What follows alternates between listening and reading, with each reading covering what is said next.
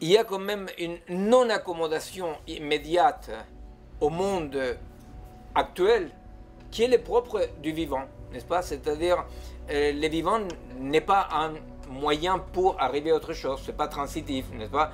Le vivant, il est sa propre finalité. Si mon ordinateur, je l'allume un matin et je vois qu'il n'a pas euh, enregistré tout ce que je dis la veille parce qu'il a euh, sélectionné, vous voyez, il a sélectionné un peu, euh, il a pris une phrase sur trois, etc. Parmi ceux qu'il a enregistrés, il a modifié un peu parce que par rapport à son histoire d'ordinateur, il voulait modifier un peu.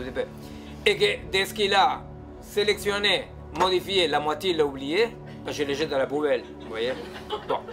Alors, le problème est que quand nous voulons aller vers un monde de fonctionnement dans la pédagogie, dans la médecine, dans l'économie, dans la société, nous voulons aller vers un monde qui, peut aider les vivants, mais que si nous continuons à confondre ces fonctionnements-là avec les vivants, on écrase ce qui est le propre du vivant.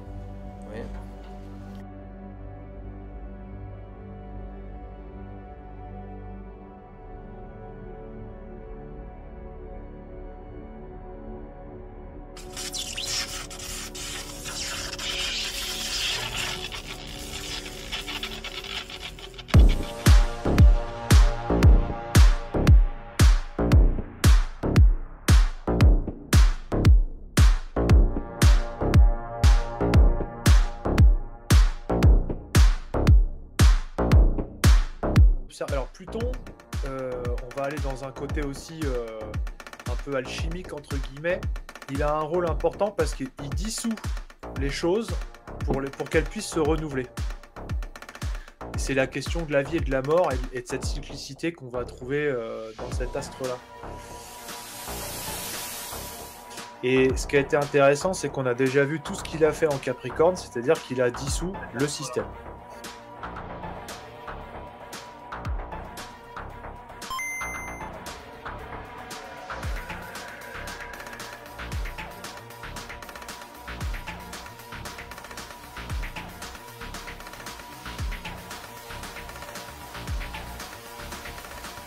Des, éléments peuvent s'effondrer, mais l'effondrement, c'est aussi une manière de rejoindre le fond. Et, donc, la grande question, c'est quel est le fond des choses? Après tout, euh, la notion d'effondrement, on peut le voir du point de vue, effectivement, de civilisation, euh, de l'Europe qui est en plein déclassement, et même dans une perspective, on est obligé de le constater, de, suicide démographique. Euh, Ce n'est pas le, grand remplacement parce qu'il y aurait simplement des immigrés, mais c'est parce que euh, les Européens ne font plus d'enfants. Donc forcément, euh, l'espace vide est occupé. Non, mais c'est ça. Ce qu'il faut comprendre, c'est que Pluton, même à échelle individuelle, hein, quand on rentre dans un transit de Pluton, quand il nous affecte, entre guillemets, dans un thème, c'est tout ce qui nous empêche de nous transformer qui va être mis en évidence. Il ouvre les portes des profondeurs pour faire rejaillir tout ce qu'on veut pas voir, ou qu'on voit pas, ou qu'on comprend pas. Il nous le met sous le nez, petit à petit, euh, pour, qu'on puisse s'en débarrasser, euh, pour se transformer, en fait. C'est une vraie métamorphose. Donc, ça génère des crises, ça génère des effondrements, ça génère des choses comme ça, mais qui sont nécessaires pour le renouvellement futur. C'est obligé en fait. Et ça, c'est une mécanique très naturelle. on l'a vu qu'en Capricorne, parce que Capricorne, ça va nous parler du pouvoir, ça va nous parler des, bref, ces choses-là. Des structures. Des structures de pouvoir, ouais. Hmm. Elles ont été complètement dissoutes. Et les forces qui sont mises en action pour dissoudre les choses sont des forces négatives, en fait. On peut pas. celui qui veut faire le bien n'a pas envie de détruire automatiquement. Donc, c'est là où on a ce phénomène qui se déploie. Et là, on arrive à la fin, parce que là, il, fait il, va rétrograder, il va faire un dernier tour. Euh, il va nous rétrograder en Capricorne au mois de septembre. Voilà. et ça, et moi je pense que c'est parce que c'est la dernière rétrogradation en Capricorne. Ouais. Donc là, c'est la fin officielle du système. Ben écoute, ce qui est intéressant, c'est que je pense qu'il y aura euh, effectivement un coup, euh, un coup final porté aux institutions et aux structures. En tout cas, à, un certain nombre de choses structurantes. C'est euh, tout à fait le cas.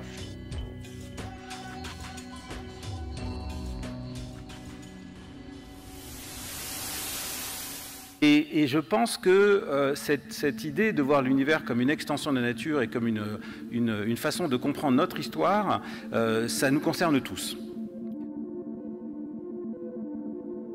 Vous avez ici une représentation de l'univers tel qu'on le voyait en 1750, où chacune de ces boules, c'est un autre univers. Aujourd'hui, on parlerait d'un multivers. À l'époque, on ne savait pas euh, qu'il y avait d'autres galaxies. Einstein lui-même, quand il a développé sa théorie, ne savait pas qu'il y avait d'autres galaxies. Il ne croyait pas à l'expansion de l'univers, parce qu'il pensait que l'univers, c'était juste notre galaxie au début. Euh, et là, on est en 1750, et Thomas Wright, qui est un astronome, un mathématicien, imagine l'univers infini, peuplé d'habitants, qu'on a appelé à une époque des univers îles. Emmanuel Kant a développé cette idée-là.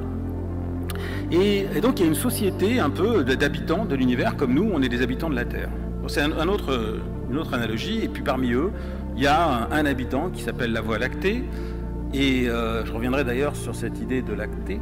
Euh, et puis à l'intérieur, euh, à 26 000 années-lumière, alors une année-lumière c'est 10 000 milliards de kilomètres, hein, c'est quoi? C'est pas grand-chose. à 26 000 années-lumière du centre de la galaxie, il y a un, soleil avec une planète qui tourne autour. Et alors, les, les univers en question sont un peu comme nous. Il y en a qui vivent dans des villages, il y en a qui vivent dans des mégalopoles, et puis il y en a qui sont sur des autoroutes qui connectent les villages et les mégalopoles qu'on appelle la toile cosmique, un peu comme nous. Mais ce qui est le plus troublant, et qui est l'une des découvertes qui continue d'interroger les scientifiques aujourd'hui, c'est ceci. C'est que lorsqu'on regarde la population mondiale d'êtres humains, nous sommes 8 milliards sur Terre aujourd'hui, et si on regarde la courbe que vous voyez en rouge ici sur le diagramme, donc la, courbe en rouge vous montre euh, le, taux de croissance euh, de la population humaine. Et, c'est le nombre de naissances. Et vous voyez qu'il y a un pic dans les années 60, au moment où on a fait le premier pas sur la Lune, au moment où on a découvert le bruit de fond de l'univers qui nous a fait comprendre qu'il y avait un Big Bang.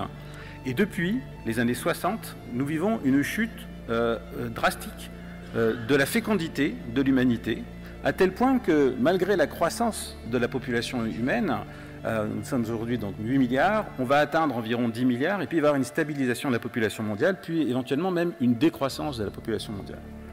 Alors pourquoi je vous parle de ça? Parce que au cours des années passées, on a fait la même découverte dans l'univers. L'univers a connu lui aussi des âges un peu analogues aux âges euh, de l'humanité, et il y a eu un moment qu'on appelle le midi cosmique, où les étoiles fleurissaient dans l'univers à un rythme prodigieux, à peu près 100 000 étoiles par seconde, dans ce qu'on appelle l'univers qui est observable, la partie accessible de l'univers. Et puis depuis, une chute drastique depuis environ 8 milliards d'années pour une raison inconnue qui fait que la fécondité de l'univers chute. Et ça, c'est l'une des plus grandes énigmes aujourd'hui. On essaie de comprendre qu'est-ce qui est à l'origine de la fécondité de l'univers. Qu'est-ce qui fait que l'univers donne naissance à des soleils, à des planètes? On sait que quasiment toutes les étoiles ont des planètes. On sait qu'il y a des mondes un peu partout, mais qu'est-ce qui est à l'origine de ça? Et, ce qui est intéressant, c'est que vous voyez, il y a une sorte d'analogie, une sorte de coïncidence. C'est qu'au moment où on vit quelque chose, on le voit dans l'univers. C'est à, un point où je me demande si notre description de l'univers n'est pas finalement une projection de ce qu'on vit nous. Euh, mais bon, c'est une mesure objective, mais il y, a quand même l'angle sous lequel on voit le monde semble assez proche finalement, au moment où on était dans les années 60, où on avait ce pic de fécondité de l'humanité, c'est le moment où il y a eu un pic de découverte avec, euh, on était allé sur la Lune, etc., l'espoir etc. Et puis aujourd'hui, euh, je dirais que les temps sont peut-être un peu plus sombres, d'une certaine manière, avec ce qu'on vit dans l'actualité, mais peut-être que ça projette aussi dans notre vision du monde. Mais aujourd'hui, donc, on parle d'une sorte de pandémie cosmique et on essaie de comprendre s'il y a des tueurs de galaxies et des terroristes galactiques. Alors bien sûr, on appelle ça les trous noirs et autres, parce que, bien entendu, comme ils ne sont pas là pour parler, euh, on accuse toujours. Euh, Mais je fais partie de l'association de défense des trous noirs, et je vais essayer de euh, vous, proposer une autre vision des choses. D'autres mythes sont par exemple celui de l'origine céleste de l'humanité. C'est une inversion du mythe de l'émergence. Les premiers humains, au lieu de sortir du sol, un jour sont descendus du ciel. Voici la carte de répartition de ce type de mythe. Un mythe intéressant aussi est celui du plongeon créateur. À l'origine du monde, il n'y avait que des eaux. Le monde était recouvert d'eau, il n'y avait pas de terre. Et le créateur a demandé à un être, souvent un oiseau, souvent un oiseau aquatique, notamment le grand plongeon, de descendre au fond de l'eau pour aller chercher un peu de limon et de ramener ce limon à la surface. À partir de ce limon qui s'est solidifié et élargi, s'est formé le sol sur lequel nous marchons. C'est le mythe qu'on appelle aussi le mythe du plongeon cosmogonique. Une fois plus, si je compare la répartition de ce mythe du plongeon créateur avec, par exemple, celui de l'origine céleste de l'humanité, je m'aperçois que les cartes de répartition sont extrêmement différentes et, grosso modo, également complémentaires. Si je compare avec celui de l'émergence primordiale qui apparaît à droite, vous voyez également une très grande différence dans ces répartitions.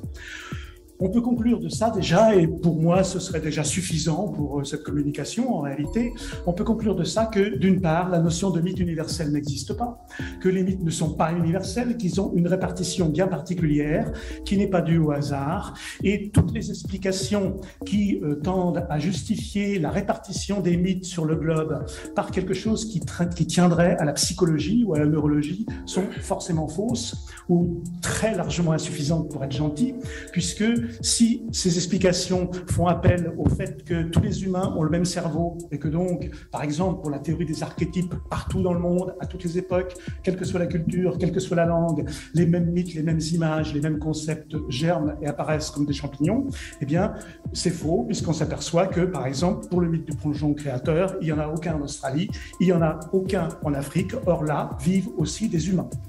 Donc, ça n'est pas dû à quelque chose dans notre cerveau, c'est quelque chose d'autre qui est sans doute plus proche d'un processus historique et donc qu'on peut reconstituer.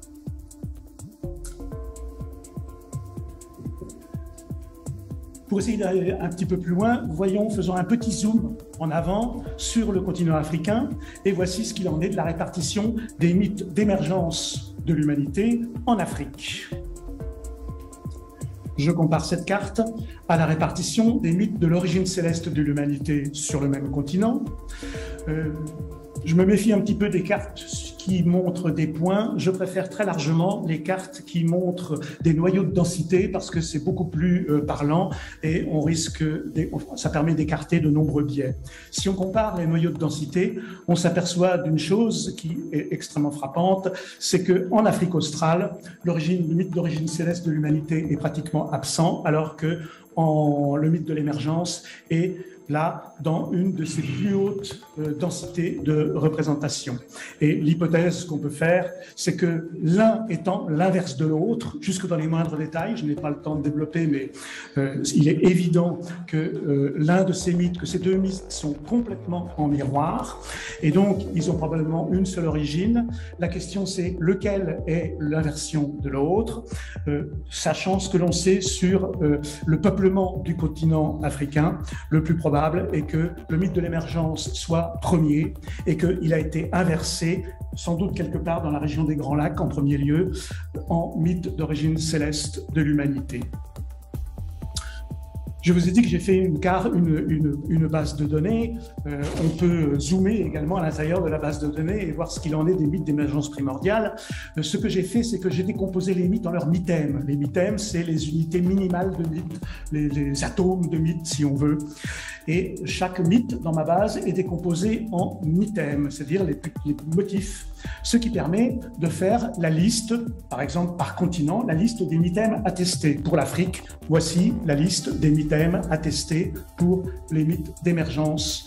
Alors, ils sont numérotés là. Premier mythème d'émergence des animaux, ensuite émergence des humains directement du sol, d'un rocher, d'une grotte, d'une termitière, d'une colline, d'une montagne. Je ne veux pas tous les lire, mais vous voyez que chaque mythème est répertorié dans la base, ce qui me permet après de faire des cartes par mythème, de faire des recherches croisées, etc.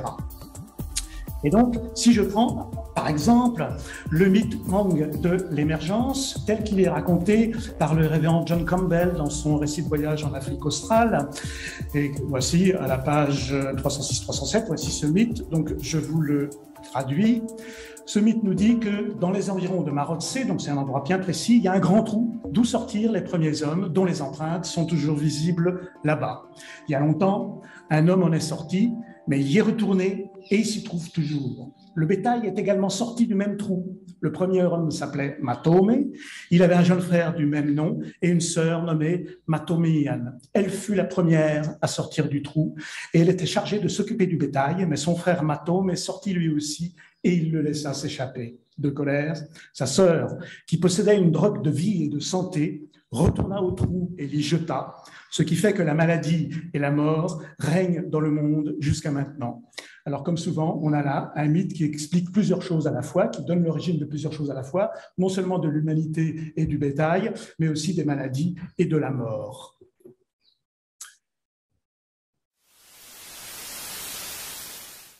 Bonjour à tous Aujourd'hui, on va parler d'une simulation informatique incroyable qui semble capable de générer des créatures virtuelles à partir de presque rien.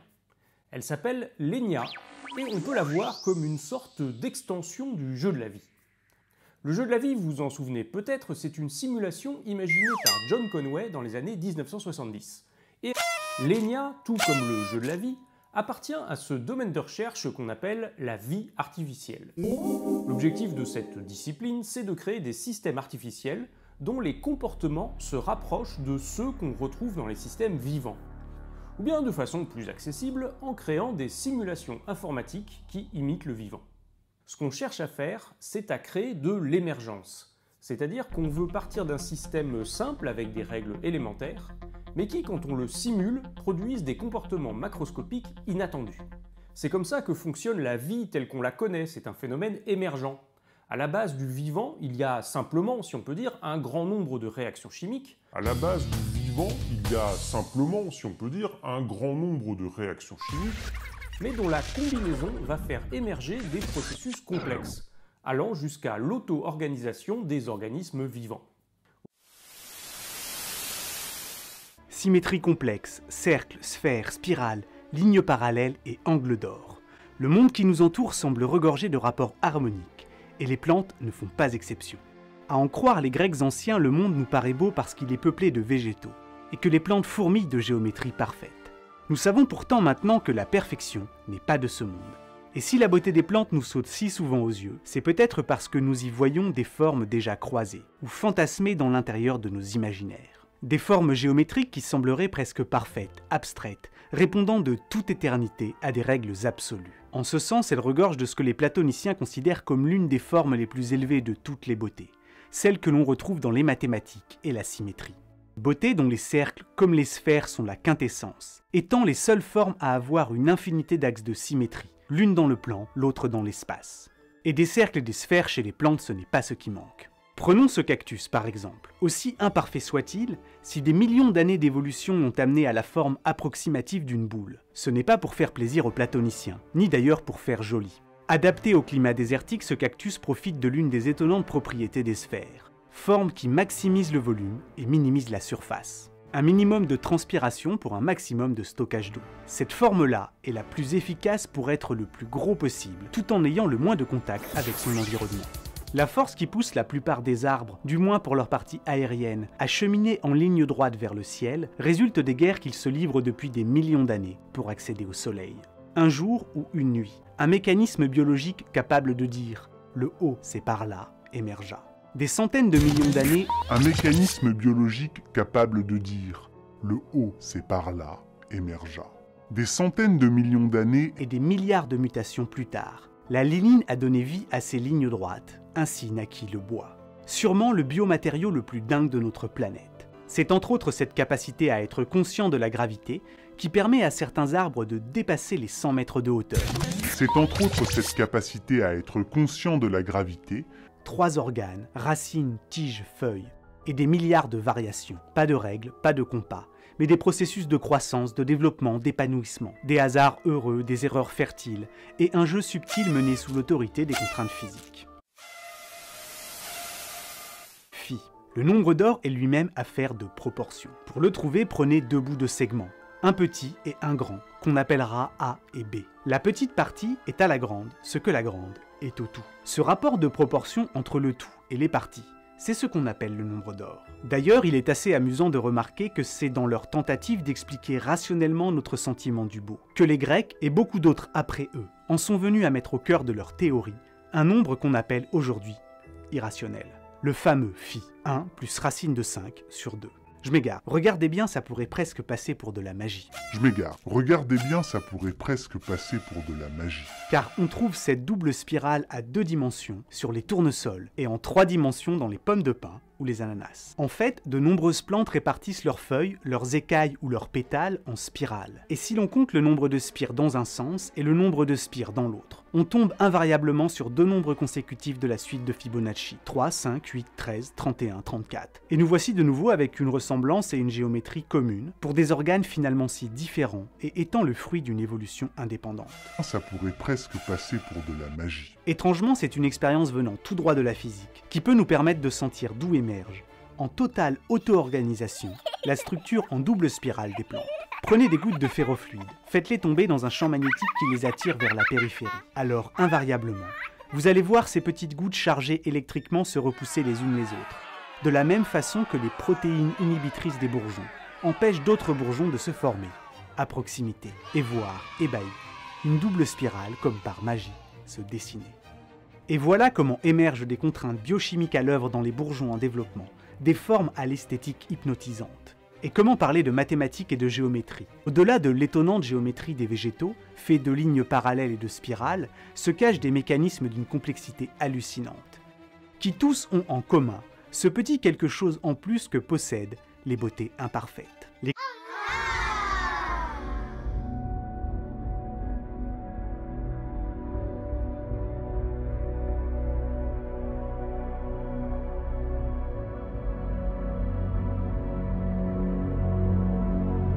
Ça veut dire la naissance d'un atome Ben, C'est-à-dire que vous avez un proton et un électron qui vont se combiner ensemble, et ça fait un atome. Et puis dans l'espace dans lequel on vit là, euh, il y a des atomes partout. Alors pourquoi je dis ça? Parce que à partir du moment où les électrons sont piégés dans les atomes, ils ne flottent plus dans l'espace, et avant, du fait qu'ils flottaient dans l'espace, l'univers était opaque. Dans cet univers-là, vous ne pourriez pas voir devant vous, vous ne pourriez pas me voir. En fait, il y avait une sorte de mélasse euh, de matière et de lumière qui étaient combinés ensemble, et dans cette mélasse régnait une musique primordiale. Des sons. Aujourd'hui, il n'y a pas de son dans l'univers parce que l'espace est vide, mais à cette époque-là, régnait des sons, une musique primordiale. Et vraiment. Cette musique avait des résonances, et puis quand les atomes sont nés, et que les électrons ont été piégés, et que la lumière a pu se libérer, et que l'univers n'était plus opaque, la musique s'est arrêtée. Et quand elle s'est arrêtée, les notes de la musique, c'est plus ou moins aigu ou grave, sont cristallisées et vont donner naissance aux étoiles, aux galaxies. Donc on est vraiment les enfants de la musique primordiale de l'univers, et ces, petites grumeaux, vous voyez rouge et bleu ici, c'est la partition de la musique primordiale de l'univers. C'est vraiment ça.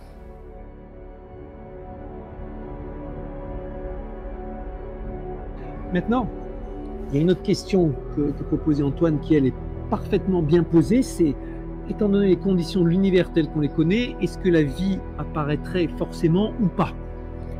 Et là, il y a débat, effectivement, et même euh, il y a débat sur ce que c'est que la vie, au point de vue euh, physique du terme.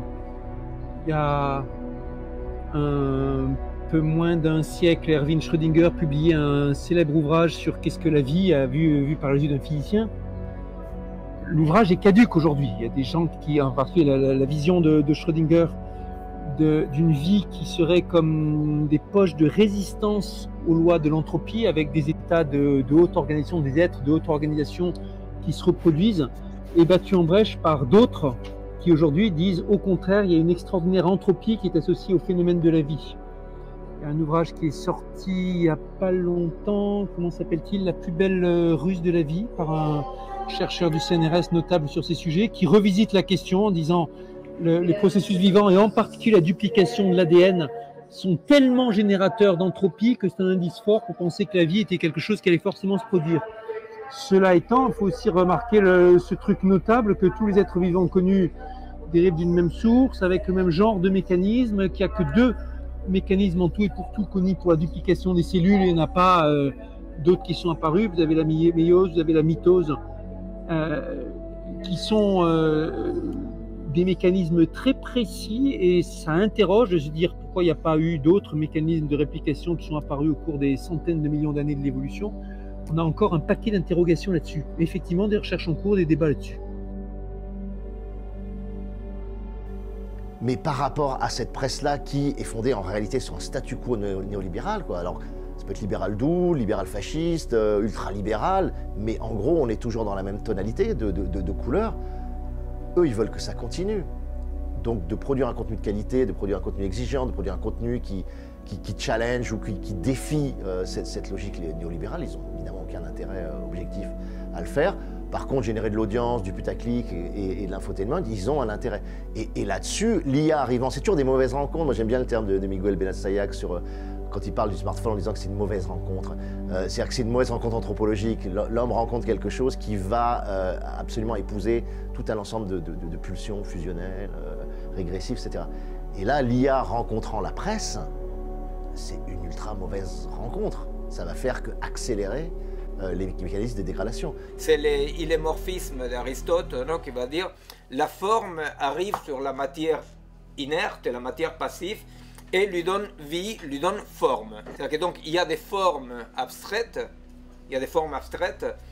Vous savez, c'est le dualisme d'Aristote, il ne faut pas le, le confondre avec l'idéalisme platonicien. C'est-à-dire que pour Platon, effectivement, les vrais mondes, c'est le monde des idées. Pour euh, Platon, il va dire les vrais mondes, c'est le monde des idées. Et les corps sont les simulacres. Les simulacres.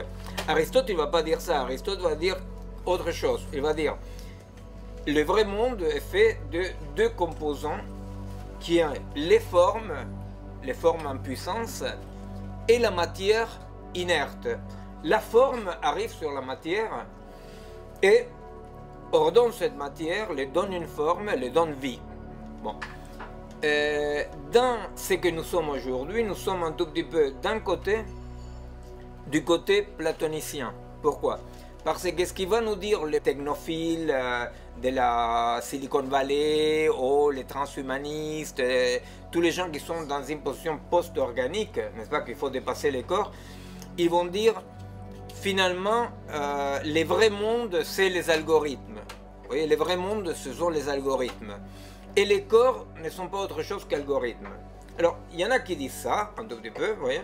Il y en a d'autres qui sont plus arist- aristotéliciens, ils vont dire, les vrais mondes, c'est les mondes des codes, des codes algorithmisés, non, alg- algorithmisables, et on peut donc prendre la matière et la façonner autrement. C'est pour ça que Laurent Alexandre, par exemple, il va dire, euh, on est en capacité de décréter la mort de la mort. Vous savez, c'est le grand best-seller de Laurent Alexandre, La mort de la mort. Pourquoi? Parce qu'il dit, si nous pouvons comprendre les mécanismes de corruption, dégénérescence des corps, eh bien, pourquoi ne pas reprogrammer, voyez, ces codes-là Si je peux les connaître, pourquoi ne pas les reprogrammer pour abolir la mort?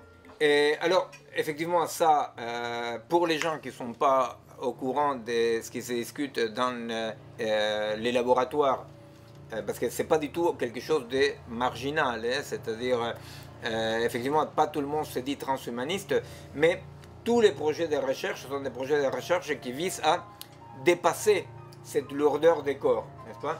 Alors donc, pour quelqu'un qui ne connaît pas, euh, ça semble quand même que c'est euh, Laurent Alexandre, il est quelqu'un de psychiatrisé, vous voyez, il veut la mort de la mort. Or, euh, pas du tout, hein, pas du tout. C'est-à-dire aujourd'hui, il y a tout un courant très très fort qui pense que pourquoi pas, pourquoi est-ce qu'on ne pourrait pas modifier ces codes tout à fait connaissables, puisque si je les connais, je peux les modifier et les matérialiser autrement les phénomènes mentaux, spirituels, psychiques, subjectifs, si nous sommes capables de les comprendre en termes neurales, c'est parce que à la fois cette dimension neurale, elle est compréhensible, assimilable, n'est-ce pas, de la même nature, pour dire comme ça, que les circuits euh, du monde digital. Donc, euh, il y a ces passages comme ça dans lesquels on va dire, bon voilà, nous pouvons comprendre ce qui se passe pour les vivants, même dans les dimensions apparemment les plus complexes, spirituelles, de la pensée, de la subjectivité, des affects, nous pouvons les comprendre par rapport au cerveau. Et deuxième pas définitif, le cerveau, il fonctionne comme une machine à état discret, c'est-à-dire comme un euh, ordinateur, comme, un ordinateur, n'est-ce pas? Donc, cette assimilation-là, euh, tout ce qu'on a connu comme le développement des neurosciences, hein, c'est le développement quand même d'une compréhension grâce à la cartographie assez précise, mais à la fois on exagère beaucoup hein, par rapport à toute l'imagerie médicale. Pour le dire comme ça, quelque part, on était en capacité de cartographier si bien le vivant et le cerveau et la, et la société que la carte pouvait se substituer au territoire. Vous voyez?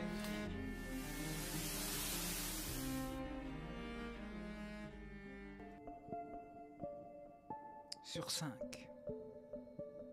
Combien sur 5 Toutes les références de ce zapping seront mises sur le Discord, effectivement. Bah, il faut aller sur le Discord. Bonsoir à tous et à toutes. Ce soir, spécial technologie naturelle, ayahuasqueros et technique chamanique avec un invité extraordinaire que j'ai rencontré dans une situation tellement ubuesque. Et je remarque que j'ai oublié de faire quelque chose, c'est que je voulais vous montrer les photos que j'ai faites la première fois que je suis tombé sur son travail. J'arrive, Palais de Beaulieu à Lausanne, à Arlausanne, un immondice total de bulldog chromé, tagué, euh, des espèces de tableaux à Soubaskia, machin. Et tout d'un coup, des sculptures de fou. Puis je suis là, mais oh Puis je vois un gars de ma taille, donc moi, je suis pas très grand, petit gars de ma taille, qui les cheveux un peu en pétard, comme ça, de mon âge. Feeling de ouf. Feeling de ouf. Je lui donne mon Insta. Moi, j'étais en train de démonter cette exposition. Et lui, un souffle, une vitalité, une. Waouh Et quand j'ai vu ces sculptures, j'avais l'impression que c'était des trucs réalisés en, en- en 3D, comme des études de chez Gobelin euh, pour faire des gros trucs de production pour Pixar et tout. On discute, tout de suite j'ai- compris que le mec avait une longueur d'avance sur des expériences cognitives. Et on avait des références communes. Jacques Mabi, j'en reparlerai, que j'ai rencontré. Bien sûr Jérémy Narby. Et surtout Yann Koonen, qui en ce moment d'ailleurs fait une superbe expo sur les chipibos, qui sont les plus entre guillemets, accessibles. En tout cas, c'est les anthropologues qui ont, pu avoir accès à eux. Et euh, bien sûr qu'il y en a d'autres, mais les chipibos sont les plus connus euh, pour ces techniques euh, d'état de conscience modifié. Teddy, ah oui, c'est ça qui est drôle. Il s'appelle aussi Teddy. Mais c'est bien sûr pas le Teddy qui en ce moment s'amuse à, sur son Patreon à me chier dessus, ou s'amuser à faire des putaclics, des, titres, mandrillement, machin, je sais pas quoi, pour dire ouais, la mysticosphère, blablabli, blabla. Moi, j'ai. C'est toujours cette discrépance qu'il y a entre orthopraxie, puis en même temps, euh, sa critique qu'il a des cathos coincés de la braguette.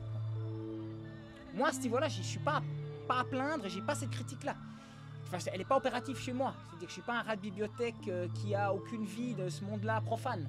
C'est ce qui me reproche, mais je veux dire en même temps, c'est pour ça que je suis ancré, puis je n'aurais pas été un artiste inspiré si j'avais pas eu ici euh, ses mains dans la fange. Et puis je regrette rien, hein, je veux dire.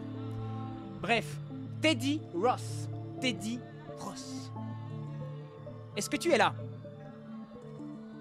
Oui, oui. Ah. Bonsoir à tous. hein. Bonsoir Teddy. Bonsoir, merci hein, pour, pour l'invitation, ça fait plaisir. C'est super cool de t'avoir parce que ton travail est extraordinaire. Ta vie est une histoire de fou. Et de nouveau, pour un petit peu boucher, enfin fermer la bouche à ceux qui, euh, qui critiquent et tout, j'ai rencontré ta femme, magnifique. Tes deux enfants, dont ta petite espiègle euh, euh, mutine fille de quoi Elle a quoi 8 ans? Ouais, elle a 8 ans. ouais. et elle est tellement chou. En fait, on s'est rencontrés euh, à, la- maison Visinant où nous sommes censés faire une exposition où on va fusionner nos travaux parce que bien sûr qu'il y a plein de choses en commun dans nos travaux. Moi, par l'étude anthropologique des états de conscience et par les mythologies grecques, et toi, par ton investissement totalement chamanique dans ton dessin, dans tes sculptures. Alors, tu nous la mets à l'amende. Autant Hugo Pinson nous la met à l'amende, tous, en peinture. Quand tu vois ses peintures pour euh, Witcher, t'es là, waouh. Et lui, grand connaisseur de la période historique romaine et euh, pré-chrétienne. Toi, tu as une connaissance, je veux dire, c'est pas comme j'ai entendu dans les lives sauvages de Pierre-Yves Lenoble, le mec qui va prendre, euh, allez, euh, j'ai entendu, il y en avait un qui avait l'air tout sympa d'ailleurs, mais dans un mariage, un machin au Portugal, on se retrouve dans un... Non, toi, tu as fait vraiment la diète et tu as passé deux ans en forêt amazonienne, sans sexe, sans sucre, sans sel, à être connecté avec toi-même. Et là, ça change totalement le game.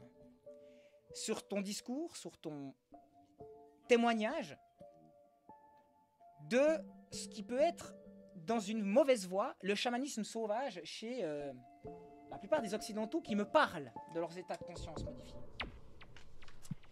Alors, je te laisse te présenter. J'ai fait un tunnel, donc il faut pas hésiter à me couper. Et tu veux commencer par quoi? Parce que tu m'as envoyé plein de documents. Tu m'as envoyé aussi des sons Shipibo que tu as enregistrés. Icaro, les Icaros. Donc, on va commencer par ça peut-être. On va commencer par le son. Parce que d'ailleurs, tout commence par le son. Mhm. L'avantage dans les livres que j'ai lus et dans les articles que j'ai lus de Jacques Mabi, c'est que tu apprends un truc qui met en PLS déjà les esthéticiens. Ouais, vous êtes des drogués, vous êtes addicts à votre truc. Non. Le chaman, le vrai chaman, en fait, il a même plus besoin de la, psycho- la- de la substance psychoactive. Parce que plus il, il utilise l'ayahuasca, moins il a besoin de la substance. Déjà là, ça te fait comprendre un paradigme qui est complètement différent. Tout, tout de suite, sans loi, sans règle. Mabi parle de fausse liberté, et plutôt d'un caprice de l'occidental, qui fait d'ailleurs... euh, euh, qui chauffe le radiateur de- du chamanisme sauvage et du New Age, qui est coupé des racines en fait. Notamment des racines judo-chrétiennes. Parce qu'on va aller tout de suite plonger dans le, dans le grand frisson bourgeois. Ouais. Alors, bonsoir, je m'excuse d'interrompre. Euh, le chat fait un retour disant que ton son micro est un peu faible et celui de, le- de ton invité est un peu fort. Ok. Alors, normalement, moi, je l'ai baissé à vérifier. Alors moi je vais, je vais parler plus fort dans mon micro. Normalement ça devrait être mieux. Si je parle comme ça, normalement c'est plus fort. Et puis, Est-ce que là, on est, on est équilibré bon, maintenant Alors. On est, on est équilibré, on est, har- on est harmonieux maintenant Ouais, moi je tape à 10, toi tu tapes à 10, normalement c'est bon. N'hésitez pas à me dire. Hein. T'es dit trop fort, toujours trop fort. Attends, on va voir. Alors, je vais baisser. non, non, c'est moi qui te baisse, t'inquiète pas, c'est moi qui gère tout. Ah, ok. Alors attends, euh, Teddy, on va faire un home. Ou un ah. ou-. La Ça, musique est moi. trop forte. Et toi? Et la musique, je l'ai baissé la musique. La musique elle est baissée. Vous inquiétez pas, faut pas hésiter à me dire. J'ai exprès fait une piste son moins forte. C'était juste pour le début, pour mon, mon intro. Mais là, normalement, la zik, elle est juste. Elle tape même pas à. Est-ce que là, moi, mon son, c'est mieux Voilà, est-ce que c'est bon? 5 sur 5 Parce que n'hésitez pas maintenant, faites les petits réglages. Parce qu'on va partir certainement pour deux heures de conférence, d'images. Et il faut vraiment que ce soit acceptable. Et moi, si je parle bien dans le micro, je fais pas de tunnel. Je vais essayer. Parce que c'est un sujet que j'adore, qui m'intéresse à fond. Et là, on a la chance d'avoir vraiment un mec qui, en plus, bon, là, on en parlait en off. Je sais que. Allez, on commence directement par les bêtises. avant de parler du son. Pierre-Yves Lenoble, normalement, qui doit nous rejoindre, a, lui, fait des expériences complètement sauvages d'iboga. Et moi, quand j'entends ce qu'il disait, ça me faisait dresser les quelques cheveux qui me restent sur la tête. Avant qu'on inspecte vraiment le monde des yahuasqueros et de, et de l'ayahuasca, toi, les différentes drogues que tu as pu avoir en état de conscience, notamment les cérémonies ou les initiations, hein, c'était quoi le terme que tu avais em- employé qui est tout con, mais qui est? L'iboga, c'est avec. euh, on parle d'initiation. initiation Ouais. Vas-y, c'était intéressant sur les racines. Bah, le, le- le- le bois, ce qu'on appelle ça le bois sacré, qui vient d'Afrique, Mhm. généralement, c'est quelque chose que tu fais une fois dans ta vie. Tu vois, eux, ils le font beaucoup euh, pour le, pour le passage de l'adolescent à l'adulte. Ou, euh, tu vois, c'est une initiation que tu fais, en fait. Et euh, ça te fait un... Ouais, ça soigne. Et à la fois, tu apprends qui tu es, ce que tu es venu faire, euh, ce que c'est la vie, Dieu, etc. Enfin, c'est très vaste. hein. Mais ce qui est très vaste, c'est surtout que tu m'as dit que c'est un- une initiation sur plusieurs jours. En fait, c'est un état. La molécule active, elle est, c'est un truc de fou. Ça, ça dépasse l'entendement. C'est, c'est plus que, c'est plusieurs jours en fait. C'est hyper fort. Et euh, les, le, le gros de l'effet, c'est entre trois jours à une semaine. Après, on prend des, tu prends des doses assez massives. hein. Et l'idée, c'est d'être complètement saturé de, bois. Tout ton organisme est saturé de bois. Tu peux, tu peux quasi plus, tu quasi plus bouger. Tu peux pas te lever. Tu, tu marches à quatre pattes pour aller aux toilettes. Et euh, c'est, euh, ouais, on va dire trois jours, tu manges pas, tu dors, tu dors pas. Et c'est des, des visions sur visions sur visions, et ça te, euh, ça te prend et ça t'ouvre, et tu as tous tes fonctionnements euh, mis à nu, quoi. Est-ce que tu as aussi pu créer comme tu as pu faire pendant tes deux ans d'isolement? Parce que rappelons que Teddy a en fait l'interdiction d'avoir toute perturbation de l'extérieur. C'est-à-dire que tu ne dois pas être perturbé, tu dois être focalisé sur ta conscience. Et le but, c'est d'élargir la conscience. C'était pas forcément obligé de prendre des substances psychoactives, justement, toute l'idée. Enfin, c'est, en fait, la diète, c'est même le plus important. Et l'ayahuasca, c'est en fait le moins important. Et l'occidental, bien sûr, il veut tout faire inverser à la base, et on y reviendra, on va tout vous décanter, on va tout vous expliquer. Mais bien sûr que les, les shipibos n'ont pas, à la base, d'utilisation de l'ayahuasca. Il n'y a que le chaman qui agit sur, les, sur l'esprit et sur les esprits en se connectant. Et là, il y a eu une interaction, une, une interférence entre guillemets. Et on va y voir, on va y venir. Et Jacques Mabi a d'ailleurs une très très bonne théorie sur cette histoire de de, de lien entre l'hypotrophie, enfin euh, l'hypertrophie du cerveau gauche de l'Occident et l'hypotrophie du cerveau droit de l'Occident. C'est-à-dire qu'on est, ok, comme disait euh, euh, notre cher Papacito, ok, on peut, aller sur la Lune, tandis que les autres, en empilant du couscous, ils vont pas aller sur la Lune. Ok, d'accord, c'est drôle, c'est drôle, super. Mais il faut aussi savoir que dans les sociétés traditionnelles, eux, c'est l'inverse. C'est que eux, ils ont une hypertrophie du cerveau droit une hypotrophie du cerveau gauche. Et leur biotechnologie, entre guillemets, symbolique, je vais y revenir, elle est opérative et je pense que c'est ça, et c'est ça aussi la grande théorie que dit Jacques Mabi, mais sans utiliser, euh, c'est pour ça que je vous ai fait un petit clin d'œil avec euh, Guillaume sur la- l'astrologie, je pense que l'ère du Verseau, c'est vraiment la synthèse intelligente des deux mondes, parce que eux, c'est pas non plus tout blanc, ou tout noir. C'est-à-dire que eux, il y a quand même un chamanisme guerrier, alors que nous, en tant que chrétiens d'occidentaux, on a le substrat judéo-chrétien un petit peu euh, pisse, et je pense que chacun doit se féconder l'un l'autre pour arriver à une connaissance, et on y revient parce que là-dedans, je sais que certains l'ont lu, mais la théorie de Narby, de la, biophosphorescence, des photons et de l'ADN, c'est juste un truc de malade. Et on va y revenir. Iboga, au niveau des visions, qu'est-ce que c'est Quelles sont les différences Ou comment tu pourrais nous classer déjà pour faire un premier, un premier euh, monde de, tes introspections Quelles sont les différences par rapport à toutes les, toutes les drogues que tu as pu tester Et quelles sont les drogues où tu as pu dessiner? Parce que j'ai fait un tunnel. Pendant les deux ans, tu as fait que de dessiner. Tu n'as le droit que de dessiner ou de produire des choses, mais pas de faire venir les choses. Puis ma question en direct, c'était OK, avec l'ayahuasca, pendant deux ans, tu as énormément produit. Et on verra tes dessins, et on verra les dessins avant l'ayahuasca, on verra les dessins pendant l'ayahuasca, et on verra les dessins que tu fais après l'ayahuasca. Et la qualité de dessin, euh, et les nouveaux sujets, c'est- moi je trouve formidable. Il y a vraiment une histoire de l'art euh, personnel idiosyncrasique à faire sur toi, Teddy. Tu le sais, ça. Et je, me réjouis de la faire un jour avec toi euh, quand on préparera l'expo. Euh, quelles sont les différences? Alors, La première question, avant de parler du son et des Icaros, quelles sont les différences?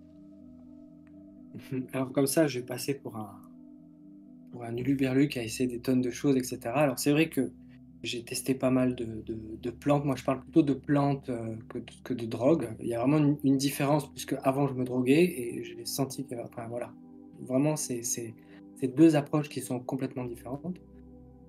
Et mais voilà, mon apprentissage que j'ai fait, c'est avec les, les shipibo, ayahuasqueros, etc. Donc ça, c'est vraiment ce que j'ai fait vraiment euh, pendant des années. Après, le bois, je l'ai fait une fois. De toute façon, généralement, c'est quelque chose qui se fait une seule fois. Et euh, bah, en gros, c'est vrai que l'ayahuasca euh, a plutôt, on va dire, ça te fait beaucoup voyager, on va dire ça comme ça. Elle, c'est assez, euh, ça te fait beaucoup monter sur le haut, sur les, sur les, choses spirituelles, pas que. hein, ça peut t'amener dans, beaucoup d'endroits. C'est très vaste en fait. C'est une liane on va dire, qui traverse plusieurs mondes. On peut dire ça comme ça. Et le bois, c'est beaucoup les racines. Tu vois, ça vient d'Afrique. C'est le bas, c'est les racines. C'est le- comme dirait Pierre-Yves Lenoble, il dirait, il parle d'âme basse. C'est le lien euh, aux ancêtres, à la famille, euh, tu vois, le- ce côté africain très, euh, très fort, quoi. Après, tu as aussi euh, le, le peyote, le San Pedro.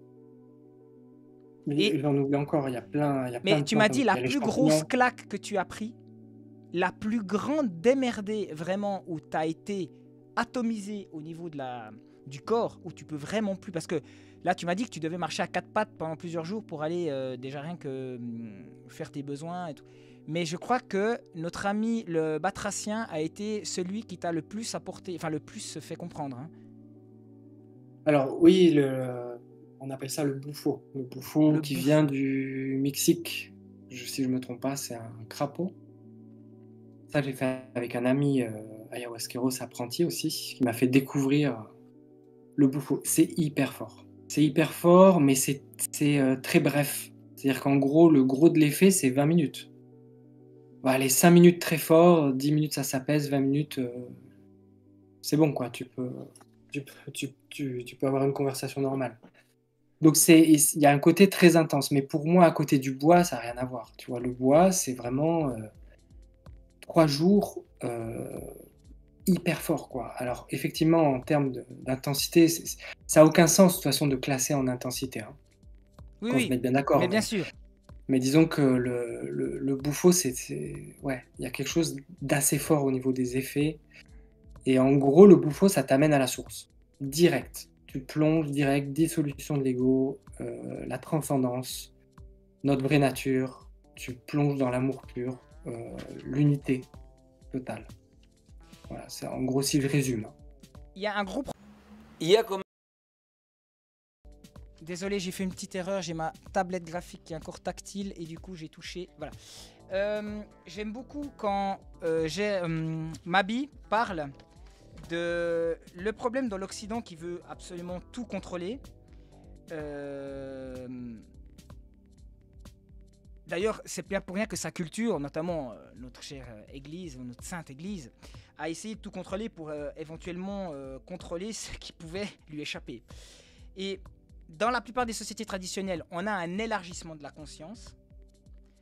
Mais le problème de l'occidental, et c'est ça que j'aime bien chez toi, parce que oh, je le ressens pas du tout, et je pense que les spectateurs vont le voir, et vont le découvrir avec ton travail de sculpture et de dessin, c'est que on a un élargissement des possibilités de la conscience.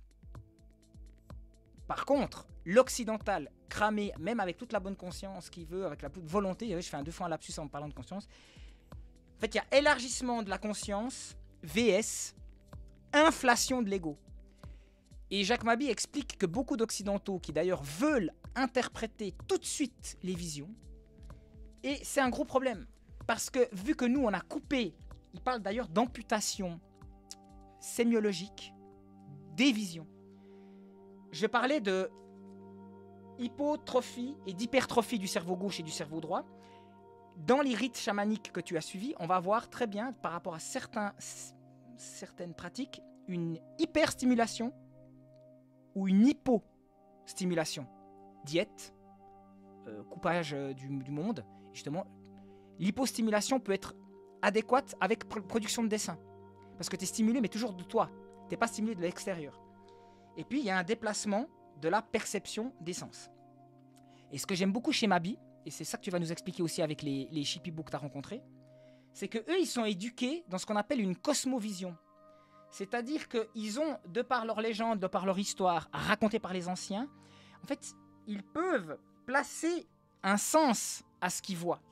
Et c'est l'énorme problème, et c'est là où on arrive au chamanisme sauvage, et toujours ce problème aussi de l'inflation de l'ego, c'est que n'ayant pas accès à une cartographie, on va tomber dans le chamanisme sauvage. Et souvenez-vous, parce qu'on a les, mais c'est tout le discours de Mabi, on a toutes les prémices dans nos mythes grecs, mais on les a perdus et on les sait pas très bien en fait. Et souvenez-vous, Prométhée, le passage du monde à l'autre en, transmet- en transmettant le feu, c'est la punition. C'est le foie, c'est l'énergie vitale bouffée éternellement. C'est un désastre. Et le désastre de la toxicomanie, euh, nous, on a amené chez les, chez, les, chez les autres, on a amené le problème de l'alcool. Mais la toxicomanie et la dépression, ça, c'est l'Occident. C'est le paradoxe occidental. Et comme disait Chagat, ok, euh, Papacito, tu fais l'éloge du Kogan et puis du principe occidental. Mais l'obso- l'obsolescence programmée, c'est pas les Tongolais ou c'est pas nos chers Marocains qu'on n'aime pas ou les Algériens que à droite, euh, les droitards n'aiment pas qui l'ont inventé. C'est bien ces putains de Baptous qui l'ont créé. Euh, l'obsolescence programmée. Après, bon, genre- il est petit. L'église de, de Derrick va dire que c'est pas certains Baptous. Enfin, bref. Mais c'est quand même l'Occident qui a fait l'obsolescence programmée et la merde. Donc, bref. C'est un désastre. Et dans désastre, on a perdu les étoiles. C'est-à-dire que celui qui va dans un monde accéder à des consciences, élargir la conscience sans rituel et sans guide, simplement, sans passeur, la société occidentale n'a plus produit de passeurs. Et quand j'entends les prêches de mes, de mes potes, enfin, de, parce qu'en plus j'en connais, j'ai- des super potes pasteurs et prêtres, des deux côtés. Euh, à part mes amis orthodoxes, où là c'est pas des amis, c'est des gens que je connais et que je respecte à un niveau, euh, voilà. Mais tous mes potes euh, qui, ont- qui sont même de ma génération, hein. j'ai des potes pasteurs, ok, ils sont Ouais, mais c'est le niveau 1 et 2 de la, de- des écritures. hein. C'est sens littéral et sens allégorique. Cher à Platon, c'est les deux premiers niveaux. Vous connaissez les quatre sens de l'écriture. Après, il faudrait le sens tropologique, le sens moral. Pour avoir le quatrième, qui serait le sens anagogique, là, j'en renvoie au sens, les quatre sens de l'écriture chez Origène. Vous connaissez, j'espère ça, j'en ai de toute façon assez parlé dans mes lives. Bah, il n'y a rien. Et le désastre, c'est ça. Il n'y a pas l'étoile, il n'y a pas la cartographie, et bah, tu disais bien qu'au début, quand tu étais jeune, euh, c'est ça, parce que tu as beaucoup de liens avec Pierre-Yves Lenoble, j'ai- vu qu'il était dans le chat, enfin dans le, dans le Discord, tu as eu aussi un grand passé de graffeur et de street artiste. Et c'est marrant parce que c'est ce lien, j'ai beaucoup de potes street artistes, je sais pas, il y a peut-être une anthropologie à faire de mes potes graffeurs qui ont pou- pourtant un quotient intellectuel hors norme, un- un- une notion artistique hors norme, hors norme, se sont complètement cramés euh, d'un point de vue institutionnel avec les arts, mais pas du tout pour les mêmes raisons que moi, parce que même je connais des graffeurs, même à la limite un peu fa- antifa, un peu extrême, tu vois, euh, la, la culture du tag et du graphe, plutôt dans la culture punk que la culture euh, hip-hop. Et je sais pas pourquoi ces gens ont ce désastre, ce- ce- cette, recherche absolument d'aller euh, attirer par la technologie du sacré, mais sans avoir euh, les liens, parce que l'Occident n'a pas produit de technologie du sacré, ou elle l'a perdu, peut-être que nos chers druides l'avaient, mais j'y reviendrai avec le serpent cosmique de Jérémy Larby, il explique très bien le lien avec les hum, sociétés euh, abrahamiques euh, qui ont complètement banni le serpent. Mais ça, on y reviendra. Bah vas-y, euh, ta petite période euh, un peu défonce, euh, c'est de quand à quand? Oula, je sais plus quand ça a commencé, peut-être à ouais, à 16, 17 ans. À 18 ans, je crois que je suis parti en Belgique, puis alors là, c'était roue libre, quoi. Roue libre, et puis j'ai fait ça jusqu'à ce que je, sois vraiment mal et que je parte voir les, ces guérisseurs au Pérou. Mais en fait, euh, j'étais j'étais tellement, euh, comment dire, j'étais tellement euh, mal que je m'étais créé un personnage un peu, euh, enfin pas un peu, assez arrogant, qui se croyait invincible au-dessus de tout le monde en fait. Ouais, L'inflation de l'ego dont il parle euh, Mabi. Ouais, alors ça c'était avant d'aller euh, là-bas. Et en fait, demander de l'aide, bah, c'était, c'était, c'était no way, quoi, tu vois, c'était, j'étais trop, euh, trop imbu de ma personne. Et puis donc je suis allé juste, vraiment jusqu'au fond du trou, jusqu'à ce que je sois obligé de dire, ok, là j'ai besoin d'aide. Et puis euh, le, le fait que je le, je le verbalise, les choses se sont mises en place et, euh, et j'ai eu, voilà, je suis parti voir ces guérisseurs. Ils m'ont, euh, ils m'ont aidé. Ils m'ont aidé, ça a pris du temps. hein. Là, je vais vous faire un raccourci très rapide. Alors, j'ai- Donc, j'y suis allé à, 20, à 22 ans à peu Mhm. près. Tu allé à 22 ans. Euh, oui, alors je parlais de guide et qu'est-ce que tu parlais de en tant que technologie du sacré? Là, je reprends toujours Mabi. Euh, en fait, il y a dans les rites, et c'est exactement ce qu'on n'a pas nous en Occident, et on va foncer droit dans l'improvisation. Il n'y a rien d'improvisé. Il y a une cartographie. Je parlais de. Vous avez fait le lien étymologique entre astre et désastre. Et euh, le fameux tout tout de suite, sans loi, sans règle, cette fausse liberté qu'apporte le, hum, le New Age, elle est complètement contradictoire et vous vous prenez une branlée si vous avez, j'ai dit bien, un vrai chaman sur place. Bien sûr, on va y revenir, il y a aussi énormément maintenant de dégénérescence au sein même des populations autochtones parce que bah, c'est toujours cool de se faire plein de thunes en euh, même j'ai des anecdotes j'ai une copine qui a vraiment fini euh, qui a failli se faire violer en fait euh, sous défoncer quoi donc et puis eux, il y a aussi de la manipulation mentale enfin c'est très grave mais ce Ouais, il contact avec la nature et notre nature profonde. C'est ça qui est génial. C'est qu'il y a le contact avec la nature que nous on a perdu, mais surtout le contact avec notre nature profonde. Et notre corps nous renvoie à l'ordre du monde. Notre corps connecté, c'est l'ordre du monde. Bon, moi je l'ai avec les arts martiaux et euh, la, pratique intense du sport depuis euh, 25 ans ou 30 ans, à 2 heures par jour en moyenne. Mais je le vois aussi avec les sportifs, le problème de l'ego et tout, c'est la même chose. hein. Si, tu n'es pas axé, tu te désaxes. Et c'est paradoxal dans une voie spirituelle. Et là, on, on arrive à ce qu'on appelle les dissociations psychiques qui amènent aux psychoses. Maintenant, avant de... Est-ce que, que Miller est un sorcier noir? Putain, on va y revenir sur Bernard Miller. À la fin du live, j'ai deux, trois anecdotes. J'aimerais juste aussi revenir sur quelque chose, parce que peut-être que les gens ne comprennent pas. Quand je parle de euh, substances psychoactives et de technologie euh, du sacré, on est totalement à côté du terme fourvoyant et stupide, je dirais même, du mot hallucinogène, qu'on utilise toujours, qu'on utilise souvent. Parce que dans l'hallucination, ça laisse entendre qu'il y aurait une falsification des sens, avec une information qui serait fausse.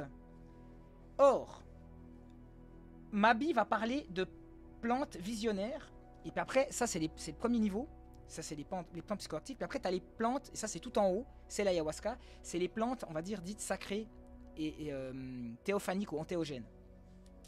Et les plantes, en fait, elles ont un objet physique. Il n'y a pas une hallucination, il y a un objet physique.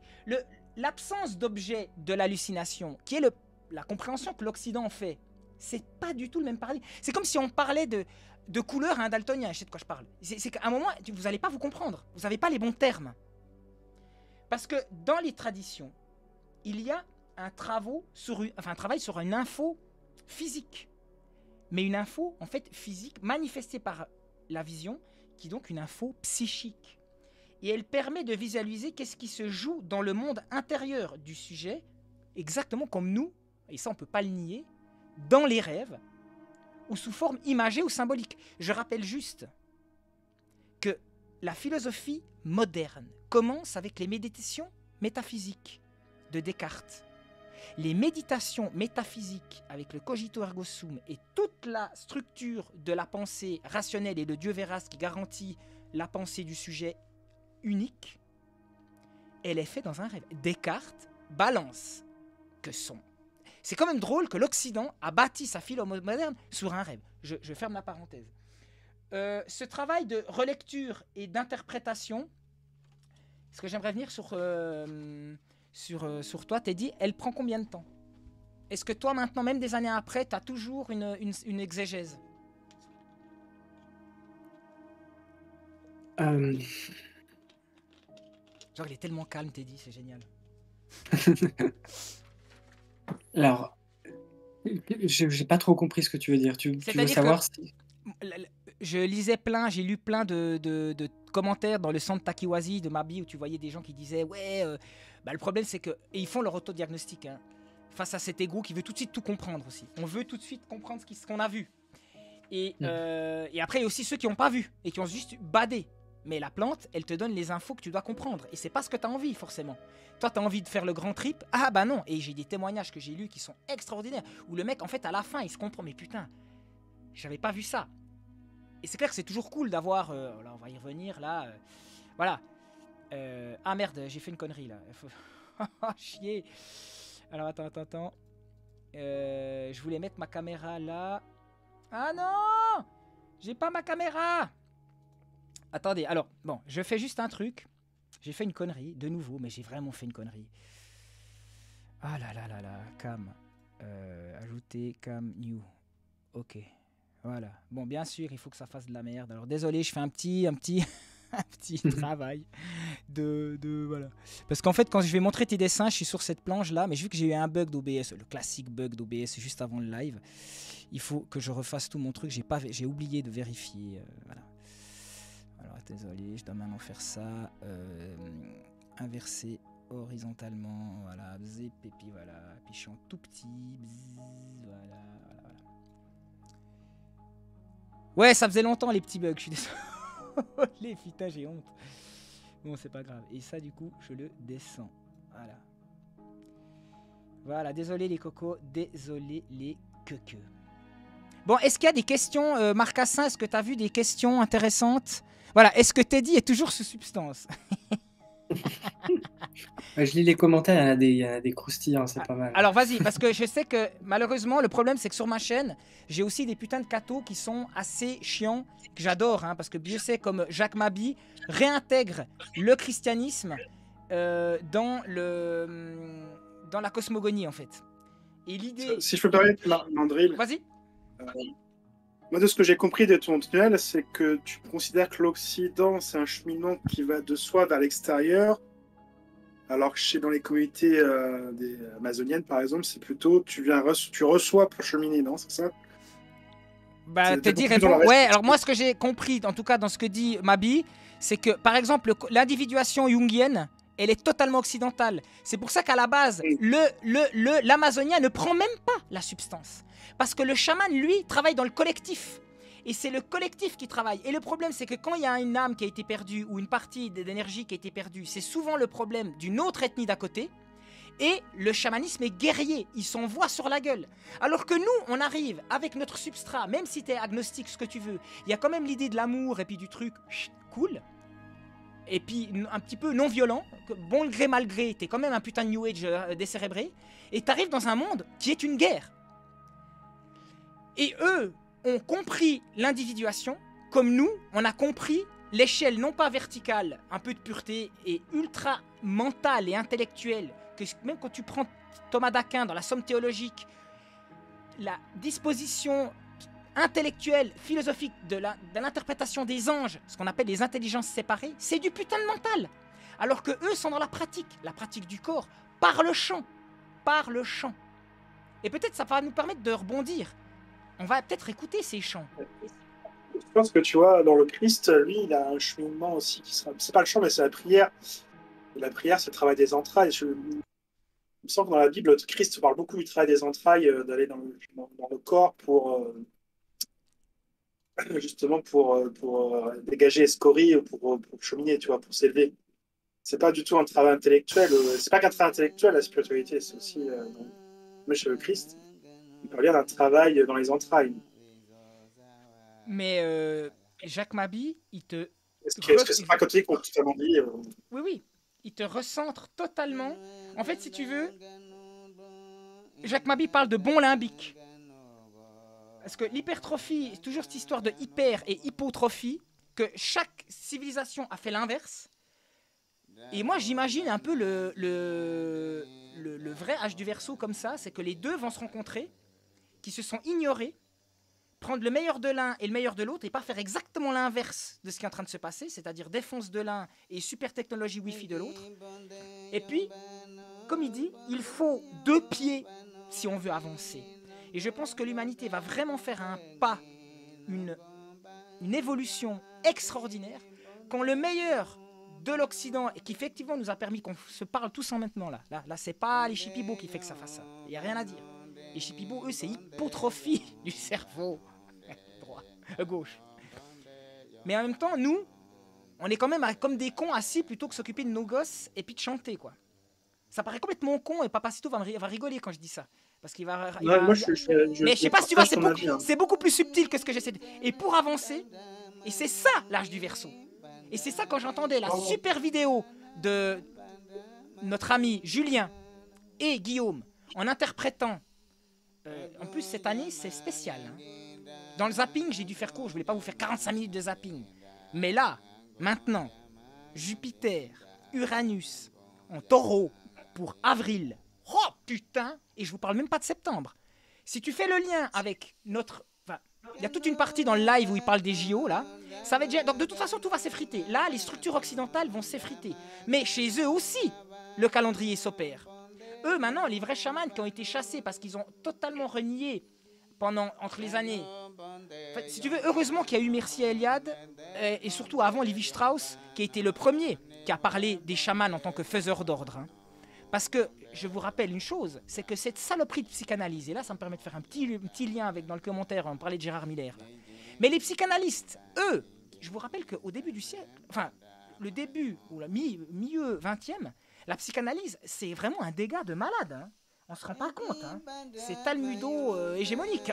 Donc, du coup, les chamans, et j'y reviendrai parce que les notes, le serpent cosmique, il est bien, mais les, notes, ça reste un anthropologue, et ça reste très référencé. Je veux dire, il y a ça, il y a à peu près, je veux dire, le bouquin, il y a ça de notes pages, de notes pages et de bio. Et il t'explique très bien le passage où les chamans interprétés par la psychanalyse sont des fous, des aliénés. Mais c'est ça le problème aussi en Occident. C'est que la science occidentale ne veut pas parler de cette réalité. Soit elle la nie, ou soit elle la met de côté. Et on est réduit à une sorte de fonctionnaire de la vie. Ça, c'est le modèle de la science occidentale. Ok, euh, Papacito, c'est cool. euh, on va sur, euh, on fait Hulk Hogan, euh, on peut avoir des plans en, en- en ralenti d'Hulk Hogan qui fait une corde à linge. Super. Mais en attendant, on est fonctionnaire de la vie. Et l'extrasensoriel n'est pas du tout pris en compte dans l'appareillage de notre conception. Et euh, il faut restituer. Il n'y a aucun spirituel dans l'Occident, dans la, nation- dans, la, dans la science, la science occidentale qui est devenue une religion. Tu n'as aucune, spiritualité. hein. C'est sec comme, c'est sec comme euh, Brigitte Trogneux. hein. Et le problème, c'est que le champ social habituel, on l'appelle la normose en Occident. C'est un état habituel de conscience où justement les états modifiés de conscience vont être exclus. Pourtant, on a tous besoin de ces états de conscience. Et même le zététicien, tu vas le prendre, tu vas le tirer par l'épaule, tu vas le regarder, tu vas dire de regarder les apocadrilles, non je rigole, tu vas lui dire, mais de toute façon, même dans ton monde de merde aseptisé, tu as besoin d'états de conscience modifiés. Parce que rien que ta, hum, ton, bah, rien que le, sport à extrême, le sport extrême, c'est un état de, euh, conscience modifié. Rien que l'extase euh, orgasmique, euh, la petite pétée que tu fais à ta petite à Bobonne, c'est un état de conscience. L'animal a besoin d'état de conscience aussi. Et c'est un élan vital, les états de conscience modifiés. Et ça, l'Occident l'a oublié. Et ces états de conscience, on les a en fait, il y en a un quatrième. Le- les trois premiers, on les a tous. Vous les avez. hein, On le partage avec les animaux. Manger, dormir et se reproduire. Ça nous permet d'avoir des pics de dopamine. Parce qu'on va y revenir. Les plantes, il n'y a pas un côté exogène entre les plantes et nous.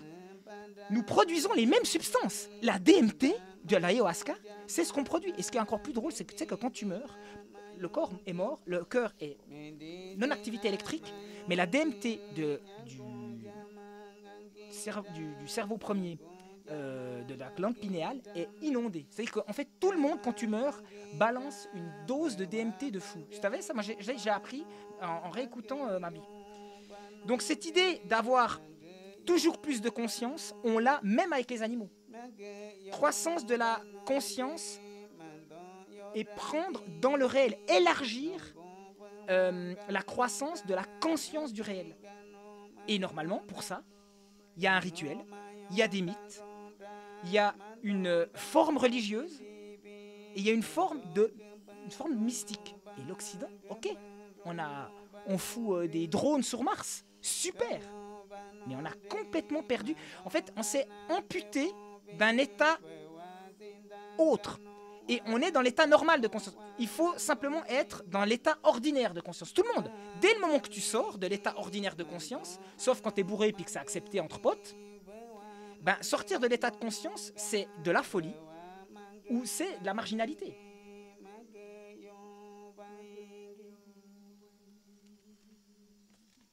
Tu nous fais de la bio molle, le shake Mandrilo. non, j'ai pas du tout de prétention d'être un shake. Au contraire, je suis un, un déchu. C'est bien pour ça que, malgré mes tunnels, je vais quand même laisser le plus parler mon petit. euh, mon petit. euh, bah, écoute, Teddy, on écoute des sons là. Je mets chant, centrage, ouverture, qui dure de 6 minutes, qui est chanté par Guillaume, j'ai vu. Non, j'ai j'aurais juste G-U-I-2-L. C'est Guillaume? Non, en fait, c'est euh, Guillermo, Guillermo Ah. Arevalo. Ah, le fameux Voilà, le fameux, c'est le chaman avec qui j'ai appris. Il est euh, très controversé euh, au jour d'aujourd'hui. Après, il faut savoir que l'époque où j'ai appris avec lui, il était au, au mieux de sa forme et il n'avait pas commencé ses, ses petits dérapages, on va dire. C'est après que ça a vrillé un petit peu. Et euh, donc voilà. Il y en a certains peut-être qui le connaissent. Ouais, Guillermo parce qu'en fait, à fond. Non, mais c'est le mec qui a été tellement bon il a fini à Paris avec la jet set et puis qu'il a pu avoir accès à tout ce qu'il avait envie. Parce que le problème, c'est les chamans. Il y a aussi, comme je vous disais, j'ai des petites pépettes là. J'ai une petite copine qui est vraiment magnifique, orthophoniste, qui avait halluciné la première cérémonie. Elle a eu du bol. Elle a été chez les Chipibo. Euh, elle a fait la diète, elle a fait tous les trucs. Elle était pas. C'est marrant, c'était la plus rationaliste que je connais. C'était une zététicienne même, sans avoir le terme, mais c'était pas du tout quelqu'un. euh, Elle était, moi j'aime pas les esprits de synthèse comme tu me fais. Je lui avais fait découvrir Francis Cousin pour le faire un espèce de lien. C'est de mystique chez Cousin, mais j'avais envie de lui. Ah non, moi j'aime pas. Moi j'aime un système méthodologique. euh, C'est beaucoup trop euh, de la synthèse. J'aime pas. Je suis waouh. Elle a pris l'ayahuasca, elle est revenue totalement changée, la meuf. Incroyable. D'ailleurs, maintenant, en plus, elle a fait une formation d'art-thérapie et c'est excellent. D'ailleurs, elle a fait des cours chez moi, c'était excellent. On a, on a vraiment halluciné euh, avec les collines et, et- et la J'ai l'impression que ça fait un peu l'effet de- des gens qui vivent les EMI aussi. Ces espérances de mort imminente. Ouais, ouais. Qui changent totalement à chaque fois. Enfin, les vraies espérances de mort imminente, les gens sont toujours changés en bien ou en mal, mais ils sont toujours changés. Bah, si tu veux, l'expérience de mort imminente, elle a dans ce pic euh, du cerveau euh, archaïque euh, la glande pinéale. Parce qu'il faut je rappelle, les amis, que la glande pinéale, elle n'est pas dans le cerveau, la partie corticale, tout extérieure. Elle n'est pas dans le cerveau médian. Elle est dans la partie la plus.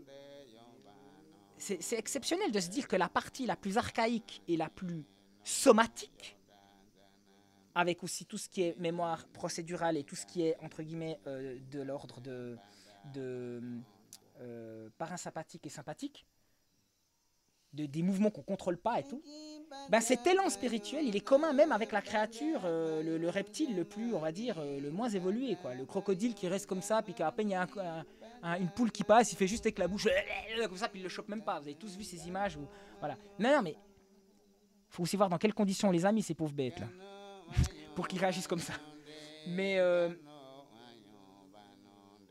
la mémoire somatique du corps, le corps qui est connecté au cerveau, et le cerveau c'est le corps, Jérémy Narbil l'explique, il n'y a, y a pas le cerveau, on est des cerveaux. Un arbre, c'est un double cerveau en fait. Il y a un corps spirituel qui est connecté à ça. Et ça, l'Occident, il a rien compris. Alors, il y a bien sûr certains blaireaux maintenant en, physique quantique qui vont te faire des espèces de tartes à la crème et tout. Je vois toujours cette. Est-ce que vous voyez Je fais un tunnel dans un tunnel. Est-ce que vous voyez aussi la pub sur mes algos de Gaia là? Ce truc Gaia, c'est un peu Baglis TV, mais en, en- en beaucoup plus New Age. Avec des putains de reportages complètement barjots, avec ce putain d'américain euh, poivre et sel là qui est là puis qui fait des conférences tout le temps. Ça m'a l'air vachement, euh, vachement je crois. Enfin bref. Mandrill, Ouais. pour info, euh, au, niveau marsa- au niveau martial, la glande pinéale, c'est le dantian euh, supérieur. Ouais, ouais, ouais. C'est mon premier apocadrille, ça, les Dantian. Mm. Bon, je vais mettre en fond. euh, bon, tu connais bien euh, Yann Kounen, euh, mon cher Teddy? Ouais, c'est un, c'est un ami. Et t'as été. Lui, à l'époque, quand il a fait tous ces trucs, bah, t'étais en même temps que lui. Alors lui, il a commencé avant, en fait. hein. Ah, il, a quand même est- encore une longueur d'avance, quand même. Oh, il a une sacrée longueur d'avance. Et c'est en fait, euh, il a rencontré euh, Guillermo quand il était euh, à Pucallpa et quand il, il faisait des soins vraiment chez lui dans une petite cabane. Et en fait, il a, il a aidé à monter son, centre. Il, en a fait un documentaire, un film. Et c'est là que ça, ça a vraiment euh, lancé Guillermo. Il a eu un centre pour accueillir des, des, gens des quatre coins du monde pour, les, pour, faire du soin principalement. Et c'est comme ça que j'ai j'ai découvert Guillermo d'ailleurs. Donc ça a commencé, enfin Guillermo, enfin pardon, Yann Kounen a commencé bien avant.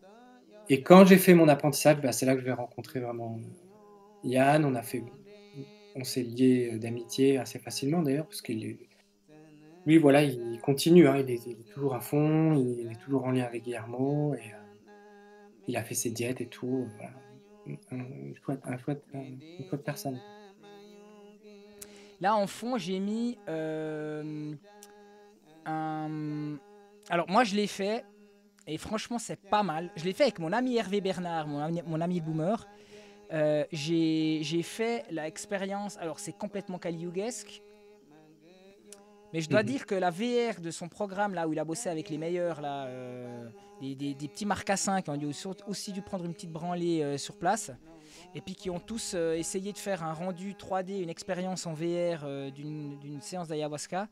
Je vous promets, là j'ai mis quelques extraits. Franchement, c'est excellent. Ouais, il, a, il a bien bossé, hein, je, parle artistiquement. Vous allez me dire que bien sûr, d'un point de vue métaphysique et opératif, euh, ça peut parler qu'aux initiés. Mais franchement, c'est un des trucs les plus spéciaux que j'ai fait. Bah, ça donne un aperçu du, du, des visions qu'on pourrait avoir lors d'une session d'ayahuasca. Pour quelqu'un qui n'a jamais pris, ça lui donne un peu un aperçu. Oui, parce que pour tous ceux qui n'ont pas pris, euh, je vous montre des images. On va essayer un petit peu de cartographier ça. Euh, là, donc ça fait à peu près 10 minutes qu'il y a ce... Enfin, pas 10 minutes, mais quelques minutes qu'il y a ce son-là de Guillermo. C'est quoi ces Mhm. Icaros? Si je te demande, définis-moi les Icaros.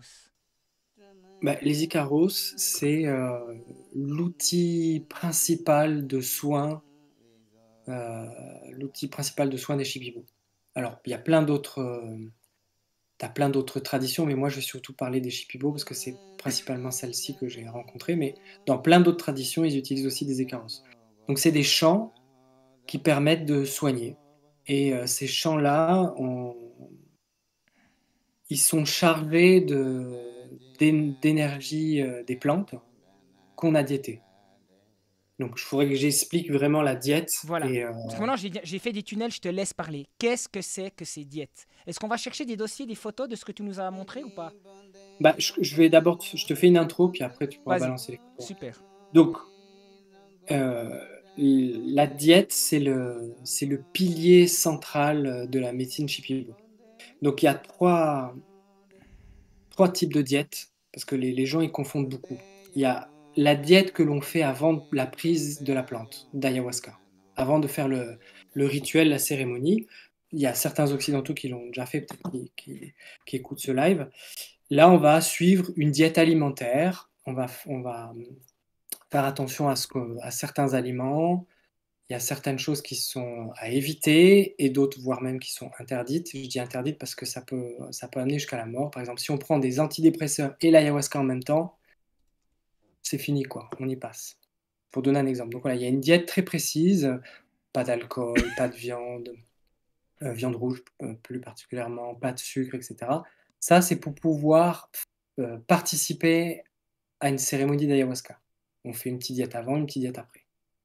Ensuite, il y a une autre diète qu'on appelle ça une diète de soins. Donc là, c'est très différent. C'est-à-dire que là, le guérisseur, en plus des cérémonies, il va donner au patient une autre plante qui est une plante qui soigne, une, plante médicinale, en rapport avec la pathologie du- de la personne. Donc la personne, elle va diéter, c'est-à-dire qu'elle va suivre un régime alimentaire et en même temps, elle va boire cette plante qui n'est pas forcément psychoactive. hein. Généralement, elles ne sont pas du tout psychoactives. Et Toi, euh, tu as bu pendant plusieurs mois la même plante pour accéder à ce soin. Attends, je vais y venir. Voilà. venir. C'est- encore différent ce que j'ai fait. Donc cette plante de soin, ce qui se passe, c'est que la personne va diéter, donc elle va boire cette plante, en même temps elle va suivre le régime alimentaire et elle va participer aux cérémonies. Et lors des cérémonies, le guérisseur, il va utiliser, enfin, il va appeler cette médecine qui est dans le corps de la personne, la médecine de la plante qu'il a, qui diète, pour pouvoir travailler et soigner la personne plus précisément en fait. Donc c'est vraiment un travail de, de collaboration entre la plante qui est diétée et les soins du guérisseur. Et la troisième diète, c'est la diète d'apprentissage. Donc là, c'est autre chose, euh, qui est différente de la diète de soins, qui est différente de la diète que l'on fait avant la prise d'ayahuasca. Et la diète d'apprentissage, c'est pour apprendre la médecine. Et euh, euh, du coup, là, c'est des diètes, pareil, on diète des plantes, on appelle ça des plantes maîtresses, qu'elles enseignent. Elles peuvent être, une plante, ça peut être à la fois maîtresse et médicinale, ou les deux. Ça dépend de, certaines plantes. Donc on va diéter une plante maîtresse. Et du coup, la diète, que ça veut dire? Ça veut dire qu'on va apprendre de la plante. Parce que dans cette médecine, c'est pas le guérisseur qui te dit, bon, maintenant tu vas faire comme ci, comme ça, c'est comme si qu'on soigne euh, telle personne, etc. Pas du tout.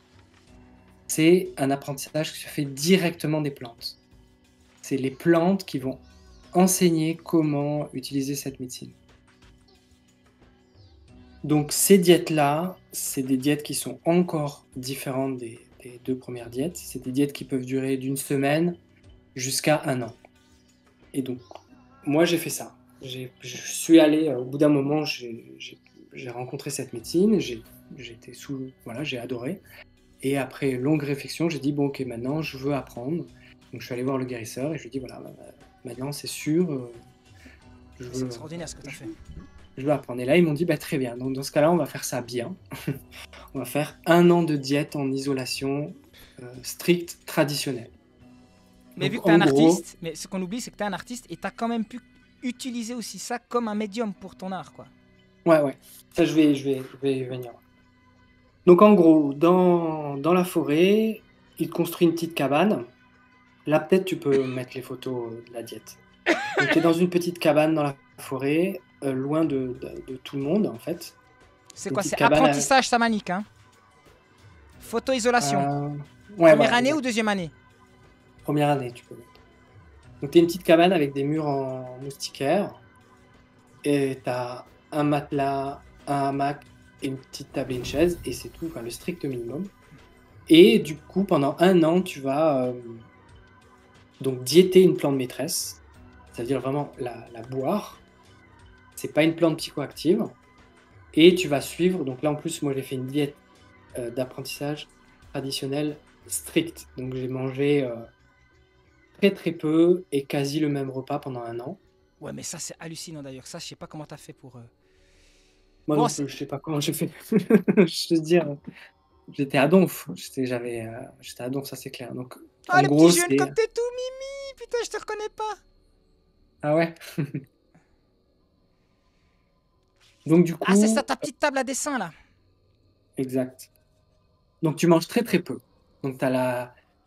t'as l'énergie du corps qui descend très très bas. Tu es très faible, la peau sur les os. Tu, tu, tu déplaces pas, en gros, tu restes dans la petite cabane. hein.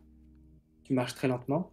C'est hallucinant, donc, ça fait, c'est hyper feng shui, parce que, enfin, c'est- je, parle comme un blaireau, mais c'est ces moustiquaires qui te font juste ces parois là. C'est, en fait, c'est Ouais. complètement génial. T'es dans un aquarium au milieu de la forêt, et puis il y a que toi tout seul avec les bruits, les insectes, les trucs, puis tu flippes quoi. Ah, t'es à nu, euh, t'es, t'es nu dans la forêt, quoi. En gros. hein. Donc je disais, le- l'énergie du corps qui est très faible, et par contre, ce qui se passe, c'est que t'as la sensibilité qui explose. Tu deviens mais extrêmement sensible, justement pour, pour mieux capter l'énergie de la plante que tu diètes, parce que c'est des énergies à- qui sont fortes, mais qui sont très fines aussi. Et donc, euh, donc l'idée de cette isolation, c'est en gros pour ne capter que l'énergie de la plante et rien d'autre. Tu vois, parce que quand, tu vis en Occident, euh, en centre-ville, bah, tu es, confronté à de nombreuses autres énergies.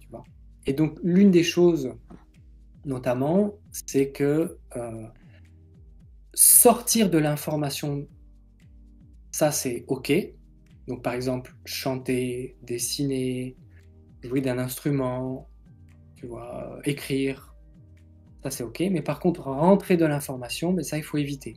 Donc, ça veut dire lire un livre, avoir une discussion avec qui que ce soit, etc. Donc, en gros, tu es pendant un an, tu es en silence dans ta petite cabane. Et, euh, et donc, du coup, bah, pour le coup, moi je dessine, enfin, énormément, donc j'ai beaucoup, beaucoup, beaucoup dessiné. J'ai un petit peu sculpté aussi. J'ai beaucoup dessiné et c'était même vital en fait. Voilà, ça c'est, ça a été pendant des années. euh, c'est vite. Moi, le dessin pour moi c'est vraiment vital. Et là, là, dans un an euh, à nu, face à soi-même, en diète, extrêmement sensible, euh, il y a des moments qui sont assez difficiles. Et le dessin, ça m'a, ça m'a beaucoup aidé quoi. Alors j'ai des questions, bien sûr, on va voir ces dessins. Moi je vous dis, je vais essayer de retrouver. C'est la première fois que je me suis retrouvé face à ton art où j'ai fait waouh, putain, le mec il envoie quoi. Mais euh, putain, il faut vraiment que ça m'emmerde. J'aurais dû faire ça avant. Des questions toutes simples. Alors les insectes, les animaux, les comment ça se passe quoi? Ah, c'est chaud. Alors, comment ça se passe? Euh, Ce qui se passe, c'est que au bout d'un moment, tu te rends compte très vite que tout est vivant. Ça paraît bête, hein, ce que je veux dire. Et surtout que tout est conscient et euh, complètement euh, complice. C'est-à-dire que les animaux qui venaient autour du tombeau étaient connectés aux plantes que je diétais. c'était assez drôle parce que la première année, j'ai diété deux plantes en même temps. Donc il y avait euh, la rosacha et la marosa. C'est deux plantes assez différentes. Et les animaux qui me visitaient, je pouvais dire avec une clarté euh, nette, ah bah ça, c'est euh, des animaux qui sont liés à la rosacha. Ça, c'est des animaux qui sont liés à la marosa en fait. Et donc, euh, t'es plus du tout dans une forêt avec des animaux hostiles, t'es dans, t'es, t'es dans la nature, en lien total, complètement ouvert, en communication avec, euh, avec la jungle, avec les... et surtout avec, avec le monde de ces plantes en fait, qui va s'ouvrir tout doucement, tout doucement, tout doucement, surtout au cours euh, des rêves. Et euh, donc, donc voilà en gros les animaux. De temps en temps, t'avais des, voilà, des serpents, des grosses migales, des trucs comme ça. T'as perdu beaucoup de poids Parce que c'est comme hallucinant. Moi, je fais ça euh, si j'ai pas euh, mon apport de prod par rapport. Bon, si je descends mon activité physique, c'est l'air que voilà, ça, ça va complètement changer la donne aussi. Je Non, mais là, chose. Mandrine, quand tu arrives là-bas, tu poses tes croyances très vite. Elles sautent, elles volent en éclats. Donc euh, tout, tout ça, ça vole en éclats. Faut pendant un an, j'ai mangé du poisson euh, sans huile, sans sel, euh, cuit au feu de bois, avec des bananes plantains cuits à l'eau. Pendant un an. Et euh, on pourrait dire oui, mais il, devait avoir des carences de je sais pas quoi, il, a dû être. Enfin, pas du tout. Tu vois, il y a, plein de choses comme ça qui paraissent complètement euh, ouf, mais, euh, mais sur le moment, euh, moi j'avais une confiance totale, quoi. T'es, t'es- je sais pas comment l'expliquer, mais t'es baigné. t'es en lien avec le, avec le tout, donc tu vois, tu. Je sais pas comment le dire, mais tout, est remis en question. Par exemple, vous donner un exemple très concret. Les cycles de sommeil. Tu vois, les, on a, il y a beaucoup de, scientifiques qui ont détaillé les cycles de sommeil avec le sommeil profond, ensuite la phase de rêve, etc. Qui ont mesuré ces 90 minutes, etc.. Là, en diète, tu prends tout ça, tu le plies, tu le ranges, c'est fini.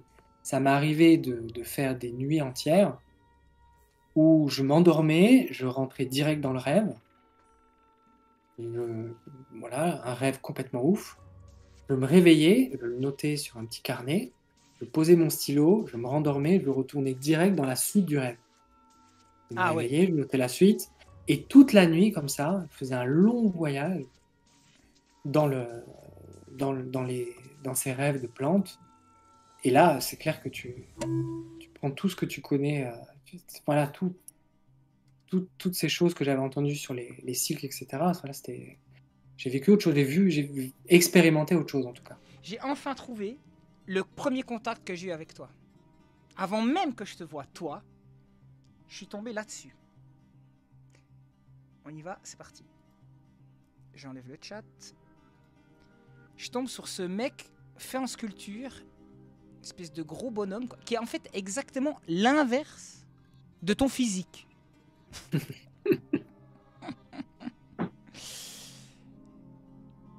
Et après, je tombe sur une espèce de baleine où j'étais là, putain, mais le mec il maîtrise à mort quoi. Voilà, je suis tombé sur cette baleine et t'as tout un univers complètement euh, ultra. Tu me fais penser au mec qui a designé, je sais plus son nom, mais j'ai son artbook. Euh, le mec qui a designé euh, tous les mon... enfin, tous les monstres, tous les animaux dans l'âge de glace, qui est un génie du dessin. Mais toi, en sculpture, tu fais le même style que lui, avec une définition de détail et tout. J'étais, wow, putain. Et après, bah, j'ai chopé ton Insta, on a discuté, puis j'ai vu que, mais putain, c'est génial ton taf. Et là, j'ai. Peter de Sèvres. Peter de Sèvres, voilà. Merci, Ouais. Marcassin. Il y a un côté. Mais en même temps, quand j'ai vu tes dessins, il n'y a pas du tout ça. Dans tes dessins, j'ai bien vu. Ah, mais en fait, c'est d'ailleurs comme ça que j'ai fait le lien. Ouais, mais toi, t'as as, été initié, quoi. J'ai tout de suite vu une espèce de truc. Ah ouais, le gars. à mon avis, on va faire des bonnes discussions, quoi. Donc voilà, Mhm. c'est pour vous dire, c'est pas n'importe qui, mon petit Eddie, que je vous montre. Il est vraiment génial. Et je me réjouis de faire cette expo avec toi. Parce que, voilà, euh, il y, a, en tout cas, au niveau ancrage et en sculpture, ça envoie du lourd, quoi. Et moi, je fais le lien parce que, bon voilà, on en discute aussi de manière assez abrupte, totalement sans souci. Euh, dans les lives de Pierre-Yves, euh, les problèmes de, de toxicomanie, c'est certain de notre communauté. et ça fait toujours mal au cœur de voir des gens qui n'ont pas les clés. Et Jacques Mabi est ultra compatissant avec ça. C'est-à-dire que cette volonté, d'ailleurs aussi l'Occident, est complètement aveugle face à ce besoin spirituel. Parce que comme je disais, il est commun à toutes les cultures et aussi aux animaux, cet élargissement de conscience. Or, le toxicomane, il ne faut pas y voir uniquement la partie avilissante, la partie qui lui permet de faire, enfin qui lui permet, qui lui fait faire de la grosse M en, ayant absolument besoin de, enfin, de trouver les moyens d'assouvir sa dose.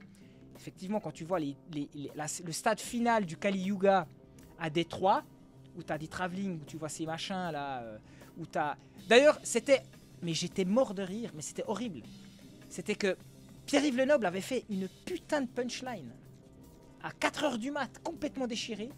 Il avait dit Mais vous voulez voir le multiculturalisme qui nous vendent la gauche là bah, Parce que moi, tous les trucs que je vois, que je vois à Basel, vous connaissez, je me suis fait d'ailleurs virer du musée d'ethno euh, par les étudiants parce que ouais, on sait ce que tu fais, on sait ce que tu dis. Mais, mais portez-moi la contradiction.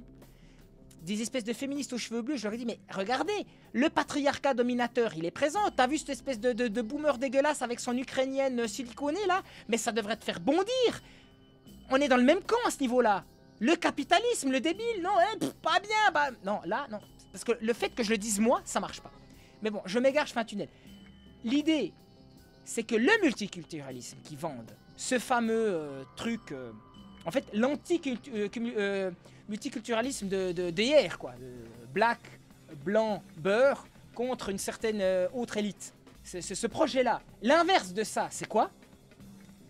C'est les white trash et les blacks complètement paumés, enfin les afrodescendants et les chicanos complètement paumés, défoncés sous euh, codéine et sous euh, euh, comment on appelle ça cristal, qui sont zombies comme ça, euh, avec des travelling où tu les vois au milieu de la rue à 3 heures d'après-midi. Ça, en fait, le projet des grandes loges, c'est ça. C'est cet être-là complètement à l'arrache. Le problème, c'est qu'il y a un, c'est que s'ils font passer l'argent numérique, comment ils vont faire pour pouvoir accéder à acheter légal, enfin pas légalement, mais accéder à acheter leur drogue? Parce qu'on leur, filera un casque numérique, on leur filera un truc, mais c'est inutile, comme dirait notre cher Alexandre, ils vont faire comment? Donc il y aura le troc, puis il y aura tout, bah bref. Large débat spéculatif, mais ce que j'aime dans ton, dans ton scénario, mon petit Teddy, on va revenir à toi, c'est Final Fantanil, voilà, c'est ça. Bon, ça, t'as pas pris. euh, le- la, la- la plus grosse merde que t'as pris, c'est quoi? C'est euh, T'as testé l'héros Non.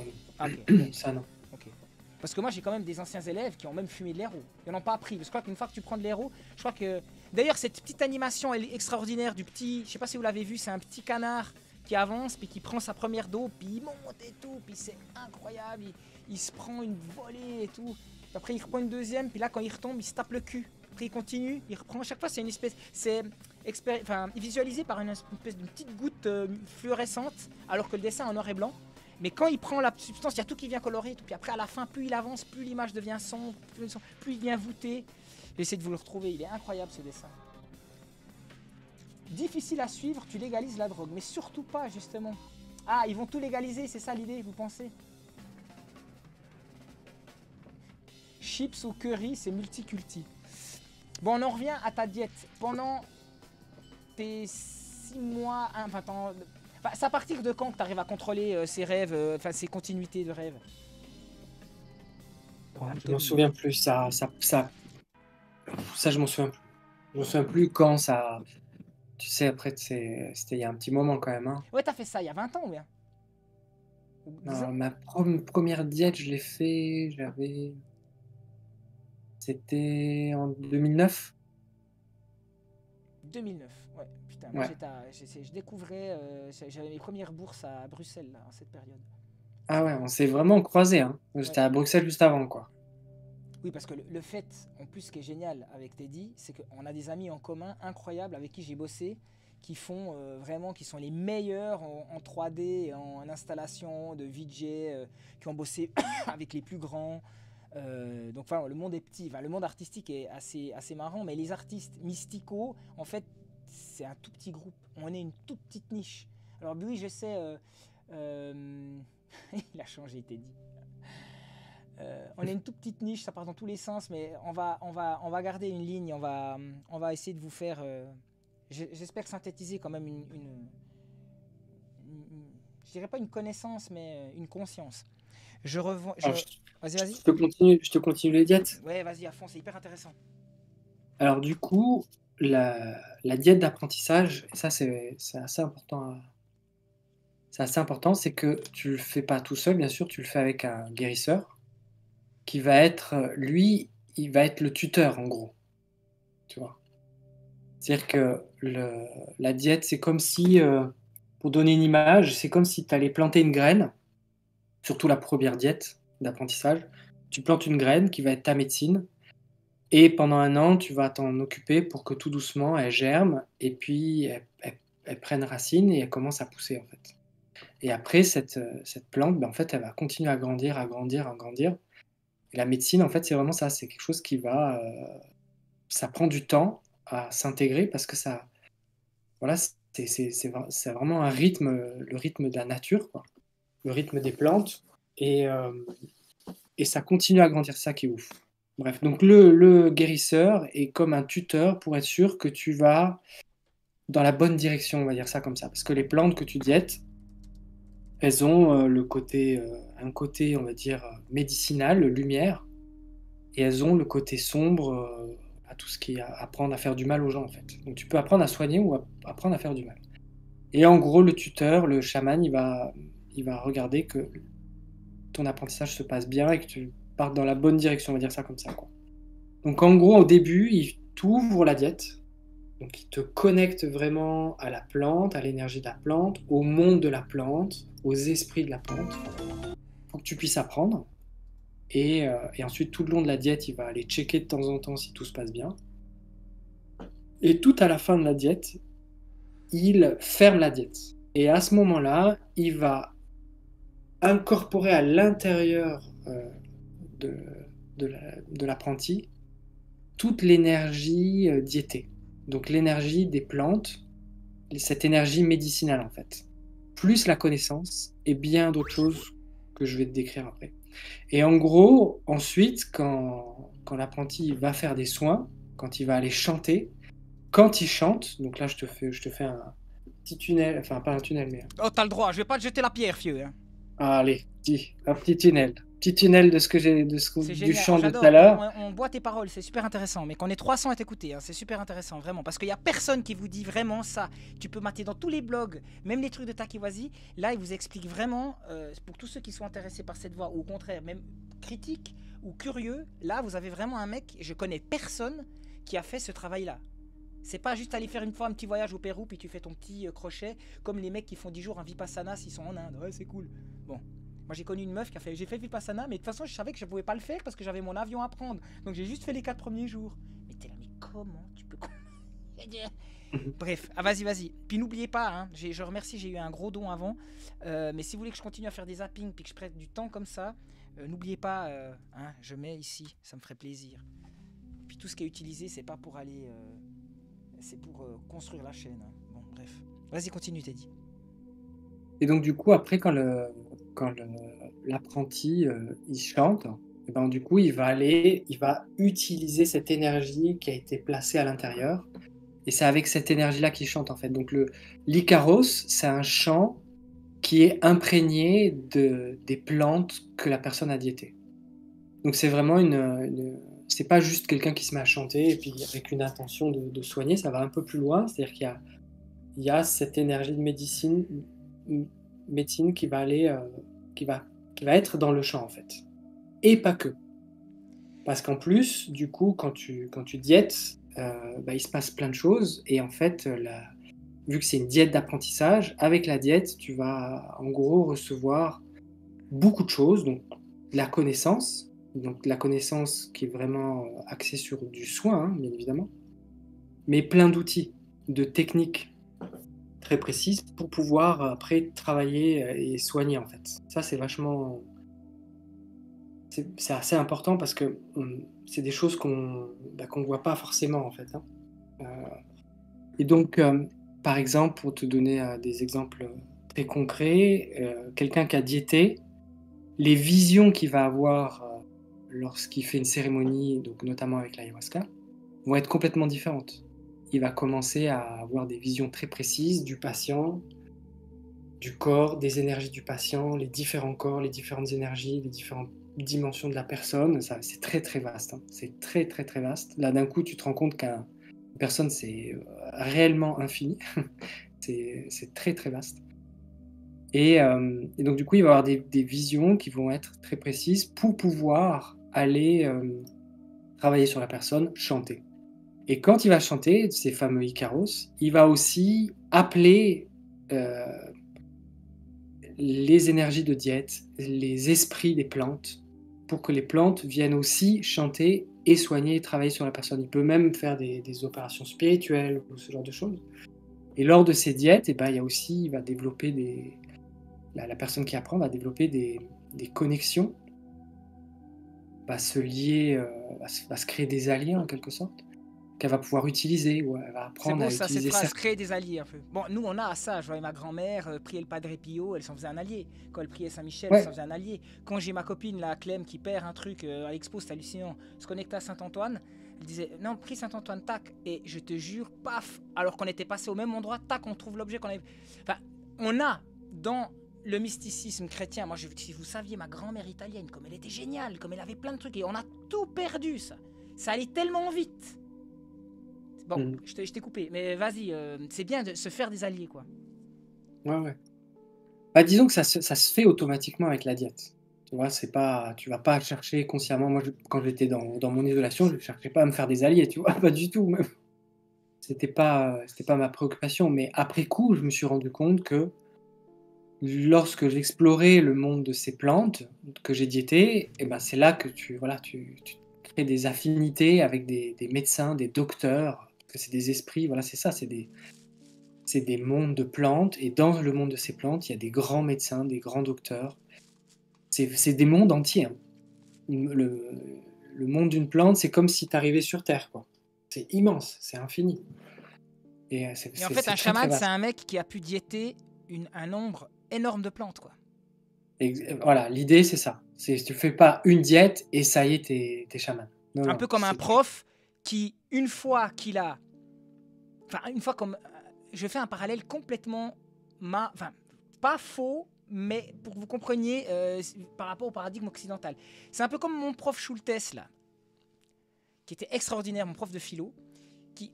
Ce qui est génial, c'est qu'à bout d'un moment, quand tu as ton doctorat, tu as un nombre de bouquins et de sujets que tu maîtrises, notamment ta thèse, qui est vraiment. Voilà. Puis après, ce qui est excellent, c'est quand tu es directeur de thèse, tu vas encore plus vite. Parce que quand tu as les gens qui viennent, ben, en fait, tu apprends autant. C'est-à-dire que vu que tu, de- tu vois de haut, tu as ceux qui viennent puis qui commencent à faire une nouvelle thèse qui ne peut que agrandir ta propre bibliothèque à toi. Ce qui fait que c'est infini. Et moi, je voyais des, des profs où je voyais très bien. J'avais Pierre-Alain Mario, qui était un, prof d'histoire médiévale. Il y avait des sujets qui l'intéressaient.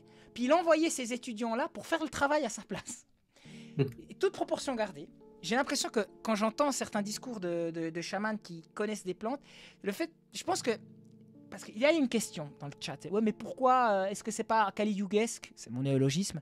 Je pense qu'on est vraiment, nous les Occidentaux, on doit faire ce pas, comme les autres doivent aussi faire ce pas.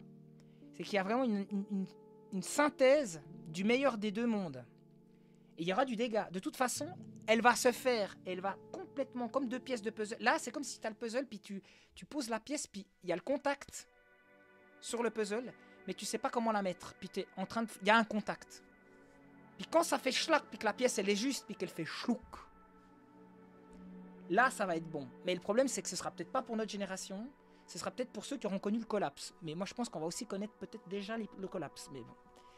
Et là, il faudra absolument retrouver et donner du sens. Et Mabi l'explique bien. Et c'est pour ça que c'est un peu guénonien quand même. C'est que la tradition primordiale, elle est, elle est universelle et elle est connectée. Et Mabi réinterprète. Et il l'explique super bien dans la vidéo hein, que je vais vous montrer. Il a fait un interview il y a 10 mois, qui est excellent, qui a même pas 2000 vues. Alors que c'est une des meilleures vidéos que j'ai vues sur le chamanisme. L'Occident qui doit retrouver, si vous savez cette histoire, nous on a, on a fait que du saut, on a fait des super beaux sauts, mais sur la jambe droite. On a super. aucune civilisation n'a fait à une seule jambe ce qu'on a fait. Les autres ont fait des trucs incroyables sur une seule jambe. Ils sont plutôt restés sur place. eux. Ils, sont, ils ont ondulé. Ils ont zouké, va dire, en se rigolant. Je crois que maintenant, les deux. Et les deux, je te dis, j'ai- eu le. Ça me fait très plaisir de faire ce live. Parce que j'ai eu une espèce d'illumination. Suite au live que j'ai écouté de Pierre-Yves, Guillaume et euh, Julien, j'étais là, c'est marrant. C'est quoi l'âge du verso? Est-ce que c'est le collapse? Et puis c'est Mad Max mais spirituel. Puis il n'y a plus d'accès. Ou est-ce que c'est un espèce de transhumanisme et une antithèse de l'âge d'or qui va encore durer un moment? Et puis il y a quand même cette technologie. Ou c'est un peu un mix des... Merci euh, G. Ou c'est un mix des deux. Et on y reviendra tout en fin de live parce que je sais que tu es un grand lecteur du livre de Dune. Et moi, quand je vois Dune, tu vois, Dune, c'est pas Tatooine. Dune, c'est un lien entre les deux. C'est technologique et c'est spirituel. Après, tu vas me dire, ouais, mais c'est vachement mahométan compatible aussi. Bref. Non, mais. là, on fait de la spéculation, on est des illustrateurs, on, essaie de réfléchir au monde d'après. Mais je pense que le christianisme a sa place. euh, le, le- substrat du Christ n'est pas du tout effacé par les plantes euh, antéogènes et qu'il y a vraiment un lien à faire entre les deux. Alors là, je perds 80% de mes potes royalistes catho. Et puis euh, les New Ages, euh, d'ailleurs c'est marrant, dans les, commentaires du Santa Kiwazi, tu vois, il y a un mec qui fait Ouais, alors il y a quand même un problème, c'est que j'ai quand même trouvé le lien avec euh, enfin une omniprésence quand même de, de l'Église catholique. Donc c'est les mecs qui fuient leur propre culture pour aller s'extasier de la culture des autres. Puis quand ça les rattrape, au lieu de l'accueillir, puis de se dire, mais attends, mais c'est génial, ce mec, ça fait 40 ans qu'il fait ça, et qui me refait découvrir euh, ce qu'on a essayé de cacher, le serpent. Pourquoi? Alors que je rappelle qu'il y a une secte apocryphe qui s'appelle les Ophites, qui sont complètement connexes avec ça. Mais j'y reviendrai en fin de live. Les Ophites, le lien avec le serpent, la connaissance. Parce que tout est lié. Parce que le serpent, il est dans notre tradition, il est présent. Mais bon, on y reviendra pour la suite. Euh, courage, Fillon, d'une avant choix de scandale. Il est con, là. Bref. Euh, je te laisse enchaîner. disait- euh, Vas-y, vas-y, vas-y. Donc les, les- c'est drôle parce que donc oui, le guérisseur, il va diéter plusieurs plantes. C'est un peu ça l'idée. Mais ce qui est assez drôle, c'est qu'il va pas accumuler une connaissance. Tu vois, ça c'est très euh, c'est très occidental. Tu vois, nous on apprend, on emmagasine des choses. euh, plus on en apprend, plus on en sait, etc. Et euh, cette, médecine, l'apprentissage, ça, va être un peu dur à, décrire, mais je vais essayer c'est pas du tout comme on apprend en, en Europe ou autre. C'est un apprentissage plus qui déconstruit qu'autre chose. C'est une connaissance qui est euh, vivante et euh, qui, est, qui est tout le temps en mouvement et du coup qui est juste dans l'instant. Et l'instant d'après, elle a disparu ou alors elle est, elle est, elle est plus juste. Oui, c'est pas Donc, la gros- connaissance cartésienne euh, de linéarité, de cause à effet. C'est beaucoup plus subtil. Bah oui, parce en que fait, on n'a pas le- les termes. dans- En fait, mais c'est tellement subtil qu'on n'a justement pas les codes sémantiques pour expliquer ce paradigme-là, vu que c'est l'autre paradigme. Alors je vais essayer. En gros, on va dire, tu as le, monde matériel, le, monde physique, linéaire, que tout le monde connaît. voilà, c'est là où on, fait nos expériences. Et après, tu as un, autre niveau plus subtil, c'est le niveau énergétique, où là, le temps et l'espace sont instantanés. Et là, en gros, c'est multidimensionnel. Pour, faire très vite, on, nous, on est en 3D. 4D, déjà, on a un peu du mal. Enfin, 3D, on est déjà perdu. hein. 4D, on a encore plus du mal. 5D, il n'y a plus personne. Quoi. Et ben là, dans, dans ces niveaux énergétiques, c'est infini, c'est multidimensionnel. Et le guérisseur, lui, va travailler dans ces niveaux énergétiques subtils. C'est à ces niveaux-là qu'il va aller faire les, soins et le travail euh, sur les patients. Parce que du coup, les énergies bougent tout de suite. Et euh, après, il y a un temps d'intégration, bien sûr, mais, euh, mais c'est dans ces niveaux-là qu'il va travailler. Et après, il y a encore un autre niveau qui est plus un niveau, c'est la transcendance, la vacuité ou autre. Tu vois, où là, on est, c'est, on peut plus trop décrire, il n'y a plus d'expérience. Oui, c'est le vacuum carré, c'est le, le, le- le vide qui, re- qui, qui reçoit. C'est, c'est là, là, en- toutes les, tout ce qui monte se rejoint, tout ce qui est ascendant se rejoint, comme dans une, la pointe d'une, d'une même ascension d'une montagne. Et euh, je veux dire, dans toutes les traditions, il y a ce, ce vide, euh, ce réceptacle, euh, le Houveil, tout ça dans le Tao. Il y a, il y a une voie beaucoup plus, entre guillemets, codifiée que les Asiatiques ont eu, mais cette dimension corporelle du corps, vraiment, et du lien avec la plante, parce qu'il n'y a pas de différence, c'est les mêmes substances. C'est pour ça que je parlais de technologie du sacré. C'est utiliser les plantes en te donnant les décharges de DMT que sont celles de ta glande pinéale, que les plantes ont comme proto-système nerveux dans l'évolution. C'est comme si nous, on a perdu, mais on a un système incroyable au niveau du corps, et que la plante, elle, connectée, incroyable, et qu'il l'a en permanence, nous le refile, sans passer par le problème du, euh, du, de- du neurotransmetteur. Nous, on a le neurotransmetteur, mais la substance, elle est aussi active dans la plante. C'est ça qui est génial. Et ça, tout ça, ben, Jérémy Narby l'explique super bien, mais tu y reviendrai. De toute façon, on va décanter son bouquin après. Cette idée que c'est pas exogène. Parce que même le concept, les mathématiques, pour nous, pour prendre un truc très concret, pour faire plaisir aux esthéticiens, il y a les mathématiques, mais Aristote reprend, et Averroès reprend l'intellect agent pardon, de- de- d'Aristote. Et Averroès, par exemple, qui est un penseur de... Mais là, c'est aussi abrahamique, parce que de toute façon, Averroès, même s'il est musulman, il va reprendre le concept 1 plus 1 égale 2. Comment toi, en tant que substance finie, tu vas te connecter à l'infini L'intellect agent, il est extérieur à la conscience humaine. La conscience humaine se connecte, 2 plus 2, enfin 1 plus 1 égale 2, c'est éternel, et tu te connectes à ça. Et Averroès, vu que ces musulmans, à la base, ils font aussi une angéologie, enfin une angéologie extraordinaire, eh ben c'est l'ange de la révélation. Les mathématiques, c'est un substrat divin. Notre angéologie, elle est ultra intéressante. Je reviens à saint Thomas d'Aquin avec la somme théologique, vu qu'on est à la base de la plupart des chrétiens ici. Mais Jacques Mabi, les anges. Je ne sais pas si vous vous souvenez, j'avais dit que Annick de Souzenel, vu que ce qui est en haut et ce qui est en bas dans la table d'émeraude, et qu'il n'y a pas de différence en Kabbale avec la question de la fréquence entre l'ange, la matière et l'incarné, Annick de Souzenel, elle dit, c'est magique en plus, il y a une petite trop bien qui passe en moment quand je dis ça, les anges, les plus hauts, les, les, les- les- plus, les anges les plus hauts dans la hiérarchie céleste, c'est le minéral.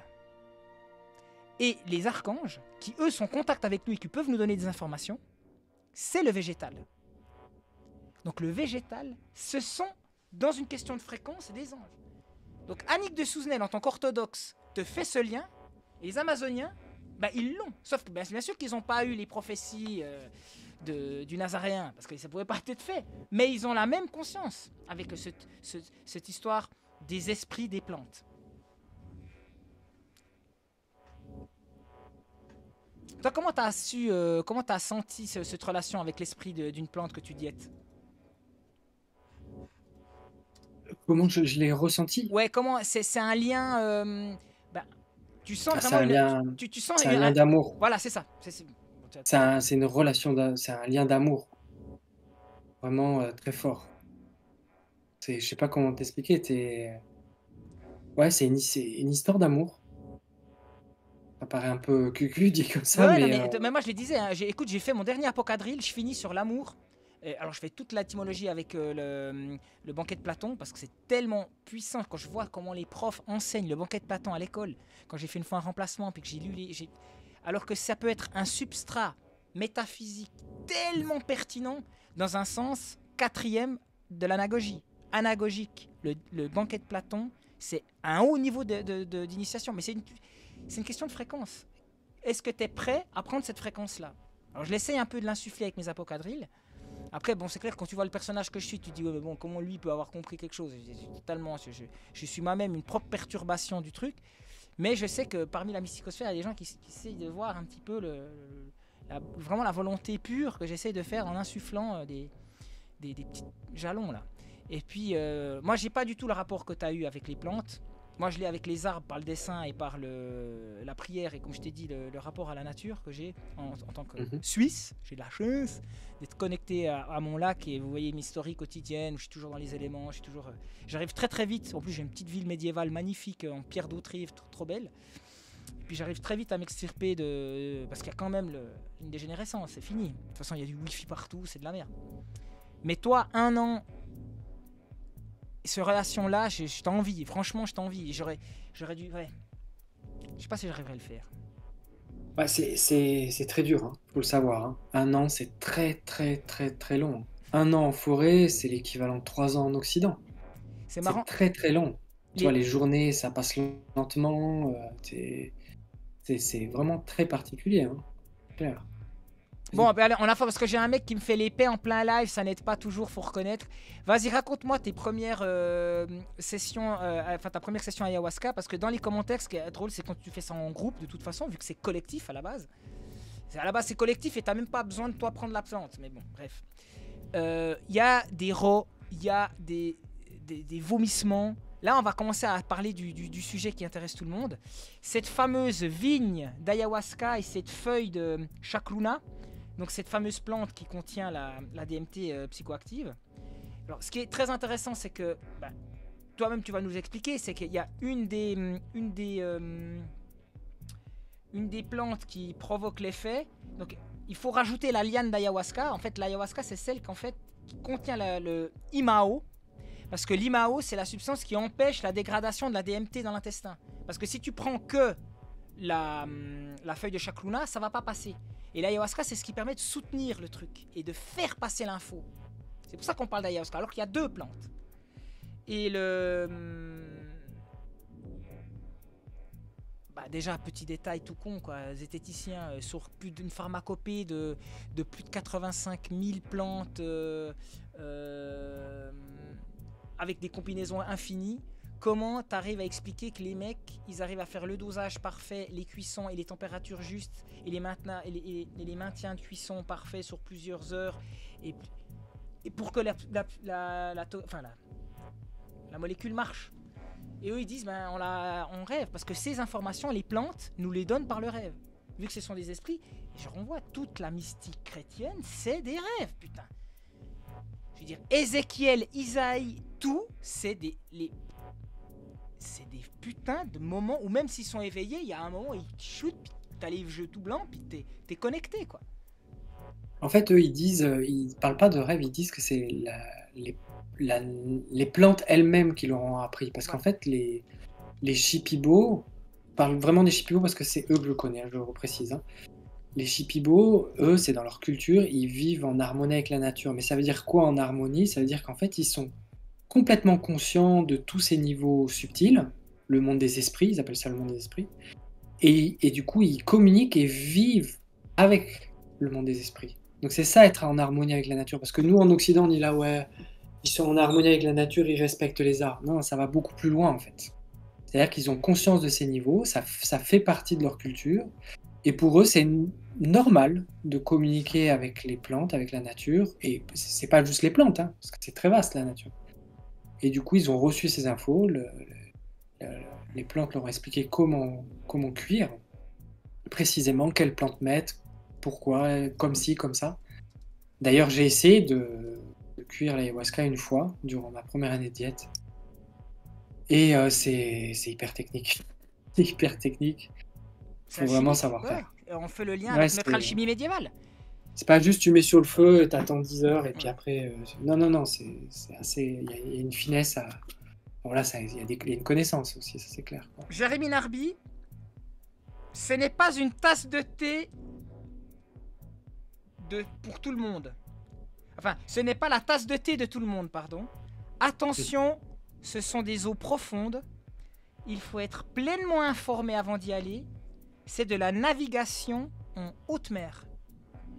Et après, il dit encore plus loin en comparant une cérémonie d'ayahuasca à un accident de voiture, dans le sens où c'est une expérience proche de la mort. Et je rebondis à ce que tu m'avais dit, mon cher euh, comme un accident de voiture. C'est assez dramatique et tu peux avoir ta vie passer devant tes yeux. Et puis tu es choqué, tu es malade, tu es sonné, tu as fait des tonneaux. Tu as le ventre sans dessus-dessous. Trois petits points, il va plus loin.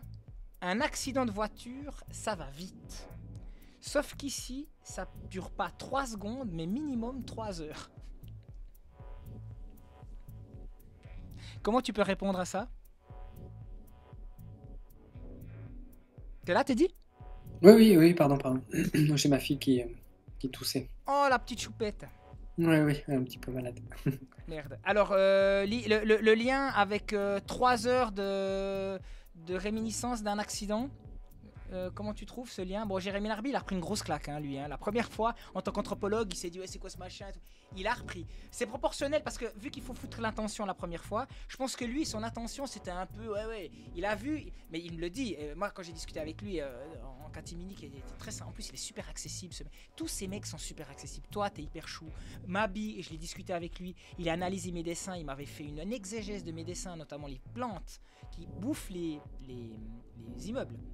Moi, j'avais pas du tout connaissance quand j'avais dessiné ces, mondes. Moi, j'étais passionné par Tokyo, le manga, les arts martiaux, l'aïkido, le shintoïsme. Pas du tout le monde de, l'ayahuasca que j'ai étudié à l'Uni. Je dis, c'est mon fameux prof qui n'a jamais pu, même en étant initié chez les Shipibo, avoir une expérience en- de tellement qu'il est. Voilà. Mais euh, Jérémy Narby, lui, il a repris sa branlée. Et je pense que lui, il a vraiment repris une grosse, grosse branlée.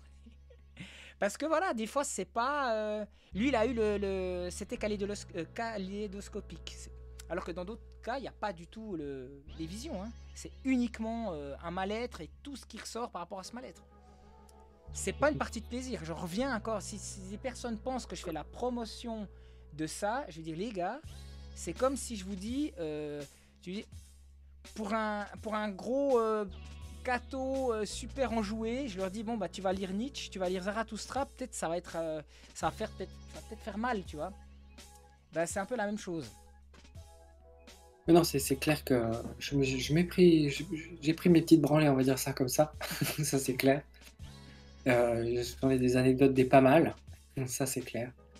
Mais voilà, c'est- il faut le rappeler, c'est une médecine qui est très particulière, effectivement, qui peut être assez dure.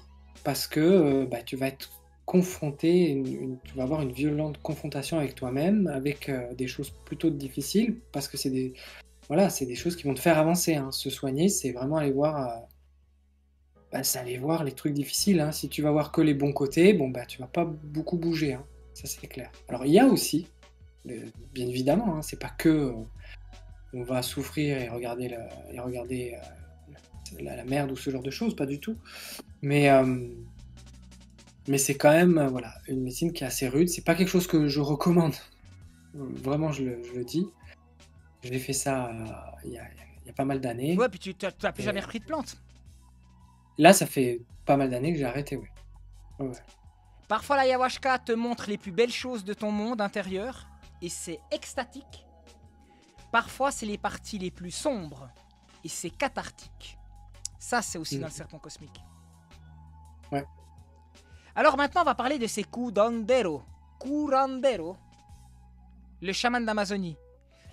euh, qui euh, recevait chaque semaine des demandes, enfin qui reçoit chaque semaine normalement des demandes. Un bon curandero maintenant, il fait, il y a aussi, il faut le dire, il y a ce business, un peu comme certains euh, énergéticiens, euh, psychothérapeutes. euh, voilà, je veux dire, c'est un mec. À la base, c'est le rôle social du chaman. Donc maintenant, le monde a changé. Il y a des échanges d'argent. Bah oui, bah il va aussi gagner de l'argent. Il peut pas être espèce de satellite du monde et puis le chaman, lui, il n'est pas ancré à la réalité. Il est ancré et il a d'autres accès à des réalités, mais c'est aussi un putain d'être humain dans une société postmoderne. Et Dieu sait comme le Pérou et l'Amazonie est en un bouleversement total, encore plus hardcore que ce qu'on nous on a, vu que eux sont directement au direct, enfin ils ont accès en direct, pardon, à, à la destruction euh, du monde végétal. Alors, C'est drôle parce qu'il y, a un- il y a un parallèle qui est assez drôle. Enfin, pas, va- vas-y, vas-y. nous, on est. euh, on va dire qu'on a. Le côté financier, on l'a développé pendant des- plusieurs générations. Tu vois. Mais on est des vrais bébés face à cette euh, connaissance. Euh, tu vois, cette connaissance chamanique. Bah ouais, on est une vraiment des, des- des petits bébés. hein, petits- hypotrophie du cerveau droit. On a une hypotrophie. Donc, il y a. euh, Et puis, à peine on l'a, bah, justement, il y a cette euh, exacerbation de l'ego dans, le- dans un cas vraiment merdique. Où il y a encore. bah, il peut arri- arriver. En manque de peau, tu as plus un chaman qui n'est pas vraiment juste et bon. Ce qui fait que tu vas avoir des systèmes de dissociation. Euh, non, non, c'est notre karma de l'Occident pour se réinterpréter ce qu'elle a perdu. Mabi parle d'amputation du, du corps spirituel. Mhm. Alors, ok, euh, je veux dire, nous, on a une amputation, alors que les autres ont même pas euh, une absence de développement de la rationalité. C'est horrible de dire ça, parce que euh, eux, c'est ça, ils sont, c'est des, experts euh, de, de, de ça depuis la, depuis la nuit des temps. Ils, ils se transmettent ces, ces connaissances. Par contre, là, quand il faut gérer l'argent, etc., c'est des vrais bébés. Tu vois, je dis pas que nous, on est très adultes. hein. On, on doit être, on doit à peine sortir de, de l'enfance euh, à ce niveau. Mais, mais disons que voilà, c'est et, et c'est pour ça qu'en fait, généralement, ça part dans tous les sens. Et très vite, il y a des dérives. euh, à ce niveau-là. ouais. Donc ça c'est clair que les guérisseurs au jour d'aujourd'hui, c'est pas évident de les trouver, ça c'est clair. Les bons, je veux dire, sont pas, perdus ou, ou, j'aime bien un, un commentaire que j'ai eu. Lorsque la cérémonie s'est enfin terminée, mes premiers mots au curandero ont été Je me suis fait tabasser, j'ai envie de mourir, je m'en remettrai jamais. Franchement, à l'écrire, ça m'a fait rire maintenant parce que j'ai le recul et j'ai compris les bénéfices du combat. L'ayahuasca est une plante guerrière. C'est en ramenant à ma conscience mes parties d'ombre, enfin, c'est en ramenant à sa conscience ces parts d'ombre qu'on les libère et que l'énergie vitale circule à nouveau en nous. C'est pas moi qui l'ai dit, c'est Jung. Comment tu peux, toi, en tant que, avec ton petit passé un peu foireux, de, un peu légèrement toxico là, comment l'ayahuasca elle t'a fait comprendre, euh, vu qu'à la base t'es aussi allé pour te soigner pour ça, comme ce que fait Jacques Mabi à Antakiwazi pour aider les vrais toxicos du bled, parce que eux, je peux te dire qu'avec la coke et tout ça, ils sont aussi bien addicts, donc euh, que les blancs viennent, donnent de l'argent pour après financer le centre. Rappelons que Mabi est un médecin français renommé à la base, euh, complètement d'ailleurs renié maintenant, alors qu'il fait un travail excellent. quoi. Mais euh, comment tu...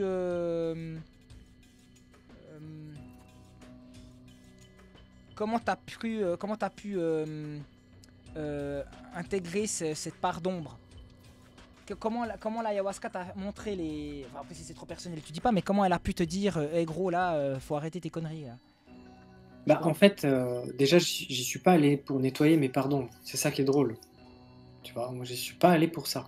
Ça m'a pris euh, du temps avant de me rendre compte que, ouais, il y avait, euh, il y avait du taf. Ouais. Et euh, comment, euh, comment elle a fait? Bah, Elle m'a mis le nez dedans. J'ai pas d'autre, euh, j'ai pas d'autre image. hein. Et quand elle te met le nez dedans, euh, bah, c'est pas juste tu vois une vision d'obscurité. C'est d'un coup, tu te retrouves euh, dedans. Tu as tous tes sens. Donc quand tu prends l'ayahuasca, tous tes sens s'affinent.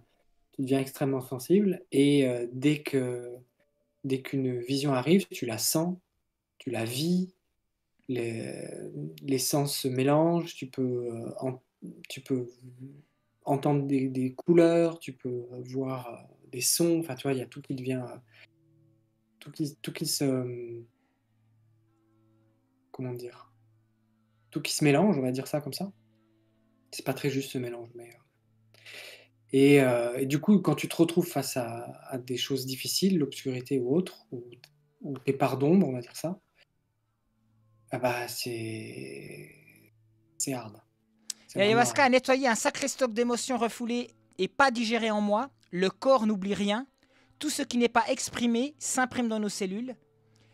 Euh, petit rappel, l'ayahuasca veut dire liane des morts ou liane des esprits en quechua. Ça porte pas son nom pour rien. En, en Amazonie, à la base, il n'existe pas de retraite d'ayahuasca. On fait des diètes. Toute la suite donne, euh, sonne moins foufou. On met le focus sur l'ayahuasca, mais la diète est le travail thérapeutique le plus profond de la médecine amazonienne. Ouais, parce que c'est vrai qu'en Occident, on est très euh, l'ayahuasca, tu vois. Et pourtant là-bas, au Pérou, euh, chez les Shipibo, entre autres, c'est la diète surtout. Et puis là, bah, c'est tout ce que je vous ai décrit sur le- les diètes d'apprentissage où le guérisseur va diéter de nombreuses plantes. Et donc, du coup, il va prendre l'ayahuasca pour pouvoir faire la cérémonie. Mais au cours de la cérémonie, en fait, il va travailler avec toutes les plantes qu'il a diétées. Donc, c'est pas juste l'ayahuasca, en fait. C'est vrai que nous, en Occident, on met beaucoup l'ayahuasca comme le, truc principal. Mais en fait, euh, non, non, c'est la diète. Et en particulier les diètes de soins, où là, du coup, on prend des, plantes. Alors, on peut faire aussi des, bains de vapeur, des bains de plantes, de différentes plantes mélangées, etc. Il y a, plein d'autres techniques. Et là, ça, c'est hyper puissant. Ça dégage euh, bah, beaucoup d'obscurité, beaucoup d'énergie sombre. Donc là, on peut rentrer un peu dans les détails, tu vois, les esprits des morts, les, entités, etc. etc. C'est très, très vaste. hein. Oui, parce que le support, on ne conduit pas une cérémonie comme on conduit. Enfin, ton, ha- ton habilité à conduire un bateau n'est pas égale à celui d'une pirogue, n'est pas égale à celui quand tu te déplaces sur des ponts suspendus. Donc il y a un comportement et un rituel pour chaque style de véhicule ou de moyen. Et tout ce qui est vapeur et tout ce qui est état justement entre euh, euh, les décoctions, l'aspect. la, la fois, il m'a le plus halluciné, Jacques Mabis, c'est quand il m'a dit Tu vois, l'Occident, avec le cannabis, ils sont complètement loupés le coche. Parce que de passer par l'air et le feu, qui dans la hiérarchie est tout en haut, d'avoir accès à la molécule active du tétrahydrocannabinol et de le faire passer par le feu sans passer par les états initiatiques. C'est que la Mabi dit que toutes les plantes peuvent être diétées et donner un lien de connaissance. Sauf que s'il n'y a pas de vision, il y aura un aspect justement d'addiction. Le tabac, il t'apporte pas de vision et t'es addict. Or que le tabac en décoction et bu peut te faire faire des volées monumentales et t'es pas addict. Donc, tu l'as mal consommé, t'as pas vu ce qu'elle voulait te montrer, donc tu vas le payer. L'exemple, et je l'ai déjà dit, je l'avais une fois essayé de l'expliquer à- chez Teddy Boy, je sais pas, c'est avec toi Teddy, et Mhm. j'aurais pas expliqué parce que Cro-Blanc m'avait coupé et c'était insupportable. L'esprit a une correspondance aussi animale, plantes, animaux, humains. On est les mêmes, on a les mêmes substances qui nous lient. On a l'ADN. Et l'idée, c'est que quand tu prends, quand tu sautes les étapes, quand tu passes d'un état à l'autre sans passer par l'ordre naturel, je disais que c'est pas de l'improvisation, qu'il y a des règles immuables. Et la vie récapitule ces règles. Notre organisme, on avait Ernst Haeckel, le dessinateur que j'adore, vous savez, euh, l'ontogénèse récapitule l'épigénèse, ou l'épigénèse récapitule l'ontogénèse. On récapitule le stade, on est liquide, on est solide, et après on atteint l'air, on sort du corps de notre mère, on a l'air, et après on a le feu de l'esprit, et on doit censé rejoindre l'éther. Ben, les drogues, c'est la même chose. Les états de conscience modifiés, c'est la même chose. Et la bœuf, c'est l'esprit du papillon. Et le papillon, c'est d'abord une chenille qui doit ramper, qui doit prendre conscience de toutes les réalités matérielles, se tortiller, choisir ses éléments, manger, devenir fort, trouver un endroit, s'isoler, faire sa, euh, coquille, sa, enfin, sa, chrysalide, attendre, se poser, retrouver un nouvel état, se tortiller, se muscler, attendre, se transformer, se retortiller, être assez forte, casser sa chrysalide et voler. Ça, c'est l'ontologie un peu expliquée à la va-vite de la notion de l'esprit papillon et de la weed. On devrait récapituler ces étapes par le corps et par l'ontologie eau, terre, air, feu, éther. Et de directement consommer la bœuf en la fumant, c'est passer directement à l'éther. Et comme c'est un monde, je vous ai déjà expliqué que ce n'est pas les hiérarchies en haut bas comme avec le christianisme et tout ça, mais que c'est un- une horizontalité et une potentialité de bon comme de mauvais, parce qu'en fait ce n'est pas bon ou mauvais. Il y a l'amour, il y a un truc qui, qui transcende tout, mais de jouer avec les plantes, comme on le fait nous en Occident, c'est en fait sans la cérémonie, sans le rituel, sans l'initiation, c'est un truc de sauvageon, de débile. Donc ce n'est pas toi qui est pété, enfin, ce n'est pas ton esprit qui est libéré, c'est le papillon qui vole à ta place. Et il y a un aspect où les plantes peuvent aussi, comme le chaman peut aussi, comme toi, tu peux aussi merder en expliquant trop ton truc, puis prendre, en voulant prendre un peu le- le pas sur tes amis. On a tous cette potentiel de, entre guillemets, de, manipulation aussi. Et la bœuf, je vous promets, les amis, je le refais, c'est la troisième fois que j'explique cette histoire, de la chenille et de la bœuf, de passer directement feu-air, comme on le fait, c'est se griller et complètement louper les terres. Et au contraire, ne jamais la voir parce que ce sera destruction neuronale, euh, psychose. Et euh, d'ailleurs, il explique très bien, Jacques Mabi, les psychoses euh, du cannabis sont ultra violentes. Et maintenant, c'est même prouvé scientifiquement que des cas de schizophrénie sont complètement développés à cause de la bœuf.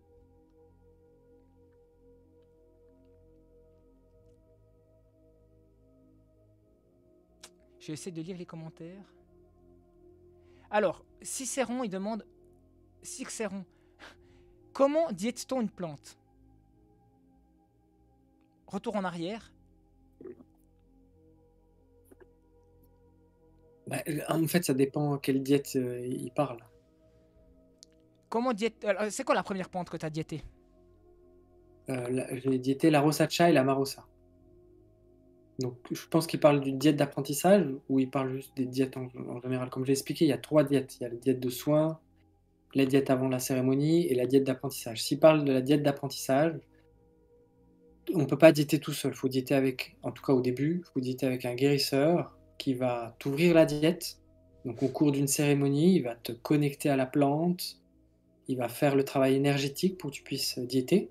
Donc il y a vraiment un travail qui se fait hein, pour pouvoir diéter. Et ensuite tu pars euh, plutôt en isolation si tu peux, et tu vas suivre un régime alimentaire, et en même temps tu vas prendre la plante. Et euh, pendant la diète, il va suivre que tout se passe bien, le guérisseur, et à la fin de la diète, il va fermer la diète. Et là, à ce moment-là, il va incorporer l'énergie de la diète, incorporer la connaissance, il va tout protéger, il va mettre les champs, etc. Et voilà, en, gros, si je résume comment se, se passe une diète d'apprentissage, les grandes lignes, hein, très très rapidement. Pas si j'ai répondu, ça te va? Ouais, c'était super intéressant. Stéphane Alix. Le chemin spirituel, c'est prendre des risques et se confronter à des choses que l'on n'a pas forcément envie de découvrir, mais c'est dans l'épreuve, que, que se révèle à soi-même. Mais c'est dans l'épreuve qu'on se révèle, pardon, à soi-même. Moi, honnêtement, j'ai toujours eu les boules, j'ai toujours eu une très grande euh, méfiance face à mon propre potentiel d'autodestruction. Je t'avoue que je suis un saloperie, une saloperie de scorpion ascendant lion. Je sais déjà, j'ai complètement réglé le problème de l'ego euh, dans les arts martiaux. J'ai jamais été, euh, tu sais, je te fais une métaphore. Dans les arts martiaux, tu reconnais un vrai, un, vrai pratiquant parce que le faux pratiquant, il fait justement exactement l'inverse du vrai. C'est-à-dire qu'il schlag les débutants pour montrer qu'il est fort. Et quand il va faire un, un- un- un sparring avec un mec qui est de son niveau, voire plus haut, on- il va tranquille, hein, on se tape pas la gueule et tout. Puis, et puis il va essayer au contraire, de, dès qu'il a une, de- une, une fin, de, de ta- de taper le- la, la deuxième dan alors que lui il est que première, pour, euh, pour avoir le petit ego de se dire j'ai réussi à toucher la deuxième. Je valide. Ouais, salut la sainte main. Le vrai combattant, il est hyper doux, ultra efficace, ultra à l'écoute. Moi, je m'entraînais avec Volkanos Demir. hein, Je rappelle qu'il a, il a, été, il a fini avec Cormier en, finale du MMA euh, en semi-lourd. hein. Le mec, il a une ascension. Euh, J'ai vu un pote être à s'entraîner avec nous à Neuchâtel et finir à Los Angeles euh, avec des contrats hallucinants et puis, euh, et puis avoir ça sur les épaules. Bref, je, te salue Volcan. Le mec a roulé avec lui. En plus, on avait quoi 20 kilos, 25 kilos de différence. Il était adorable avec moi. Enfin, 25 kilos. On avait 30 kilos de différence. On roulait ensemble. Il me laissait faire ma petite toupie là. C'était adorable. Et quand j'ai vu des mecs là, balèzes et tout, qui étaient issus du sambo, issus de. Puis. euh, Volcan, c'est un striker. hein. Il aime pas euh, à la base. S'il est au sol, c'est les seules fois où il a perdu, c'est quand il est au sol. Hyper bien, hyper juste, travailler propre et tout. Enfin bref.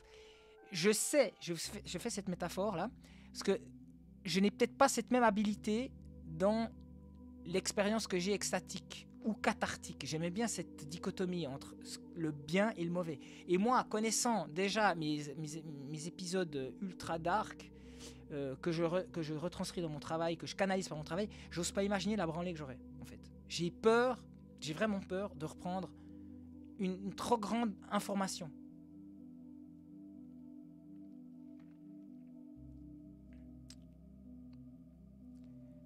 Euh, je cherche des... Euh, je cherche des informations que je pourrais te donner. euh, pour rebondir. Ah, mais tu sais quoi? Là, on fait une petite. euh, je vais arrêter ce kaléidoscope derrière moi, là.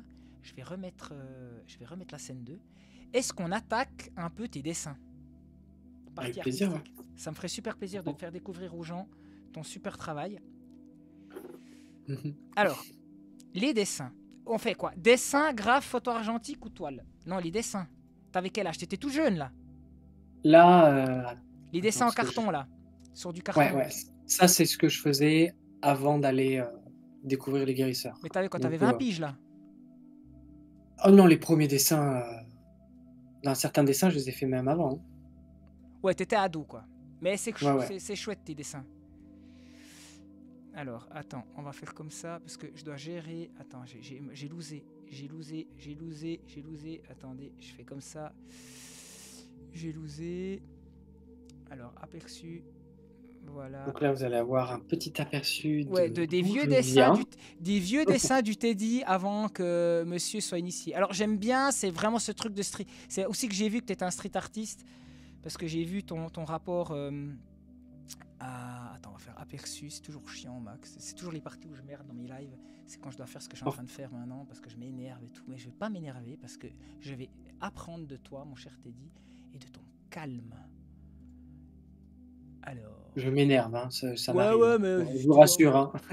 Non, mais tu dois vraiment être tout chou même quand tu t'énerves. Alors, Ouais, je sais pas. Alors voilà. Ça, c'est ton boulot au crayon. Moi, je trouve vachement bien. Ça me fait penser à ce que je voyais sur euh, MySpace et Photolog. Bah, c'est l'époque, hein, ça correspond. hein. C'est les années euh, 2005, comme ça. Ce style, euh, il y avait tout plein de graffeurs qui, qui- qui partageaient des trucs comme ça. Bon, on sent que ça a fonctionné déjà pas mal dans ta tronche, là, avec le petit personnage euh, où il dessine et puis. euh, avec cette espèce d'autoportrait où tu te fais des. J'aime bien c'était ton, ton style de te faire des immenses avant-bras puis des, des immenses grosses mains. Il y a d'ailleurs un concept art dans I Love Robot là, ou Death Love Robot, je sais plus, enfin un truc Ouais. Netflix où il y a des animations assez fous, puis il y a un studio qui crée des personnages comme tu les fais. Ou ces Mhm. absences de bras. Il y a tout un travail chez chez toi, je- ces histoires de bras. Cultive tes bras. Et bon, j'adore comme tu fais les mains, tu gères hyper bien les mains. Bon, là, t'as 18-20 ans, quoi. Ouais, sur les ouais, a- textures, euh, t'as un petit fond, quoi. Bon, ça, c'est Ouais, vachement bien. On voit qu'il y avait de l'obscurité, quoi. Oui, oui, on sent là que t'es démonté, quoi.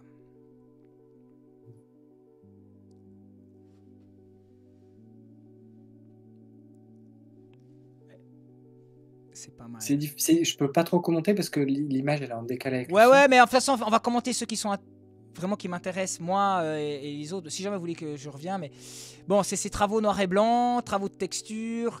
Il y a un petit côté. Euh, euh, Wonder Allen, là, celui qui bosse avec. euh, putain, comment il s'appelle? Il a fait une, une exposition au Hall Saint-Pierre. Il a bossé, il fait tous les clips de Diane Vort, le groupe euh, sud-africain complètement Roger Mullen, là. Re- euh, je sais plus comment il s'appelle. Ouais, ouais. Bon, ouais, c'est vachement. Ça, j'adore. hein, putain, euh, en gra... bon, t'as aussi du graphisme. euh, Enfin, il y a un truc des, des- déconstruit que tu fais euh, hyper assumé. ce vrai sale, pas le faux sale que certains graphistes font. Je suis complètement fan. J'adore. Bon, ça, c'est avant l'ayahuasca. Exact. Eh, t'es dit, avant l'ayahuasca, tu dessinais les street art. Ah, on va aussi juste mater le, le graffiti? Et les graffitis Ouais. Les graffitis. Vous voyez plus vite Attends, je regarde si ça vaut. Ah ouais, putain, en graphe, t'envoies t'envoies du lourd, hein, en graphe. Putain, tes persos et tout. Vachement bien, quoi. Attends, on va monter. Moi je me considérais pas comme un artiste street art. J'utilisais la bombe de temps en temps. Ah, tu vois, c'était euh, c'était un. euh, J'ai exploré beaucoup de médiums différents, de techniques différentes. Ouais, c'est cool. Hein. Ah, t'as fait aussi des images. Oh, t'as t'as eu un gaucho qui t'a demandé de faire son van euh, et puis faire des. Ah, c'est un pote, c'est pas un gaucho. ouais, ouais, ouais, ouais, mais bon, voilà, fais-moi des kangourous puis des conneries. euh. On était en Australie. Ouais, ouais. Bon, en Australie, t'es avec tes potes, tu fais, tu fais du lurbex, tu vas, tu vas fondre. Ouais, toujours tes gros personnages avec tes gros bras. euh. Ouais, c'est vachement bien. hein. Tu me fais penser à Dex. euh, Custer, comment il s'appelle? Il y avait Dame et qui faisait aussi des. Non, Lumit, qui faisait des trucs complètement barges avec des. Mais putain, cet artiste qui est à Strasbourg, là, trop fort, là. Qui fait ses bouches, puis ces espèces de. Putain, mais c'est toute ma période photologue là. Ils ont, c'est- vraiment cette période 2005 avec ces artistes de, de- que j'adorais moi. Ces street artistes là qui font ces personnages. En plus, je me suis retrouvé à Strasbourg avec des dessins de ce mec quoi. Je vois, pas qui tu parles. Ouais, je sais plus le nom. Je, je mettrai en. euh, je mettrai en, en lien euh, en, en post euh, en post prod après le Mhm. live. Je retrouverai le nom. Je ferai mais oui c'était lui machin. Merde j'ai oublié. Euh, Qu'est-ce qu'on peut rechecker encore? Euh, Il y a euh, apprentissage. Alors avant le chamanisme, il y a encore bon les photos. allez, ah oui, t'as fait aussi des toiles. Bon les toiles, je suis un peu moins un, un peu moins convaincu. Ah putain, il y a un truc, tu as fait une, t'as fait une méduse complètement éclatée, mec, là je suis sur le cul. Je vais vous la montrer. Putain, ta méduse complètement éclatée là, avec des textures de papier, sépia comme ça, machin. Tu utilisais quoi euh, Brou de noix, euh, thé, Ouais. café? Brunois, Brunois, ouais. Ouais, j'adore le brou de noix. Ouais, bon, t'étais déjà connecté aux plantes, quoi. Ouais, c'est une façon de voir là. Super. Euh, on fait maintenant, je pense que le public attend, les gens sont connectés pour voir ton travail en tant qu'artiste connecté avec l'ayahuasca. Apprentissage chamanique, donc c'est quoi? C'est photo-isolation, dessin. Début rencontre, première diète, deuxième diète, l'après-diète. Qu'est-ce qu'on fait? Bah, tu peux faire dans l'ordre. Début rencontre? Ouais. Ça, c'est les dessins que j'ai fait les, les premières fois où je suis allé voir Guillermo. Donc, avant de faire ma première année de diète. J'y suis allé une première fois un mois et demi. Il y a un petit côté Moebius, hein, euh, le garage euh, mécanique là sur Mars. Je suis désolé, je fais de la merde. Voilà, c'est bon. Mhm.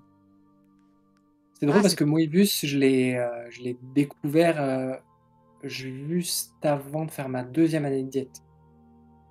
Ah, ça c'est génial, ça, ton ent là. Ah, j'adore. On sent le, les angles et les cassures et ces effets de, que tu as pris de, du graffiti, enfin des personnages euh, gérés par le graphe. Mhm. L'esthétique euh, américaine de, du graphe. C'est un petit côté Saint-Exupéry là, le, le petit bonhomme, euh, le, le petit prince là sur ton arbre, euh, son espèce de platane. euh. Ouais, ouais. Il y a un petit côté Samorost aussi. On, on- on- on aimerait trop avoir une animation de ça et faire un petit Oui. jeu 1D euh, avec euh, numériser ça en 2D, 3D. Tu sais, tes décors. On a envie que ce soit animé quoi. Petit effet avec l'arbre qui ferait tu sais, comme ça, petit effet de Ouais. vent. Et puis que ton petit personnage il doit passer de plateforme en plateforme. Et puis euh, ton gros bonhomme là, tu dois l'utiliser. Puis tu lui fais des actions pour que le petit bonhomme puisse passer d'une plateforme à l'autre, tu sais. Lui, il a pas la force, mais il a l'intelligence. Puis tu dois cliquer sur le gros. Enfin, il y a un petit jeu 1D à faire incroyable. hein. Ah Là, on voit toi couché avec le serpent qui est derrière. Ouais. Les premières, euh, les premières vraies sessions, c'était ça. voilà. Là, on sentait que je rampais dans le saut. Ah, c'est excellent, mec. J'aurais dû, en fait, j'aurais dû commencer le live direct avec ça. Bon, il fallait poser les bases parce que sinon, hey, salut, un- ouais, je prends de l'ayahuasca, je fais du dessin, c'est nul. Mais euh, là, je vais bien scinder dans le live euh, en, post-prod. Je mettrai bien la partie. Euh, euh, voilà, maintenant, on, on place sous le dessin. comme ça, les gens pourront trouver facilement.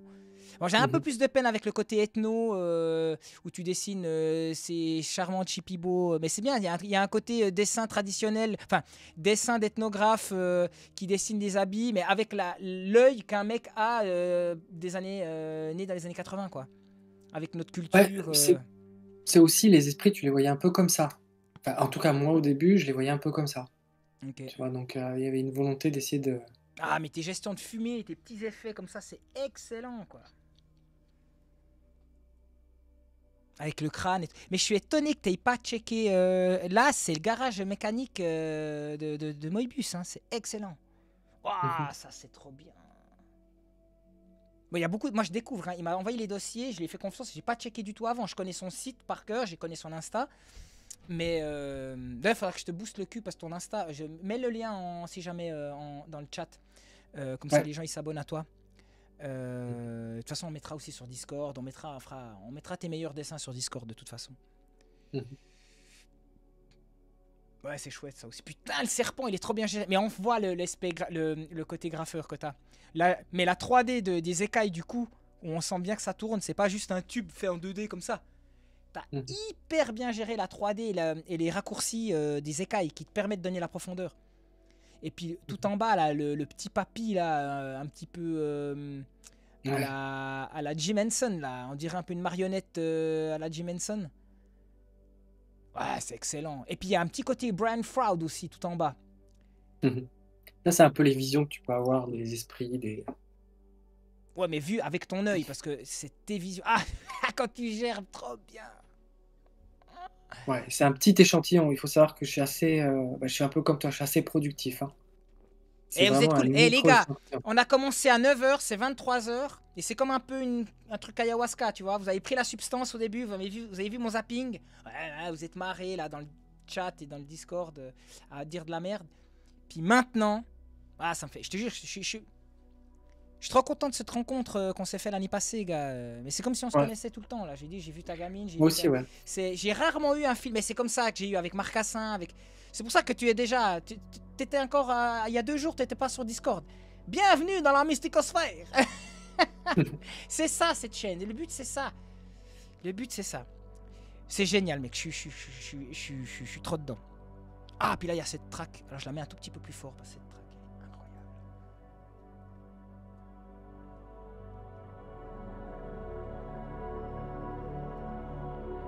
Bon allez, on retourne en arrière.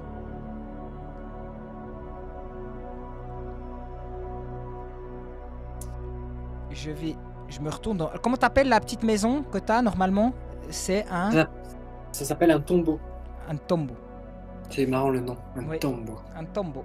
Alors, première diète. Primero diète. Ouais, alors, Oh première diète. putain, elle est bien. Ah, elle est bien. c'était- Ah là, je me trompe dans les boutons. Première diète. Oh nom de Dieu, quoi. Bon, je suis un Mais peu moi, moins fan des personnages, des têtes. Ça fait un peu dessin caricaturiste italien.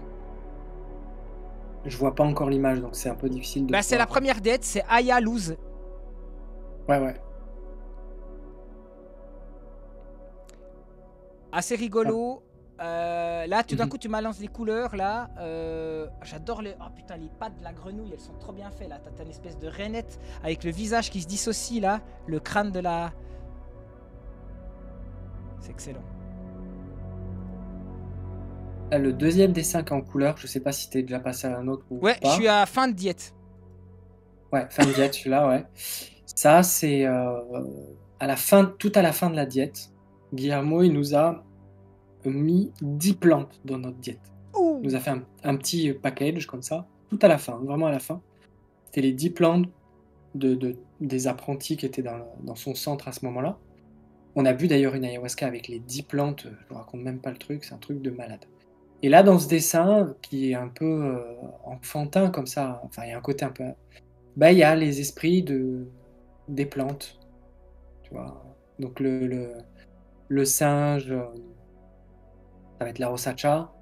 Le gecko, c'est aussi la rosacha. La grenouille qui a en dessous du, du euh, lion, c'est la marosa.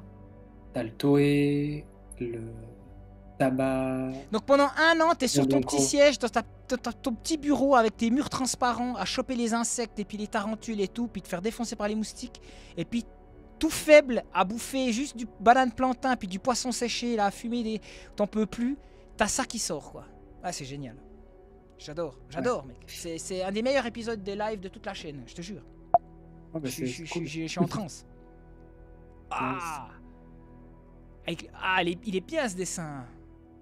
Bon, il est très très hip-hop. euh, Enfin, c'est vraiment le. le- je, retrouve les, les illustrations que j'avais dans le, ma- le magazine Radical, un magazine de graph hip-hop que j'avais. Et puis j'adorais parce qu'à la fin de ce magazine, il y avait toujours les, les 10 dernières ou les 5 dernières pages avec que des trucs de graph. Et puis, euh, ouais, ouais, j'adore, j'adore, j'adore. Avec ta grenouille. C'est marrant ces histoires de grouilles euh, dissociées là. Mais on sent, on sent l'ado encore euh, en toi qui s'exprime, enfin le fin post-ado. bah ouais. Qui fait des trucs. euh, il manque. Heureusement que tu me fais pas des spliffs en 3D parce que là je te fracasserais, mais bon. Mais là, tu l'as C'est fait. clairement un ado. Hein. Mm. Ouais, j'avais 22 ans quand j'ai fait cette diète. 22 ans, 23 ans, je sais plus exactement. Ouais, 22, travail de 23. trame super bien là, le hachure là, le travail de trame et puis l'effet de la fumée qui tombe comme ça, ces espèces de vagues de, de fumée qui tombent, c'est vachement bien ça, vachement bien, vachement bien.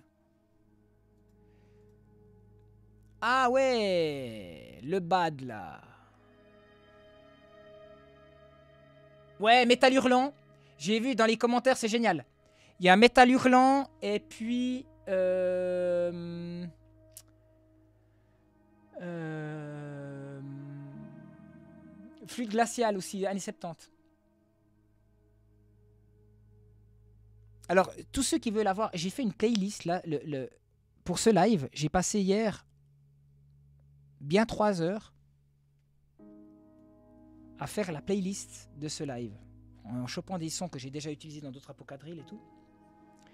Si ta question, ma petite liste B, c'était c'est quoi la musique par rapport à ce qu'on écoutait avant? C'est la, la zik du film. C'est Max Richter qui a fait la zik du film qui est pourtant tellement mauvais, alors que ça aurait dû être un film génial. C'est Spaceman, l'adaptation du film euh, de cet astronaute qui est euh, dans l'espace avec une araignée géante. Je ne sais plus le nom du, titre du livre. Et ils en ont fait un film avec euh, cet, cet acteur américain qui joue que dans des comédies à la con. Et ça match. Enfin bref, je vais pas parler. C'est à la fin qu'on parlera cinéma, qu'on parlera Dune, qu'on parlera Poor Things, là, Pauvre créature, qu'on parlera plein de trucs que j'ai trouvé intéressants. Comme des immenses déceptions comme euh, Animal. Non, Sauvage, là, euh, le dernier truc de Romain Duris, là, avec les animatroniques puis les monstres. Enfin bref, on parlera cinéma en fin de live. Je peux remettre la Max Richter si tu veux, parce que euh, la zik de Max Richter, elle est vraiment exceptionnelle. Alors attends, bien sûr.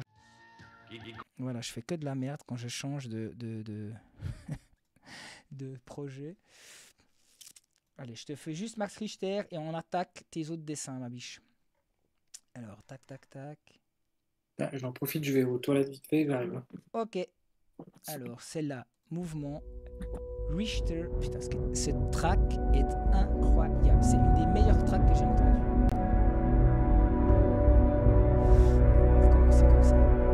Je la mets. Non, franchement, ce film. J'ai j'ai écrit à Mac Richter et il m'a liké mon commentaire. J'étais comme une petite groupie. J'ai écrit sur son page. La vidéo n'a même pas 2000 vues. Alors que c'est Max Richter. Il a sorti cette track il y a 5 jours j'ai les frissons. Vous êtes prêts? Allez, on se fait une petite pause là. On va remettre le truc d'ayahuasca là. Allez, on se fait un truc mysticosphérique, les amis. On se met le trip ayahuasca. C'était hyper bien hein, ce qu'il a fait Kounen là avec ses potes. hein. Et puis on écoute ça. On y va, c'est parti.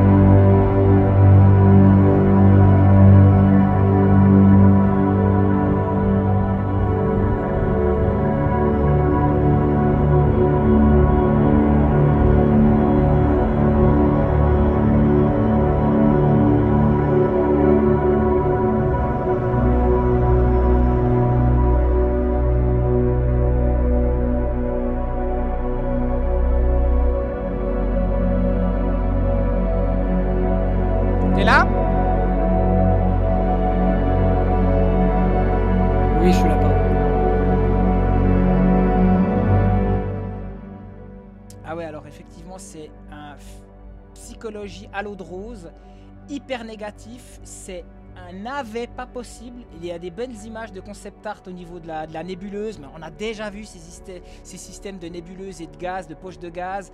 Je veux dire, euh, même Avengers 2, enfin euh, le dernier là avec la mort de Thanos, là je sais plus lequel, enfin ouais.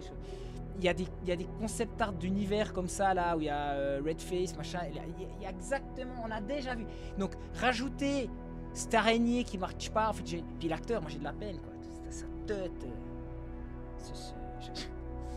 j'ai- de la peine on dirait vraiment un putain de rabbin en cosmonaute ça marche pas quoi sa gueule là Ah, Fa- fais nourrir avec tes séries à l'eau de rose enfin tes séries de, pour attarder d'ado là Et puis c'est tout, mais fais pas de la métaphysique. quoi. C'est dommage, ça ça aurait pu être un film vachement bien, avec un autre acteur, je pense, et puis une autre direction. Mais par contre, la musique est incroyable. Je comprends pas comment. Et j'ai écrit à Max Richter, j'ai dit, je dis putain, ce film, il est, enfin, pas, le film n'est pas du tout à la hauteur de, de ta track que je trouve incroyable. Si jamais je vous la montre, c'est ça.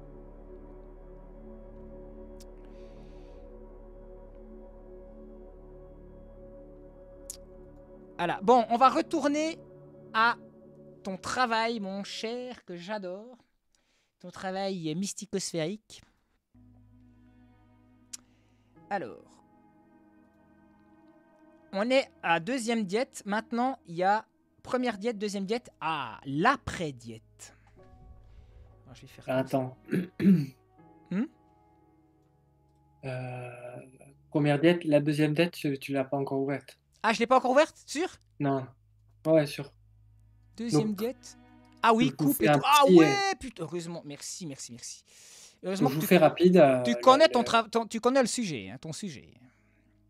Je vous fais rapide. En gros, donc du coup, j'ai fait cette première année de diète. Ensuite, je suis rentré en Occident.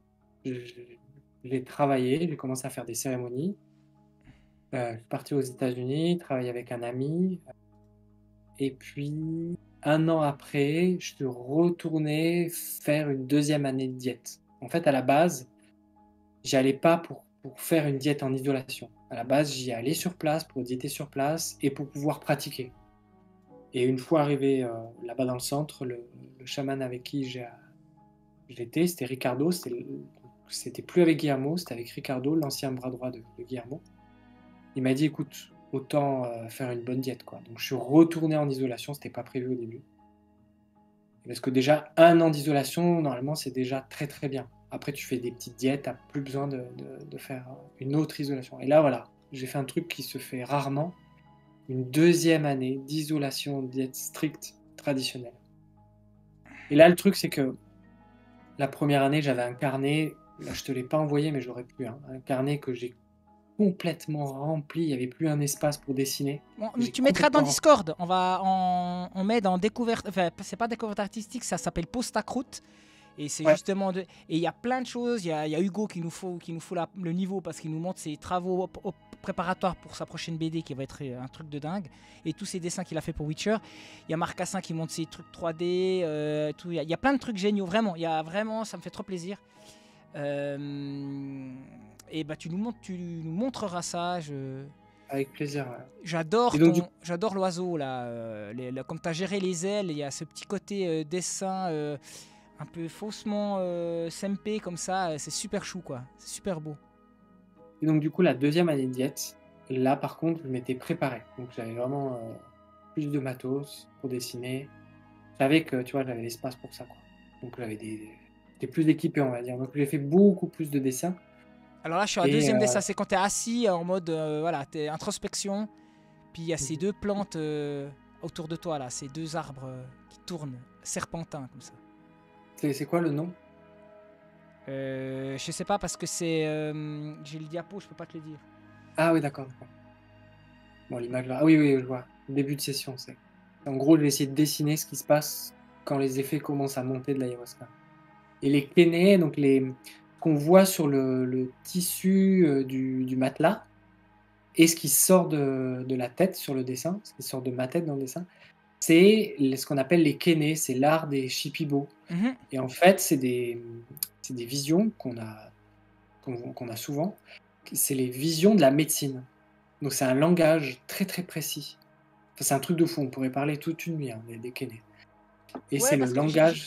j'ai- vu, c'est- revenu, euh, c'est- quelque chose qui revient, euh, ce- ces, ces motifs. Putain, j'avais une page, ah ouais, je l'ai là. Je l'ai là. Euh, dans un des blogs là que j'avais trouvé, donc là, on voit effectivement un Chipibo comme il est habillé, mais vu qu'on a vu déjà ton dessin. Mais Mhm. ce. kénés, donc ces dessins euh, géométriques euh, très précis, c'est vraiment un langage. Et ce qui est assez drôle, c'est qu'ils ont fait des. euh, Il y a une époque, ils ont amené les, ces tissus Shipibo, l'art Shipibo, Voilà, à ça. des moines, des moines tibétains qui n'avaient jamais rencontré les Shipibo. Et ils ont pris des mandalas des moines tibétains qu'ils ont amenés chez les Shipibo Et les Shipibo pouvaient dire très précisément ce mandala, ça raconte ça, ça, ça, ça, ça. Et vice-versa, les, les, les Tibétains pouvaient dire mais en fait, euh, ce tissu-là, c'est un chant pour la naissance d'une mère, tu vois, enfin des trucs pour la naissance d'un d'un enfant, euh, tu vois, c'était, c'est, c'est un langage très très précis Mhm. et qui peut être euh, décodé. Et ce qui est assez drôle, ça c'est vraiment pour euh, l'anecdote. Quand j'ai fait le bois, cette cérémonie du bois, euh, donc l'iboga, j'avais des visions de guérisseurs qui étaient remplis de ces tissus euh, shipibo, de ces kénés, tu vois. Et j'étais là, oh bah c'est cool, les esprits me font un clin d'œil. Ouais. Ils ont mis, ils ont amené, ils ont appelé des guérisseurs euh, shipibo, tu vois, dans, dans le monde euh, des esprits. Mais en fait, pas du tout.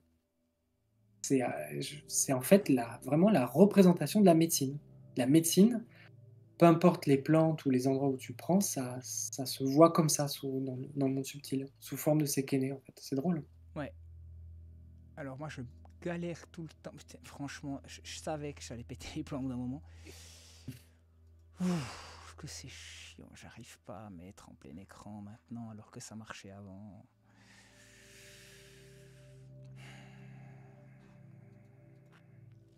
C'est vraiment chiant ces Mac de merde. Aperçu, putain, pourquoi tu veux pas que je mette en plein écran, nom de Dieu. Je suis désolé ma petite biche. Pas de souci. Je vais tout recommencer. Après, vous drôle hein, gérer hein, ça, parce que j'ai- c'est- vraiment chaud à gérer en live tous ces bordels. Ce qui- est très drôle, donc du coup, dans ces dessins que j'ai fait dans ma deuxième année de diète, en particulier dans la deuxième année de diète, c'est que quand on les regarde d'affilée, donc d'ailleurs, j'ai diété deux plantes, mais pas en même temps. J'ai d'abord diété la coca, la plante coca. Ah oui, alors ça c'est intéressant, tu m'avais parlé de ça. Ouais. Et après, j'ai diété un arbre qui s'appelle l'ayauma. Je ne les ai pas diétés en même temps. D'abord la coca, six mois. Après, on a fermé la coca. Il a ouvert l'ayauma après. Et du coup, euh, bah, on le voit très clairement dans les dessins. Il y a, il y a beaucoup de différences en fait dans les deux. Et quand on regarde les dessins, ceux qui connaissent un petit peu les diètes et tout, ils, ils- Ils, ils- ils font on, peut, on lien. peut voir, on peut voir toute la diète. Alors là, j'ai ton euh, tigre noir et blanc avec un cœur, on dirait un peu un cœur euh, flamboyant, Ouais. cato. fermeture de diète. c'est- Ça, c'est une fermeture de diète? Ça, c'est le dessin que j'ai fait quand il me fermait la diète euh, d'Ayauma, donc l'arbre. Donc du coup, euh, le- voilà, on voit l'esprit de l'Ayauma, la fleur qui a juste au-dessus de la tête du tigre, c'est la fleur de l'Ayauma, les fruits de l'Ayauma qui sont autour de la main, et on voit plein de papillons tout autour de la tête. Il y a des, aussi des petits, euh, comment ça s'appelle ces oiseaux les, là j'ai un trou. Des oiseaux qui font du surplace. Colibri. Colibri, on voit des colibris autour du cœur en dessous. Voilà, tout ça, c'est des, choses qui sont liées à la, à. Donc là, les papillons, euh, pendant, pendant que je diétais l'Ayuma. Enfin, en fait, je vais, je, je vais vous raconter une- un truc qui était assez drôle. J'étais en diète de coca. J'avais des animaux liés au monde de la coca qui venaient me voir. Mais c'est euh, c'est hyper indien par ça ton dessin. hein. Il y a- je vois dans les commentaires, ça me fait penser aussi. c'est- c'est- Il y, a un- il y a une facture un peu, euh, tu vois Enfin, mais- je te laisse Ouais. continuer. Ouais. Et du coup, le moment où il m'a, euh, le guérisseur m'a fermé la diète de coca et qu'ensuite il m'a ouvert la diète d'Ayauma, d'un coup, ça c'est impressionnant à vivre, hein, d'un coup, c'est plus du tout les mêmes animaux qui venaient. Mais c'était impressionnant. C'est-à-dire que c'est comme si on avait changé, euh, tu vois, on avait changé la forêt, quoi. C'était impressionnant. Et euh, c'est là que tu, tu vois vraiment que c'est- fort ces diètes, quoi. Et notamment des papillons. J'avais des tonnes de papillons différents qui venaient, et c'est lié vraiment à la connaissance de la, de la Yaoma, à la Donc médecine des de vrais papillons qui venaient te voir, c'est ça? Exact, exact. Un défilé. Donc c'est comme venait avaient et- qui, qui ne venaient pas avant que tu fasses ce. Enfin, phénomène. Il y avait une seule sorte de papillon qui venait avant, c'était des papillons jaunes qui étaient liés à la, con- à la coca, jaune et vert précisément. À la fermeture de la diète de coca, il y avait, c'était très très beau, hein. il y avait le centre entier qui était rempli de ces papillons. C'est-à-dire que d'un coup, on a eu une invasion de papillons jaunes et verts. Donc as vraiment moment- une corrélation ce que vous expérimentez dans vos rêves, enfin dans vos visions, dans vos diètes, et les animaux qui, portant la connaissance de ça, l'exemple. Enfin, Puis nous on le voit, puis on le lit pas quoi. Enfin tu le lis, mais je pense que. Comme je disais, on n'a plus les codes. Et nous on est là en tant que spectateurs un peu. Et, je- me demande comment les Shipibo, eux, quand ils ont ça, comment ils arrivent encore à interpréter. Et, euh, Enfin, je c'est génial. Bon, tant que tu le sortes par dessin, c'est extraordinaire. Hmm. Donc voilà, voilà les, les animaux qui se lancent, c'est assez, euh, assez ouf quoi. Alors là, il y a un travail un peu Rorschach, c'est plutôt à la peinture, là, c'est plus, plus organique. T'as une tortue, t'as as des dauphins, des baleines. On reconnaît les baleines que t'aimes faire en 3D, là, en sculpture, avec un espèce de homard aussi euh, tout en bas. Ouais, ouais, c'est plus aquatique, ça. Alors exact, quand j'ai diété la, je vais expliquer, hein. quand j'ai diété la, la plante coca, j'ai fait énormément de dessins aquatiques. Je suis étonné parce que j'étais étonné parce que la, la plante coca, c'est pas une plante aquatique. Il y a des plantes aquatiques, hein. j'ai diété une plante aquatique. Mais la coca, c'est pas une plante aquatique. Et pourtant, j'arrêtais pas de dessiner de l'eau, euh, tu vois, des, trucs liés à l'eau. Je me posais pas la question, tu vois, je dessinais, mais j'étais là, mais c'est quoi ça? Je comprends pas, qu'est-ce qui se passe? C'est mes émotions et tout. Enfin, j'essayais de, chercher. Et quand le Ricardo, le guérisseur, a fermé ma diète de coca et qui m'a décrit les visions qu'il avait de, ma diète, il m'a dit Mais j'ai vu des- les mondes de la coca blancs, brillants, et des mondes à perte de vue d'eau. Et en fait, j'ai dû explorer dans le monde de la coca ben, des choses liées à l'eau, en fait. Et là, j'étais là, c'est ouf, quoi. J'ai dessiné de l'eau tout, tout le long, et puis lui, il voit ça dans ma médecine, quoi. Il a vu vraiment euh, les, les, les parties aquatiques du monde de la, de la coca, quoi. Ça, c'est ouf. Donc là, je pensais toujours ça, l'arbre avec les vagues. Ah, c'est ce petit côté au kusai que t'as fait, mais réinterprété avec ta patte euh, street art, c'est vachement bien, quoi. Ouais. Bah, le, le, ça symbolisait la, la diète pour moi. Tu es dans un tout petit espace, très très peu de nourriture, tu vois, comme le. Et tu fais pousser, euh, tu, tu, tu fais pousser une médecine que tu vas travailler pour, pour la rendre belle, tu vois. Donc, euh, il il y, avait, il y avait ce rapport, tu vois, là, au bonsaï. Après, avec du recul, euh, je crois que la mer agitée, ça devait être mes émotions. euh, Parce que ça remue quand même. hein.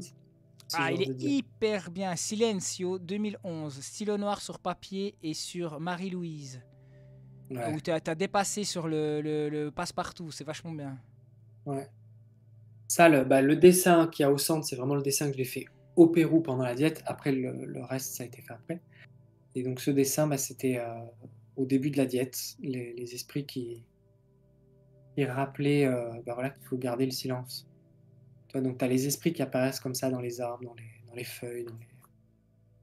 Ah, un, euh, petit- un peu d'architecture là, ça sort tout d'un coup là, tu nous as fait un petit truc. euh, Bah, t'as fait ton petit chat, t'as as fait ton petit. euh, euh, comment on appelle euh, Tombeau. Tombeau.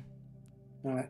Bah, c'est- ça, c'est le, le tombeau au milieu du, du monde aquatique euh, de la coca. Tu vois, moi, la, sur le coup, la perspective de l'escalier que t'as fait en haut là, et c'est excellent. tu vois, sur le coup, quand je dessinais, je réfléchissais à rien. C'est-à-dire que je dessinais sans me poser aucune question. Mhm. C'est- J'étais là, pourquoi d'un coup je dessinais un bâtiment Tu Je me posais pas de questions, je dessinais. Et c'est après coup, tu vois, avec du recul, que j'étais là, Ah non mais attends, mais ça c'est les, le, monde de la, de la coca, quoi. En fait, tu te rends compte après, en fait. Sous le coup, tu Ouh, il tu est réfléchis bien, celui-là, il est vachement bien. bien... Ouais, il y a un côté. Putain, je vois les trucs à quoi ça me fait penser. euh. Ton espèce de, de, de, de, de samouraï chamanico euh, euh, quoi.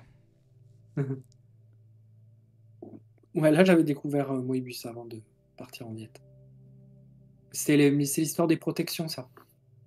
Alors, vas-y, explique. Bah, on t'apprend à te protéger, et donc euh, t'as les armures. Ah, et puis toi, t'as interprété le, le- le- le- tout le référentiel euh, de noble du, du, du samouraï euh, pour te donner une, une substance euh, d'image pour ça. Ouais, j'en sais rien. En tout cas, ce qui, ce qui, ce qui était drôle, c'était de. Enfin, ce qui était drôle. Tu vois, la protection, tu peux aussi la voir avec euh, tous ces esprits, tu vois, ces animaux, ces alliés. Tu vois, qui vont être là et qui vont, euh, ils vont être bienveillants et protégés, quoi. Hmm, c'est génial. Ah, toi. Putain, tes nuages, ils sont tellement bien, mec. Toi, face à... au chaman. Non, face à la, c'est la rencontre avec la coca. Ah, ça, c'est la coca. Ouais, l'esprit de la coca.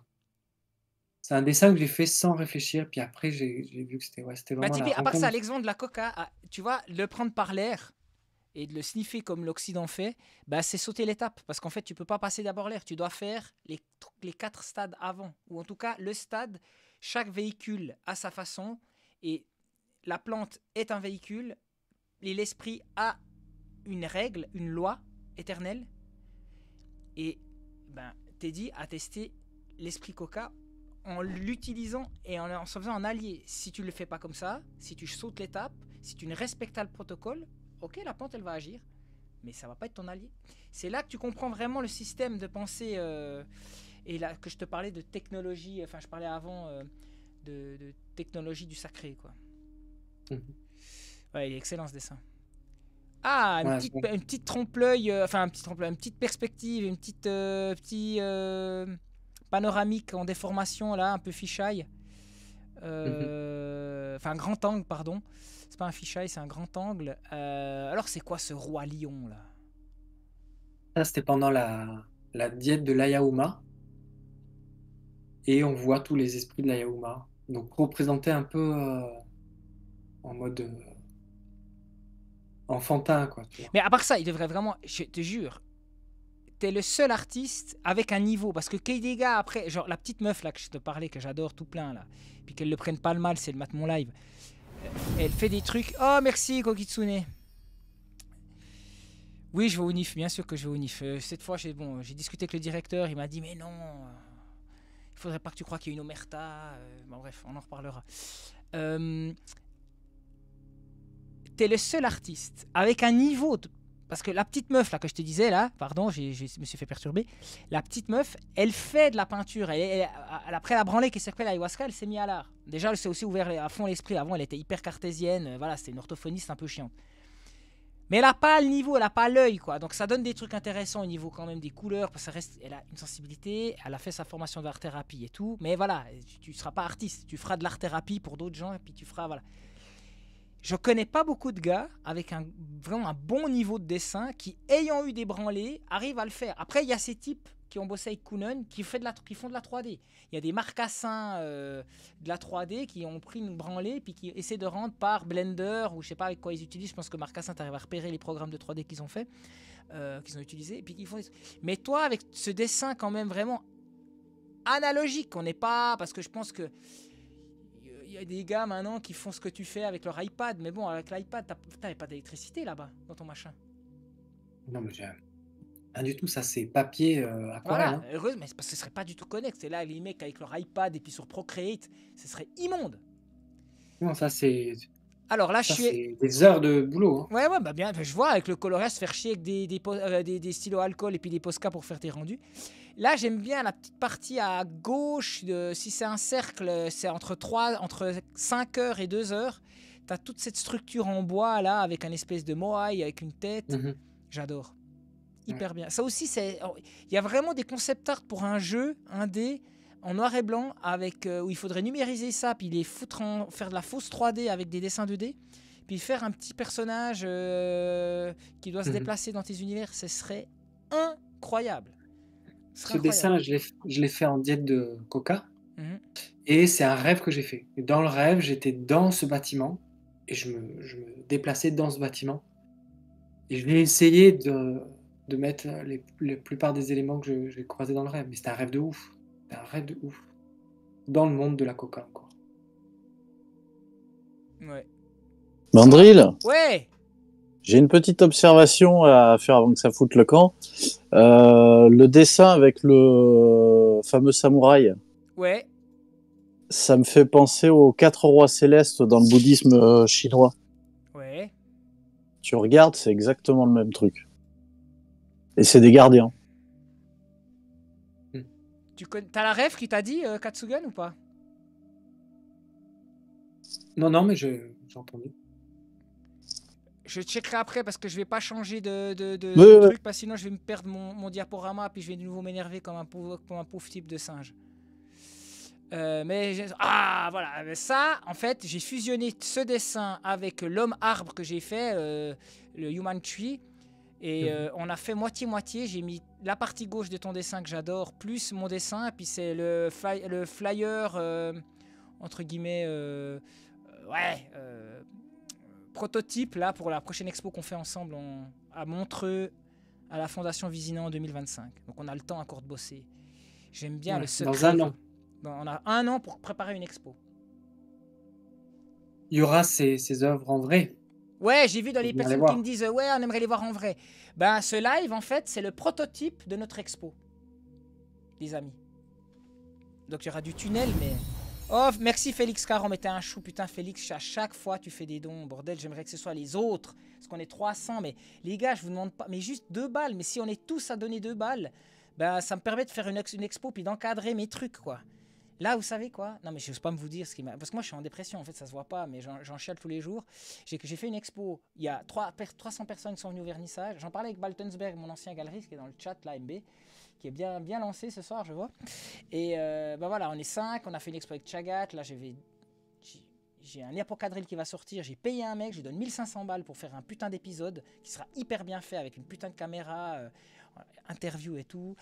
Il y a tous les jours une cinquantaine de personnes. La galerie, ils n'ont jamais vu ça. Il y a des gens partout qui viennent parce qu'il y a quand même eu de la, bouche à oreille. Et puis voilà. Puis c'est vraiment une expo qui plaît. On n'a même pas fait 3000 balles de vente.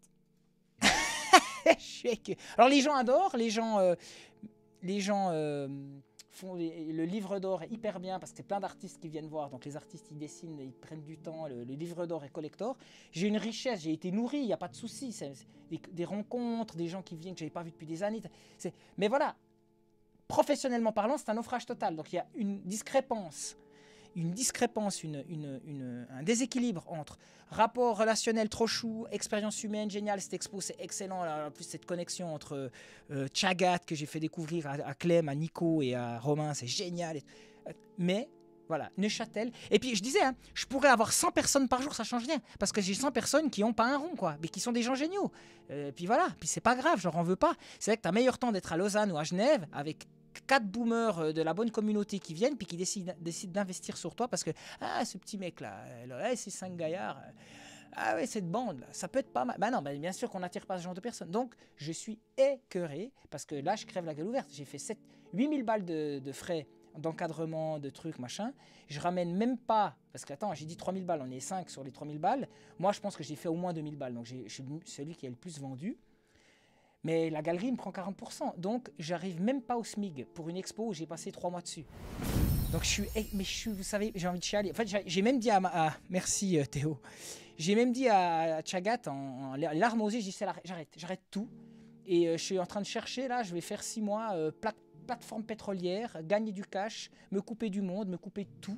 Alors je vais pas tout effacer, hein, je vais pas être comme Teddy, puis il faut aller sur Patreon pour avoir accès à vos trucs. Je vais pas, mais je pense que je vais vraiment disparaître pendant un moment. Donc sachez que après bon là, vous me verrez normalement peut-être en 2025 avec Teddy pour faire cette expo, mais j'hésitais même à balancer en fin de live, les gars, moi personnellement j'arrête tout. Je pense que c'est bon, je continue mon passage, mon chemin, mon, travail, mon calvaire, mon, porter ma croix, mais euh, essayer de le vendre, de, de faire du business avec, c'est de toute façon. Voilà, c'est ce que tu disais, mais tu, tu, tu, sais pas, il se, il se met avec euh, son pote là que je supporte pas là. euh, comment il s'appelle Marcassin là, le, cette espèce d'influenceur là, il est aussi néfaste que Corda pour moi. euh. Il traîne aussi autour Alexis de. Ouais, il traîne aussi autour d'un. Parce que moi, j'ai, je l'ai discuté avec lui. Ralph il m'a-. Il m'a, il m'a fait, il m'a fait une, il m'a fait une entourloupe là depuis qu'il m'a fait ce coup-là. euh, il m'a trahi. euh, plus jamais je lui ferai confiance. Et il m'a trahi en un téléphone. C'est-à-dire que on s'est vu une fois au téléphone. Je lui ai donné une info qu'il fallait pas qu'il transmette. Il l'a transmis et ça a été déformé. Donc voilà, ce genre de merde qui tourne dans nos milieux, dans la mysticosphère, chez Ralph et chez Pierre-Yves. Ces genres de merde qui veulent faire des communautés, des panzis, des, des NFT, des trucs, ou pire encore, des NFT, euh, ou des, des- des- du porno euh, sur Stable Diffusion comme Corda fait. Vous savez qu'ils font ça, ces mecs? Ils gagnent de la thune comme ça. Je veux dire, on se fout de la gueule de Thaïs Descuffon euh, avec euh, la misère des, des, des nofap, enfin, pas des- des doit tarder. Ouais.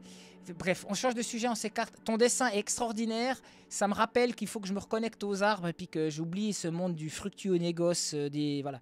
De toute façon, si t'as pas, il faut un mec avec les bonnes, la- les, bonnes filiations. hein, c'est ce que ce que je veux dire. qui te vendent le boulot, puis que lui se prend pour un artiste pour toi, et puis qui fait aller son réseau, puis c'est pas pour toi qui fait le taf, c'est pour lui. Parce que lui a tout intérêt de te vendre aussi. Et puis mon galeriste, je l'aime tout plein, mais il a pas le réseau, quoi. C'est un mec extraordinaire, ce galeriste, qui a repris, comme l'ancien qui est dans, mon live, euh, dans le chat en ce moment, c'est des gens exceptionnels, mais c'est des gens qui ne sont pas justement corrompus par la finance. Or, j'ai besoin d'avoir un putain de financier. Mais en même temps, voilà, c'est- un putain de néfaste de est-ce qu'il faut se vendre ou est- tu peux rester en tant qu'artiste indépendant, un peu comme ce que fait Hugo Pinson, c'est-à-dire intègre, faire ton truc, tac. Après, Hugo est tellement doué qu'il le mérite. Puis moi, je me dis, mais est-ce que, au final, je n'ai vraiment que ce que je mérite? Mais bon, je sais pas. C'est pour ça que je me suis, je suis vraiment dans une phase assez chiante. Euh, voilà. Alors attends, est-ce qu'on est à la fin? Il me semble que c'est le dernier, hein, celui-là. L'arbre. Euh, de ce dossier, oui. Chaque fois je me trompe, j'ai toujours, je clique sur la, sur la vidéo que je vais passer après sur Jacques Mabi, qui explique la distinction entre les trois plantes que je t'ai envoyé, là je t'ai dit, que je trouvais Mhm. super intéressant. Mais on le mettra après quand on reviendra sur les cérémonies. Là, on est vraiment le petit tunnel art de ton travail, mon cher Teddy. Apprentissage chamanique, dessin, deuxième diète. Est-ce qu'on fait l'après-diète maintenant? On attaque ça? Ouais, ouais, vas-y, vas-y. Yes, je me réjouis. À fond. Donc là. Teddy nous a fait son voyage et maintenant il récapitule tout ça. Alors, aperçu, ouvrir avec aperçu, boum. Ah putain, c'est génial. Ah ouais. Ah ouais, c'est puissant. Alors, présentation, activer plein écran. Voilà. C'est parti, scène 2. Alors, tu es au milieu de la forêt amazonienne, tu as juste des crayons de couleur, tu as quoi? T'as- Le noir, euh, il est numérique T'as- Tu l'as retravaillé en post-prod ou bien il est vraiment noir comme ça et puis ton scan il fait que le noir est hyper clean comme ça?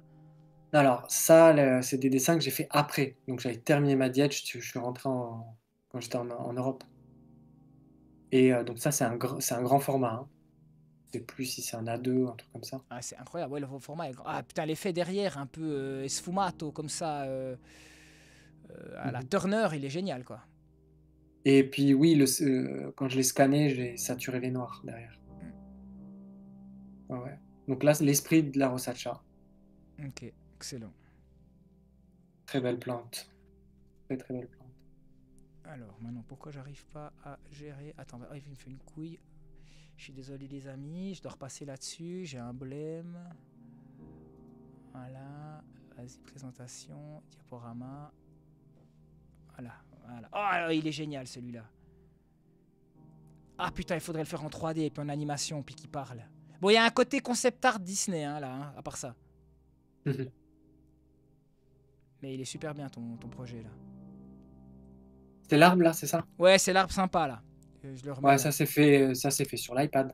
Ouais, ouais, ça, c'est numérique ça, mais il est chouette. c'est- Il faudrait trop l'animer quoi. Il y a un petit côté euh, Belle et la Bête dans le concept art des objets euh, dans la théière ou dans les petits objets rigolos, euh, un peu comic relief quoi. Mhm. Là maintenant, euh, le dessin super coloré, euh, très euh, putain, il fait un peu art brut euh, celui-là par rapport à cette- ce pattern. Il y a cet artiste qui fait de l'art brut là hyper connu, qui fait ces, ces immenses formats de 2 mètres sur 2 au crayon de couleur ultra précis. Euh, mais c'est uniquement géométrique. Mais c'est les mêmes Mhm. teintes, les mêmes couleurs. Tandis que toi, tu nous fais du figuratif. Alors vas-y, c'est quoi cette meuf et puis ce serpent et... Ça, c'est l'esprit de l'ayahuasca. Les- euh, J'ai fait une diète d'ayahuasca, ce qui est pas très courant d'ailleurs. Donc j'ai fait une petite diète d'ayahuasca et quand j'étais en diète d'ayahuasca, j'ai fait ce dessin. Donc ça, c'était en... J'étais en France hein, quand j'ai fait ça. Quand je J'aime bien, j'adore le colibri, il est très brugelien. Il y a euh, Jardin des délices de, de Bosch, pardon. Euh, Il y a vraiment du Bosch dans le- l'oiseau euh, euh, en bas là à gauche. Bien sûr, vous voyez pas ma souris, je sais pas pourquoi j'ai le même problème que mon dernier live. Je, vous voyez pas ma souris, c'est ça qui est chiant. Mhm. Mais euh, je peux même pas le montrer comme ça. Mais euh, voilà, il y a ce, ce colibri euh, qui ouvre les ailes en bas à gauche, au pied du serpent, que j'adore. Ah, les petites baleines Elle est chouette. Elle est chouette ta petite baleine. Là, tu la maîtrises vraiment bien avec la, avec la 3D, euh, enfin quand tu l'as fait en huile. Et puis là, tu as utilisé une photo pour faire l'effet. euh, Ouais, c'est rigolo. Euh, attends, parce qu'il faut que je rouvre le truc en même temps. Ça, c'est fait sur euh, Photoshop. Ouais, ouais, ça se sent Photoshop. Mais Pas, de, pas de photo, hein, c'est Ouais. tout dessiné. Ah ouais, t'as même le même l'eau et tout, t'as vraiment fait qu'avec des brushes, t'as pas utilisé une photo Ouais, de ouais. base? Ok, Non, non. par- Parfait. Euh, je passe. euh, ah putain, il est hyper bien. Mais je te dis, je vois un jeu de malade à faire. hein. Un jeu initiatique euh, où tu pourrais utiliser quand tu touches des objets, ça fait des sons. Un truc complètement euh, expérimental avec des sons un peu tribal comme ça. Avec ton univers euh, onirico, street arto, moébusien. Ce serait super cool quoi. Ça, c'est un grand format. Fait au crayon à papier. Voilà, que le sketch, je l'ai un peu saturé, mais Ouais, c'est super c'est format A1, je crois. Attends, je vais toujours. Pourquoi j'arrive pas à avoir les outils Nom de Dieu, je peux pas. Normalement, j'ai des outils, puis là, je les ai plus. Quand je monte, je peux zoomer normalement. Et là, j'ai pas. Je peux pas zoomer. Mais putain, m'énerve. Ah, je commence à être. euh, voilà, le mandrill se réveille. Ah, ça m'énerve. J'aimerais pouvoir zoomer. Là, je peux pas. Le Dark Mandrill. Non, mais c'est chiant Mais pourquoi? Attends, je remets là. Putain, j'aimerais pouvoir zoomer dans tes dessins. Je ne peux pas J'arrive deux secondes le temps que tu gères le, le zoom. Ah J'arrive. ouais, Putain, diaporama de merde. Mais non, je veux pas le diaporama parce que tu ne peux pas zoomer dans les diaporamas. Ah oui, là, je pourrais. Putain, mais c'est complètement débile. T'es pas de la génération des zoomers. Voilà, on voit. Ouais, c'est c'est super bien ça, c'est ce qui gère comme ça. C'est marrant, on voit pas ma souris, hein, c'est vraiment dommage.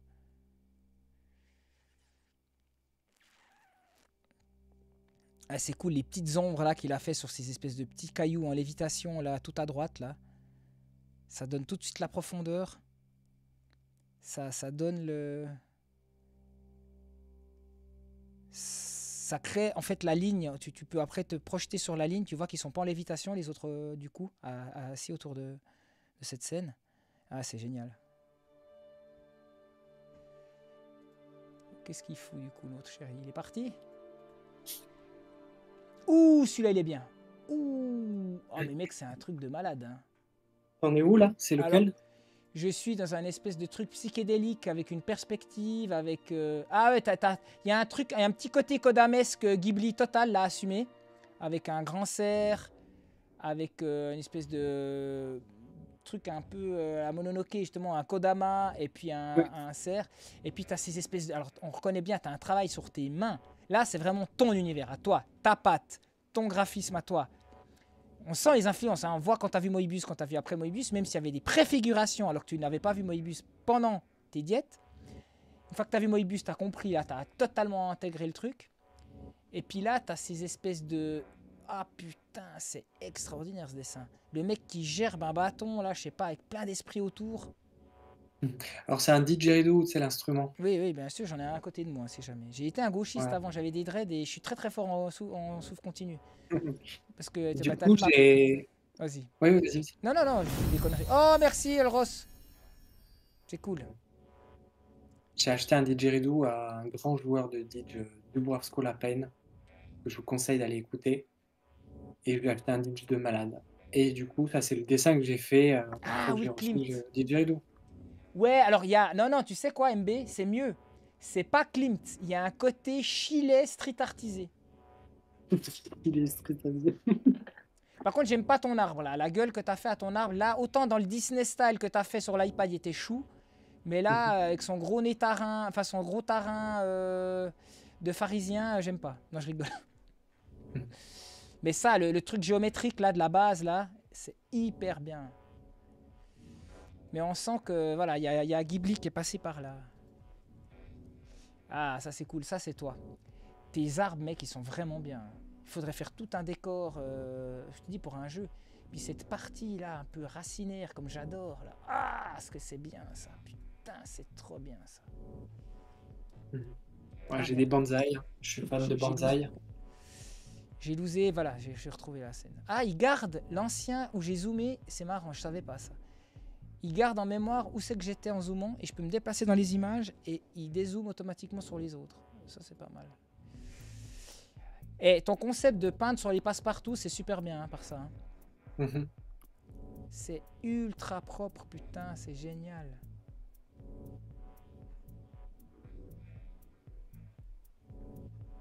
Ouais, c'est beau, c'est beau, ça, ces petites parties-là, un peu... T'as pas essayé une fois de détourner des, des arabesques gothiques, mais avec ton style? Si j'avais fait ça à l'ép- à l'époque quand je faisais mon école vitraux d'art. gothiques. Et dans notre expo, on fait une cathédrale ensemble et tu me fais des linteaux et, des, et, des, et, des- et de la pierre de taille avec ce style-là, ça pourrait être génial. J'aime bien quand tu t'affranchis totalement du style de Disney, de Ghibli et de et que tu fais ton chile street artisé, ça j'adore. Vraiment, je suis complètement fan. On dirait Poutine là. Putain. Et ton vieux, il est trop bien. Alors là, il y a du Brian Froud, le dessinateur de, de Dark Crystal. Concept artiste de Dark Crystal. Super bien ça. Ça, c'est un dessin que j'ai fait euh, au pays d'en haut, tu vois. euh, tu vois, euh, Rossinière. Et là-bas, ils ont un art, tu sais, où ils découpent des petits papiers très très fins. T'as déjà vu ça? Non. T'as jamais vu ça? Au pays d'en haut, euh, Château des Rossinière, tout ça, ils font du découpage de, de, de papier, mais c'est ultra fin. Ils découpent des tout petits morceaux, des tout petits Alors, morceaux, et ça fait est-ce plein que de vous trucs. connaissez Mettez ça. Alors attends, on pose la question. C'est marrant parce que ah, il n'était pas exposé au Quai Branly il y a quelques mois. Non, tu confonds. J'ai dit que Koonen expose de l'archipibo au Quai Branly en ce moment. Ouais, euh, il y a mon ancien galeriste qui me te dit euh, tu devrais faire des gravures. Ah, ça c'est trop bien. Ah ouais, mais là le niveau il est incroyable. Là il y a un petit côté. euh, Putain, là il y a un bon. Là, là il y a un bon mec. Là il y a même un petit côté, je trouve, mais à ta sauce, hein. Au niveau dans la gestion du chaman là en haut à gauche, enfin à droite. Je trouve que tu es le seul qui me fait un lien entre du Moebius, parce que là en bas c'est totalement Moebius, mais je vais peut-être choquer certains, mais il y a un petit côté Kim Jong-gi aussi. Dans ton personnage, dans les personnages en haut à droite là. Avec le visage, le traitement comme tu as fait, comme, comme Kim Jong-gi quand il dessine des, des Asiatiques, puis qu'il les qui fait un petit peu des espèces de Tibétains avec des têtes euh, un peu marquées, qu'on retrouve dans les traits d'ailleurs des, des certains Amérindiens. Et puis ton personnage là, dans, avec le fond noir là, celui-ci là, putain, ça, ça devrait être le héros de ton jeu vidéo là. avec sa tête là. Eh, mais c'est vachement bien. Putain, c'est trop bien. Ça, c'est quoi les formats? Celui-là, c'est un A3, je crois. Bon, ça j'aime. Alors tout de suite, je vais pas. le- les trucs un peu marrants, euh, je te fais un grand tigre. Alors, je suis bien sûr que toi, par rapport à tes diètes et tes, tes, tes rapports aux, aux félins, euh, c'est- tout un chapitre dans Jérémy Narby aussi sur le jaguar et tous les l'esprit. euh, voilà. J'ai un peu plus de peine. Donc, euh, sauf si envie de me faire un discours, moi j'ai. Ouais, je trouve moins bien là. Bah, j'ai un un rêve que blocage. Ouais, ok. C'était un rêve de, de diète en fait, où je me suis retrouvé face à un, à un esprit de cette taille. Et j'ai voulu essayer de, de le représenter, mais c'était délicat. Ouais, mais moi, ça me fait penser quand je donnais des cours du soir avec des boomeuses qui venaient puis qui me montraient leurs dessins d'éléphants puis de tigres qui sont des versions aquarelles ou à l'huile, des tableaux Ikea photos que tu achètes de, de- tu vois, de, de Mhm. lions ou de tigres. J'ai de la peine. Ah, ça, c'est toi. Ça, c'est ton. Putain, puis j'adore, gars, comme tu fais les drapés un peu médiéval, mais à ta sauce toujours street art. Tes rinceaux, là, tes espèces de rubans, là, Mhm. ces espèces de rinceaux de rotulus comme ça, euh, tordus. Euh, ah, c'est génial. Ouais, t'arrives à prendre le meilleur truc du graffiti sans tomber dans ces trucs chiants. Puis vu que t'as les sujets qui sont tellement dans mysticosphérique, que ça sort de ce côté urbain, street art à la con qu'on a vu mille fois, où les mecs ils font ça en fresque gigantesque, avec euh, des espèces d'hippocampes ouverts en deux, avec des super effets de lumière qui sortent. Il y a des mille petits trucs. Moi j'ai plein de pages euh, Insta de, de street artistes super forts. Mais toi, voilà, c'est. Tu sens que ça dit quelque chose et que tu as un rapport idiosyncrasique avec euh, un- un- un- une connaissance. C'est pas juste de l'effet pour de l'effet.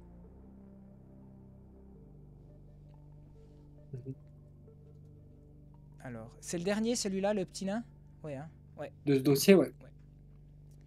Bon, Donc, euh, dans le chat, posez des questions. Les... Ces nains sont bien aussi. Ouais, c'est quoi ces petits... Il y a tout d'un coup une dimension un peu scandinave, là, euh, de, de, de bestiaire plutôt euh, celtico, machin, avec la pipe et tout. C'est presque un peu tolkienisant aussi, ça, je trouve. Ouais, enfin, celui-là, j'ai pas réfléchi quand je l'ai fait. Il y a un côté lutin, ça c'est clair. Comment tu fais les effets de texture euh, un petit peu euh, photographie euh, brûlée, isophélie, là En haut à gauche? Ces côtés taches comme ça, c'est analogique aussi? Ah, non, c'est des broches. là. Ok. Le dessin, il est fait au crayon et c'est colorié à... sur ordi. Ok. On attaque quoi, Coco? Après, t'as euh, t'as un dossier après chamanisme. Oui. Ah, les sculptures. Mais parce que tu as aussi sculpté ça, c'est génial. Ouais. Et tu sculptais pas vraiment. Et tu sculptais un peu appris sur place, hein. Tu avais tellement de temps. Tu avais tout le... tout le temps pour apprendre. Alors, j'ai fait. euh, bah, D'ailleurs, je t'ai mis dans le dossier euh, apprentissage chamanique. Est-ce que je t'ai mis dans les photos d'isolation? Tu as les sculptures isolation bois. Et euh, quand j'étais en isolation, j'ai fait des sculptures en bois. Pas beaucoup, hein, mais j'ai sculpté en bois. La première année diète, j'ai fait une grenouille. Et la deuxième. Mais c'est quoi? C'est après chamanisme ou apprentissage chamanique? Non, non, non, pardon, il faut que tu reviennes dans le dossier euh, euh, apprentissage chamanique, photo d'isolation.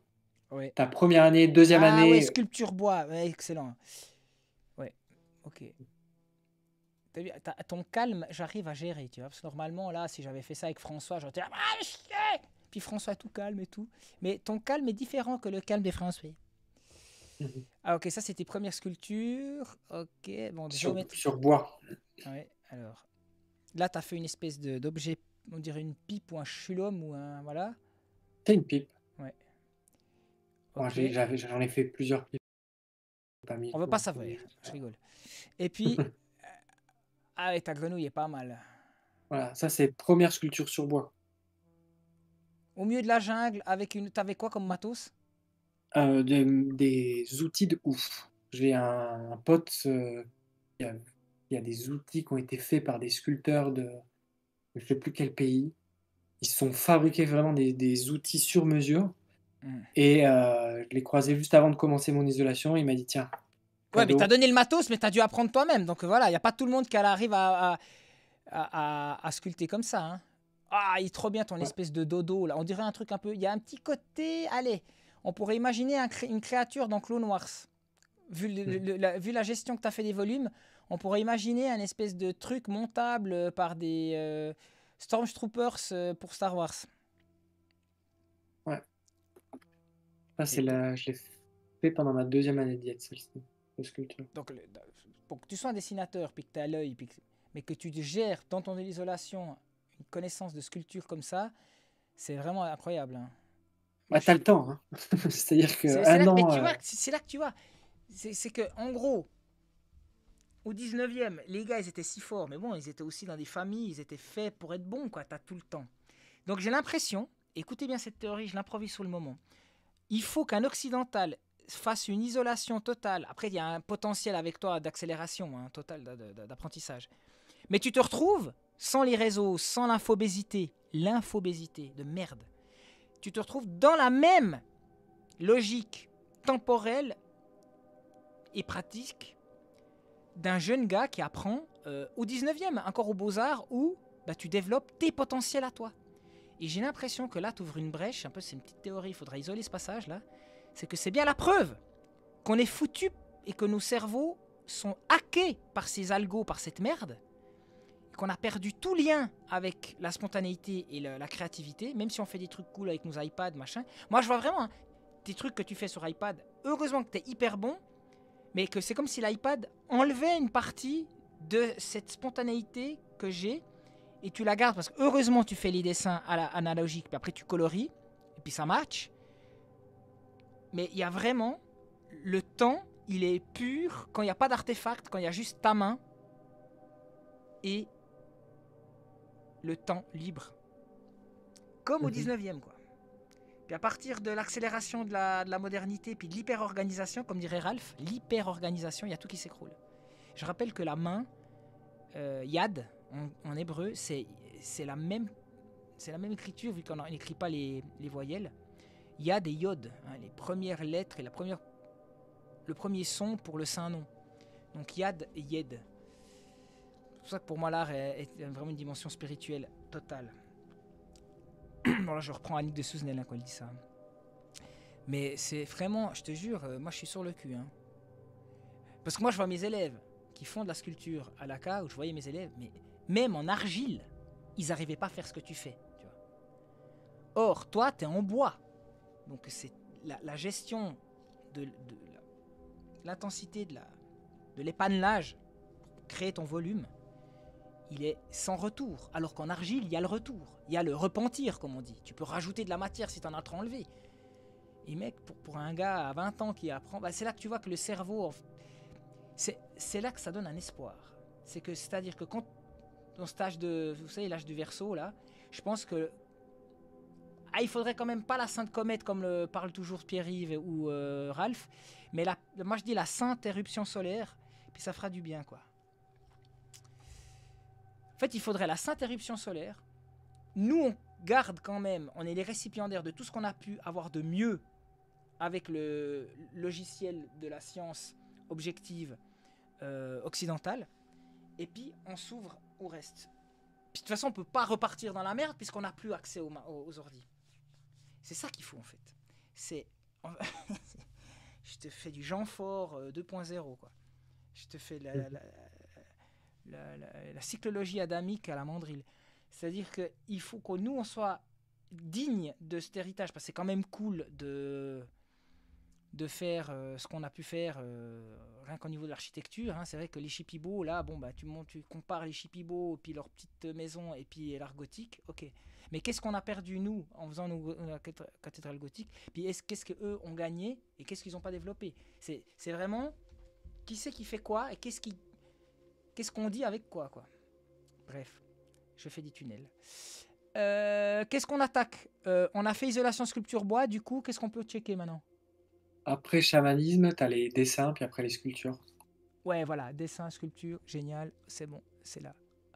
Ah bah voilà, on voit que tu es, tu es, c'est génial, c'est génial, tu es dans un autre contexte là. Où est bien ce track là, j'adore. Alors, présentation, activer mode plein écran. Je suis désolé les amis, je fais de la merde. Voilà. Plein écran, Donc là, c'est toi, retourne au monde, retour à... c'est excellent.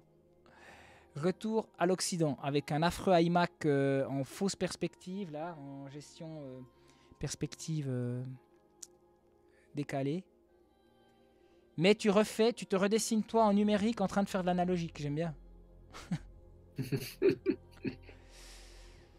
ah, c'est super chouette. Tu vois, je l'ai dessiné euh, sur papier. hein. Putain, mais ça c'est bien, mais dès que moment que tu fais de l'analogique, ça a tout de suite une âme en plus, quoi. Là, c'est euh, un espèce de. de, de je sais De pas. joueur, euh. Ouais, de joueur avec un espèce de birimbau. euh, Ouais, c'est le, ça, c'est l'instrument qu'on utilise quand on fait le l'iboga, le bois, le bois sacré. Et ce dessin, bah, je l'ai fait après la session de, de bois, quoi. J'en ai quelques-uns là qui sont en préparation des dessins suite à, à, au- à ce- cette initiation au bois sacré. Mhm. Donc ça, c'en est un, c'est un grand format. Mais n'oublie pas de, de remettre. euh, de- bon, les gens, je mettrai tout en fait. De toute façon, les gars, vous pouvez pas gérer tout en même temps. C'est comme quand j'étais dans, dans le dans le dans l'intro. Je sais pas comment vous avez pu suivre l'intro, puis faire des écrire tout plein de trucs. euh. Même moi qui savais ce qui, est- qui allait arriver, vu que je l'ai monté, et j'étais là, mais je, je perdais le fil. Donc vous allez voir les liens de toute façon, de tout ça, après. Là, apprécier euh, l'analyse de, l'artiste en direct. C'est le but du direct, non? Alors, ah, toujours ton lien avec le bonsaï. Et tes bonsaïs sont tellement bien gérés. Ouais, je joue de la flûte euh, japonaise, shakuhachi, s'appelle. C'est un truc de ouf. Ça fait, un an que je prends des cours, je me régale. Et ce dessin, bah, c'est le, euh, c'est lié à ma découverte de cet instrument. Là, sur le dessin, c'est un Nito Yogiri-san, c'est une autre flûte que je joue aussi. Et la partition et le, signe qu'il y a derrière, c'est vraiment le- l'école Fouquet. Voilà, c'est ceux avec qui euh, j'apprends.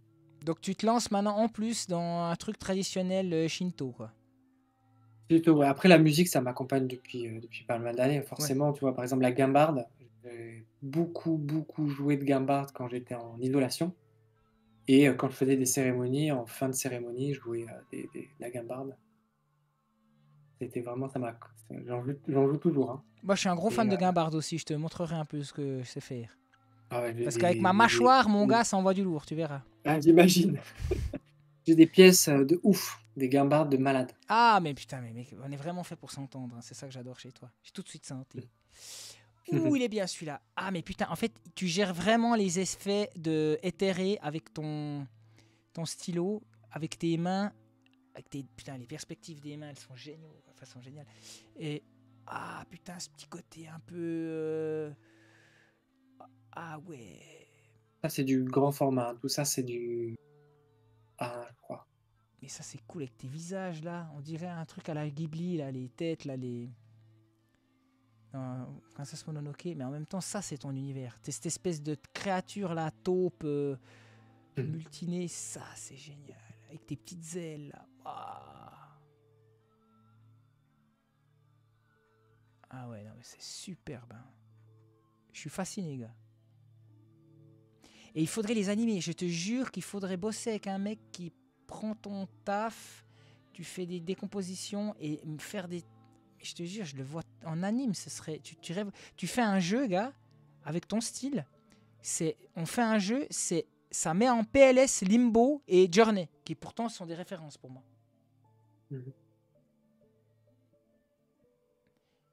Bah, J'attends que quelqu'un vienne me contacter pour. hein. Avec plaisir. Je sais pas, le verre d'éther, il dit de la merde ou bien, je sais pas, je piche pas. Ciao Cicéron, à bientôt. Ah ouais, ça c'est bien aussi.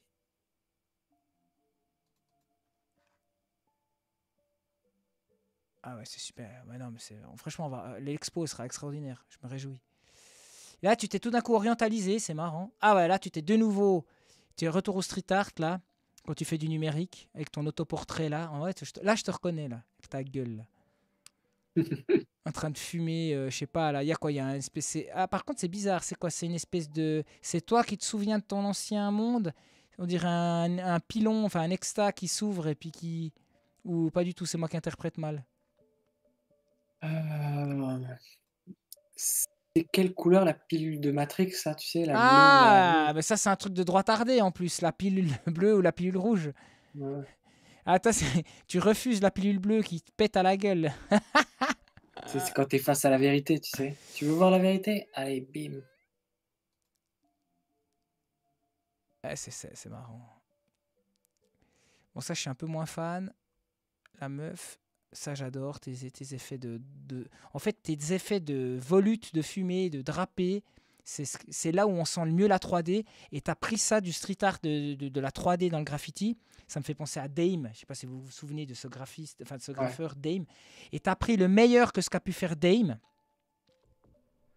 Mais tu l'as arrondi. Hmm Ouais, Dame, quand même, c'est costaud ce qu'il fait. Bon, bah lui, dans l'art contemporain, lui, il cartonne. Hein. Dame, il fait partie des premiers street artistes qui vendaient hyper cher. euh, tu peux trouver du Dame dans des grosses conventions et dans des gros trucs d'art contemporain. hein. Je peux même, tu peux trouver, je pense, du Dame dans, du, l'art- dans, la FIAC, euh, genre de truc. Ok. Ah, petite critique du Covid, pas mal. Là, on est plus dans le Teddy qui fait du dessin de presse ou euh, qui montre ce qu'il sait faire, quoi.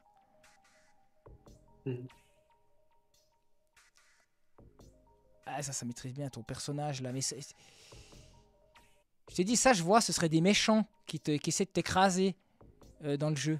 Avec leurs petits trucs qui volent, là, leurs petites feuilles volantes. Voilà, c'est super beau, quoi. C'est super bien. Scory top, ça doit être sympa les expos en plus, lui de droite, imaginez ceux de gauche. Non, J'arrive pas à te cerner euh, pour l'instant, euh, vers de terre. hein. Euh, Enfin bref. Est-ce que vous avez des questions? Je vais faire un petit euh, pause question. Les diètes, l'ayahuasca, les connaissances qu'il a pu prendre, qui sont pas de toute façon des trucs qu'il va dire, bah, je vais vous refaire le schéma euh, cartésien, je vais vous expliquer A plus B avec cette plante. ce- Vous avez compris que c'est beaucoup plus sensoriel et appliqué dans un rituel, mais c'est opératif, c'est des plantes de soins. Bon voilà, d'ailleurs, on fait une pause, vous écrivez maintenant vos questions, les plus belles, je vais les lire, et ça dure 3 minutes. J'ai un passage de Jacques Mabi qui est fondamental. Ça dure 3 minutes.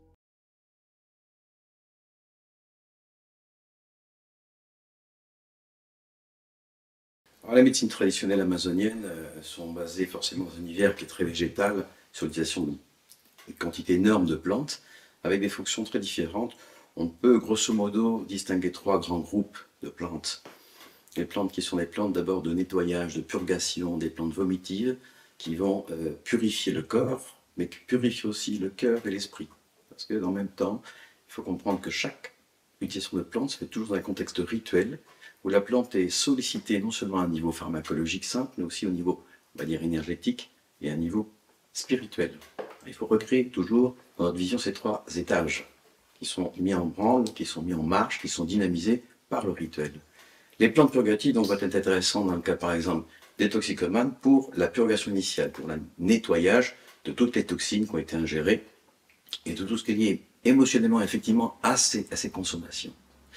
Deuxième groupe de plantes, ce sont les plantes psychoactives, qui vont permettre de faire une auto-exploration. Le sujet va donc pouvoir, à travers ces plantes visionnaires, visualiser son univers intérieur et être protagoniste de cette exploration, cette introspection, de manière très dynamique, sans perte de conscience, et avec une capacité donc de pouvoir aller puiser dans les profondeurs de son être les difficultés, les blocages et les choses aussi positives dont il n'a pas pris conscience au cours de son itinéraire, qu'on peut avoir d'une manière ou d'une autre l'incidence dans le problème qui est la symptomatologie, la, dépendance ou les toxicomanies. Et un troisième groupe de plantes, ce sont les plantes qu'on appelle les plantes maîtresses, les plantes d'enseignement, qui ont des effets aussi psychoactifs et purgatifs à la fois, mais qui prises dans un contexte très particulier, avec des techniques très particulières au niveau alimentaire, au niveau sexuel, au niveau d'un certain nombre de règles d'isolement dans la forêt, euh, d'éloignement des parfums, un certain nombre d'in- d'in- d'instruments thérapeutiques qu'on pourra détailler ensuite, vont poten- potentialiser l'effet de ces plantes à travers un réveil très puissant de la vie onérique, donc des rêves, des euh, enseignements qui vont surgir sous forme d'insight, de compréhension, de prise de conscience spontanée, et en quelque sorte faire une relecture de toutes les mémoires que le sujet porte dans son corps, ses mémoires biographiques de toute son histoire, mais aussi on découvre qu'il y a une mémoire transgénérationnelle, donc on aussi porte en nous-mêmes les mémoires de nos ancêtres, de nos parents, de nos grands-parents, et puis au-delà toutes les mémoires même de l'humanité et de la vie. Donc ce sont des techniques qui permettent, en gros, pour, le, pour dire de manière assez simple, euh, purifier d'abord pour déboucher un peu les canaux, hein, pouvoir être un peu à l'écoute et retrouver le contact avec ces mémoires profondes qui vont être relues avec des plantes psychoactives ou avec les plantes maîtresses. Il y a une re- relecture de ces mémoires, c'est-à-dire que nos- les réponses sont à l'intérieur du sujet, les questionnements trouvent leur propre solution à l'intérieur du sujet, et il faut réapprendre à redécouvrir comment accéder à ces connaissances, à ces sources de connaissances. La toxicomanie, quelque part, il y a un instinct, une intuition chez le sujet toxicomane, c'est une façon de parler, parce que nous sommes tous plus ou moins toxicomanes, mais il y a une intuition que quelque part, les réponses se trouvent au-delà d'une certaine rationalité. dans quelque chose qui serait le monde invisible, le monde non palpable, le monde de l'esprit, le monde du- des affects. Et euh, comment atteindre cet univers? Comment atteindre ces connaissances? Ben, Nous avons perdu ces technologies, ces méthodes, ces voies initiatiques dans le monde occidental. Donc, le sujet toxicomane, le sujet occidental moyen, va le faire par l'espèce d'auto-initiation avec ce qui se trouve sous la main. Ça le met souvent dans des impasses. Donc il y a un réapprentissage de la voie initiatique et de la voie chamanique ou de la voie, disons, mystique profonde, retrouver le sens de sa propre vie par un processus dans lequel on ne s'exonère pas du travail sur soi-même, au contraire, on y plonge volontairement, sachant qu'il y a une certaine dose de souffrance, mais aussi des réponses libératrices. Voilà. Ça, c'était le fameux Jacques Mabi, qui lui a un centre en Takiwazi et qui gagne à peu près, il est sur du 95%, enfin 95% de réussite. Face au gros problème qu'a euh, l'Occident, c'est le traitement de la toxicomanie, la dépression en général. C'est-à-dire qu'on peut maîtriser, typique, euh, je connais très bien le sujet vu que vous savez que bon, ça a fini très mal. Mais mon frère, ou toutes les personnes qui sont bipolaires avec des périodes de hypomaniaque, hein, donc ils ont des périodes, de, des périodes de manie ou de dépression, hypomanie, ben, on peut très très bien calmer quand ça monte trop, ça on sait faire. C'est-à-dire que couper quand ça part, et, le problème c'est que quand ça part, c'est là où ils peuvent être aussi géniaux, mais des fois beaucoup trop. Et par contre, une fois que tu es en bas, par contre là, on peut pas t'aider. Personne ne peut t'aider. Moi j'ai discuté, quand ça arrive, quand le mec finit par faire ce que mon frère a fait, là tu te retrouves en entretien avec le directeur du centre euh, psychiatrique là euh, de, de- de Neuchâtel où c'est des attardés totales qui étaient d'une nullité et moi je lui ai dit ce que je pensais pourtant on a eu une très bonne chat parce que bon le gars était quand même assez sympa et bon, ils sont tout mal ils regardent par terre hein. et moi j'étais bon à ce moment là j'ai complètement forclos le chagrin et la tristesse. J'étais même pas dans la rage. J'étais tellement halluciné de ce qui s'était passé que j'étais plus dans le questionnement puis essayer de faire une dialectique. Mais là j'ai vraiment vu l'incapacité de l'Occident à utiliser toute sa rationalité incroyable dans la biomédecine, hein, je dis bien biomédecine, donc la médecine occidentale, dans les cas de dépression ou d'hypomaniaque, enfin de, super euh, activité euh, limbique comme ça. Parce que quand tu as un mec qui est euh, bipolaire, les épisodes vraiment chauds où ça part en vrille, c'est. Voilà, effectivement, il faut arrêter, il faut couper les vannes. Ça, on sait faire. Mais quand tu es en bas, quand tu es tout en bas, mais là, il n'y a rien. Ou alors il faudrait dire, mais alors reprend des, du MDMA, alors ouais, super. Puis du coup, après, il a des nouveaux day down parce que c'est pas guidé, il n'y a rien. Et si c'est une substance qui est comme ça ingérée, euh, sans rituel, sans. Après, tu crées la dépendance. Donc, tu, tu as, repoussé le problème. Il n'y aurait aucun médecin qui le ferait. Voilà. Et est-ce qu'il y a eu des questions? J'ai regardé, il n'y a pas eu de questions. Il y a eu des trucs un peu cons. Euh, on va parler de Castaneda. Oui, ça tombe bien. Euh, Il y, a y Johan qui a posé plusieurs fois une question. Alors vas-y, prends les questions que tu as vues pertinentes. C'est c'est ton live de toute façon, mon cher euh, Teddy. Ah, C'est notre live, t'es gentil, c'est notre live. Alors, euh, Johan, il- ça fait plusieurs fois qu'il demande si, euh, en tout cas, la période où je prenais de l'ayahuasca, ça, ça m'avait apporté des réponses dans mon quotidien. Euh, voilà, je l'ai vu défiler de nombreuses fois, apparemment, elle est importante pour lui. Bah vas-y, réponds alors. Euh, Est-ce que ça m'a apporté des réponses dans ma vie quotidienne? Ouais, Mais il entend quoi comme quotidien? C'est quoi le Bah, quotidien en tant que... Je pense qu'il veut dire, euh, est-ce que ça, est-ce que c'était pas un truc qui perchait trop, quoi? Hmm. Est-ce que vraiment ça apporte des choses dans le quotidien, quoi? Des, des trucs très concrets. Je, je- tu me dis si je me trompe, euh, Johan. Ouais, la Écoute- Terre est bipolaire, c'est pas un problème. Bon, des terres, je te dis, je te, je te trouve... Ouais. Je te- je te- je t'ai repéré déjà. Peut-être que c'est moi qui vois faux, mais j'ai une...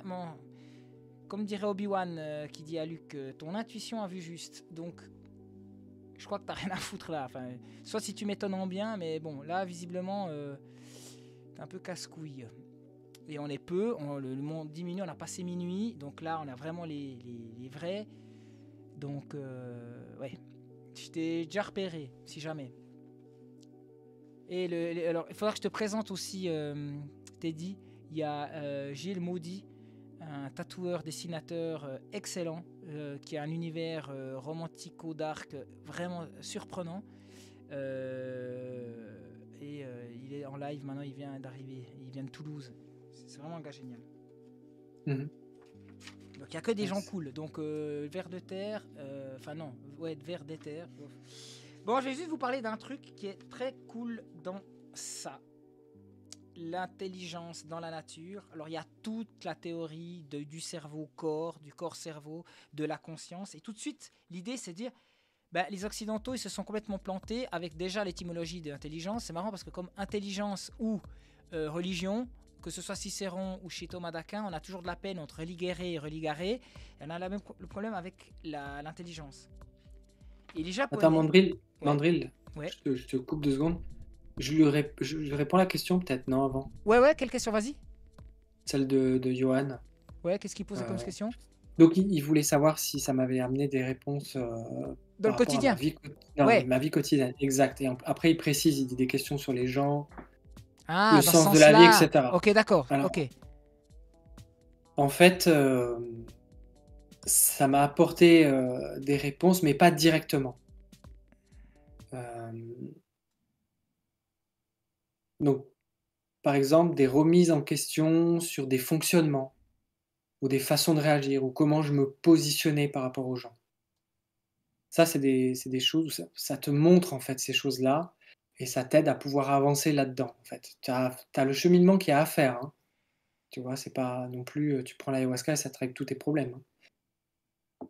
Et euh, donc, donc oui, ça m'a aidé à prendre conscience de choses directement liées à mon quotidien et mon rapport aux gens, ça oui. Euh, ensuite, des réponses sur le sens de la vie. Oui, c'est la prise de de la plante ayahuasca peut t'amener des réponses sur le sens de la vie. Mais ça va pas te donner voilà la réponse pour toi. Ta vie, c'est ça, il faut que tu fasses ci, il faut tu fasses ça. Généralement, quand tu as ce type de réponse, c'est que ça vient pas forcément de la, de la, plante elle-même. Je crois qu'il a précisé un truc, euh, Johan, si je ne me trompe pas. Des questions sur ce qu'au fond les gens sans savoir pourquoi jusque-là et que tes tripes t'ont ouvert les yeux. Bah, c'est surtout les fonctionnements que tu as en fait. hein. Donc, euh, les fonctionnements que tu as, comment tu te comportes avec les gens, comment tu te comportes avec euh, ton entourage, tes, tes- tes copines, tes enfants. Ça te montre les choses que d'habitude tu veux pas voir en fait, ou qui te sont euh, comme si tu avais des œillères en fait. Donc du coup, euh, c'est assez, euh, ça te met à nu. C'est assez difficile hein, de se regarder vraiment en face, comment fonctionnent les manipulations qu'on peut avoir, ou, la, violence, ou ce genre de choses, ou la, méchanceté. Ou... Là, je te le caricature, mais c'est un peu, un peu ça. Tu vois vraiment tes fonctionnements. Et c'est directement lié à ton quotidien pour le coup là.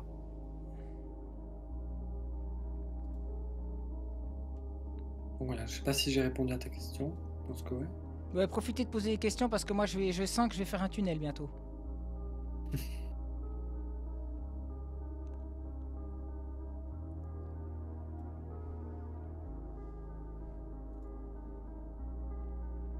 J'ai envie de faire un tunnel. A-t-il eu une expérience autour du transgénérationnel? Bon, on va arrêter ça. Ça vient souvent dans ma bille, là, le problème de, de- du transgénérationnel et de, de- du premier cerveau, où en fait tout est lié avec euh, le corps spirituel, qui est lié en fait aux ancêtres et euh, à la famille. Mhm. Je n'ai pas intégré ça. Ma, ma, Jacques- Mabi n'en parle pas, euh, Narbi n'en parle très- quasi jamais. Ouais. En fait, c'est. Bah, quand tu commences à aller explorer euh, que c'est réellement une personne, comment c'est construit, Évidemment, tu te rends compte que tu as la structure de la personne elle-même, la partie consciente, euh, sa personnalité, puis après tu arrives dans la partie inconsciente de la personne, ensuite tu as les liens familiaux, et ensuite ça continue, et tu as les liens euh, après euh, qu'on appelle avec les ancêtres, donc tout- en fait, si tu continues encore, tout est lié en fait. Et euh, c'est là que tu te rends compte qu'on est réellement euh, liés, qu'il n'y a pas de séparation entre euh, qui que ce soit. Et quand tu soignes quelque chose à l'intérieur, tu le soignes ben, euh, pas que pour toi personnellement. C'est toujours des liens avec la famille ou avec euh, la société ou autre. Et c'est très très vaste en fait. hein. C'est vraiment, c'est vraiment infini. Donc si tu veux, quand tu rentres là-dedans, le transgénérationnel, t'es en plein dedans. Quoi.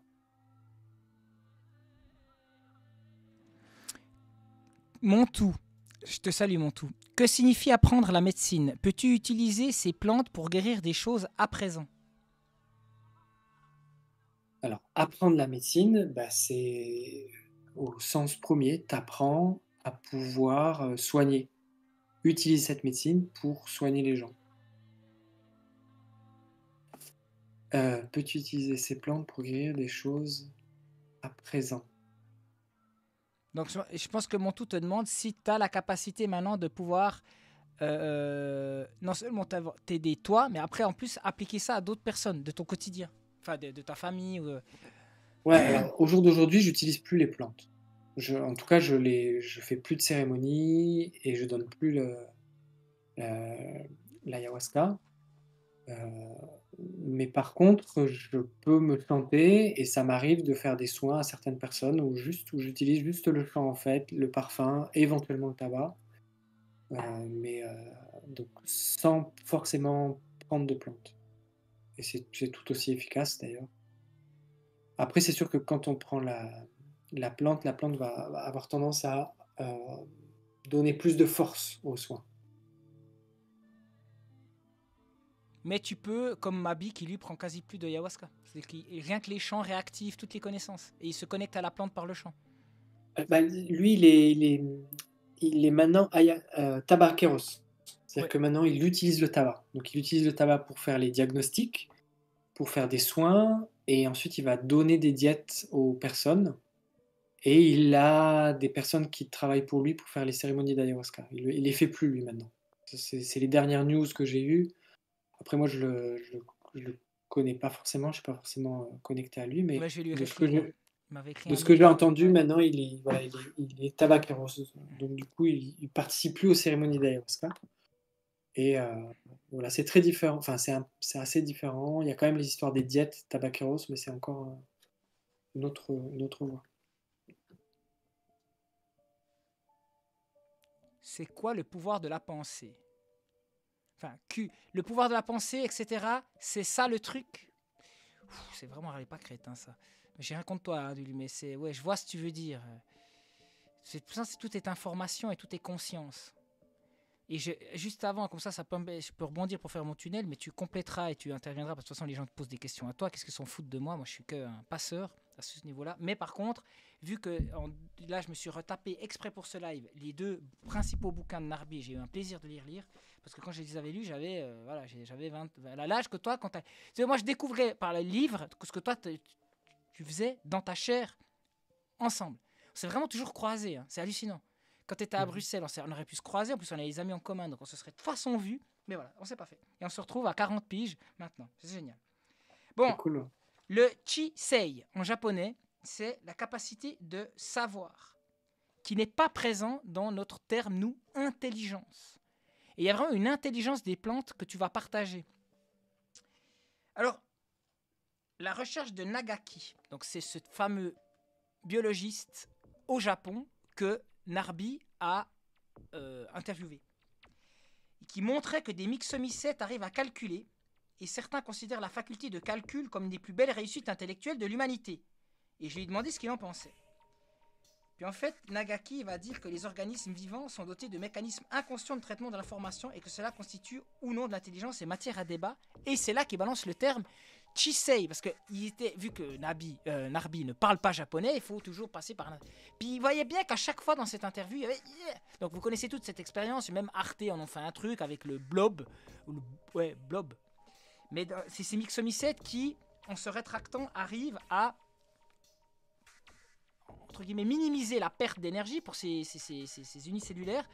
Et puis, en gros, ils te résolvent un labyrinthe. Et ils ont même fait la carte de Tokyo, ils ont refait des trucs. Puis on remarque, ils, regardent que le blob, il, il- fait aussi vite que les meilleurs ingénieurs payés 200 250 euros de l'heure. Après la rencontre avec Nagaki, j'ai réfléchi sur le concept de Chisei. Il disait que les Japonais ne questionnaient pas le fait d'appliquer ce terme au mixomycète, traverseur de labyrinthe. Peut-être avait Peut-être avais-je besoin d'un tel concept. Le mot intelligence avait été défini trop de manières différentes, il était trop chargé. Et dans le sens populaire, smartness signifie d'abord chic, élégance, allure, ce qui affaiblissait la pertinence de son emploi dans mon enquête. Oui, parce qu'en fait, il communiquait en anglais. En plus, donc il y avait une double langue. euh, Lorsqu'un myxomycète traverse un labyrinthe, il montre une capacité de reconnaître sa situation, de savoir. Et si un unicellulaire gluant fait preuve de Chisei, alors quelle créature vivante en est-elle dénuée? Donc en gros, Narbi, quand il fait ça, il essaie de prendre un truc pour un peu fouetter le- les fesses euh, délicatement aux, aux zététiciens en disant non mais attends, euh, comment on explique ces phénomènes d'intelligence ou de Chisei, de capacité à apprendre sans cerveau? Et puis là, on rentre vraiment dans un truc où on est déjà dans un principe dialectique que l'Occident, enfin une porte qui commence à être intéressant. Il y a de la connaissance, il y a un principe mathématique résolu, puis il y a même pas, de, il y a pas de connaissance neuronale, enfin il y a pas de connexion neuro- neuronale, sachant que Mandrill, ouais, Mandrill, tu l'écris comment, Chisei euh, Chisei, c'est euh, C-H-I espace S-E-I. Je crois. D'accord. Si je me souviens. Enfin, Chisei, ouais. Enfin, il faut que je retrouve le passage. Ouais. C-H-I, trait d'union, S-E-I. D'accord, ok. Et j'aime bien, on en revient au papillon. Vous vous souvenez, je vous ai parlé du papillon et il y a toute cette histoire de la transformation. Et je vous disais aussi avant que cette idée d'élargir le plan de conscience, c'est bien aussi pour ça que vous êtes sur cette chaîne, c'est bien pour ça qu'on a élargi notre plan de conscience en voyant les super travaux de notre ami Teddy. C'est pour ça qu'on communique, que vous êtes sur Discord à divers niveaux. Enfin, on est, les animaux le font. C'est pour ça qu'on baise aussi l'élargissement de conscience que tu as après un orgasme. Putain, ce que c'est cool. Ou que tu ailles te branler euh, sur Pornhub. Ouais, bah, c'est déjà moins cool ça. Mais il y a toujours cette volonté dévoyée ou pas, d'élargir sa conscience et de sortir de l'état ordinaire. Or, l'Occident n'a fait que ça. C'est que le principe normatif ordinaire. On est des débiles, on est des débiles. Bon, bref. Les papillons sont des transformateurs. Ils se métamorphosent dans la chrysalide en passant à l'état de ver et à celui d'insectes ailés. Les habitants du Japon sont des transformateurs, forcés par les volcans, et l'histoire a innové et à se renouveler. Les chamans sont des transformateurs. Ils se changent en animaux et dans leur tête. Chaque, chaque créature vivante est un transformateur. Je recommence de la peine. Chaque créature vivante est un transformateur, résultant d'une longue série de transformations, au cours d'une évolution qui ne finit pas.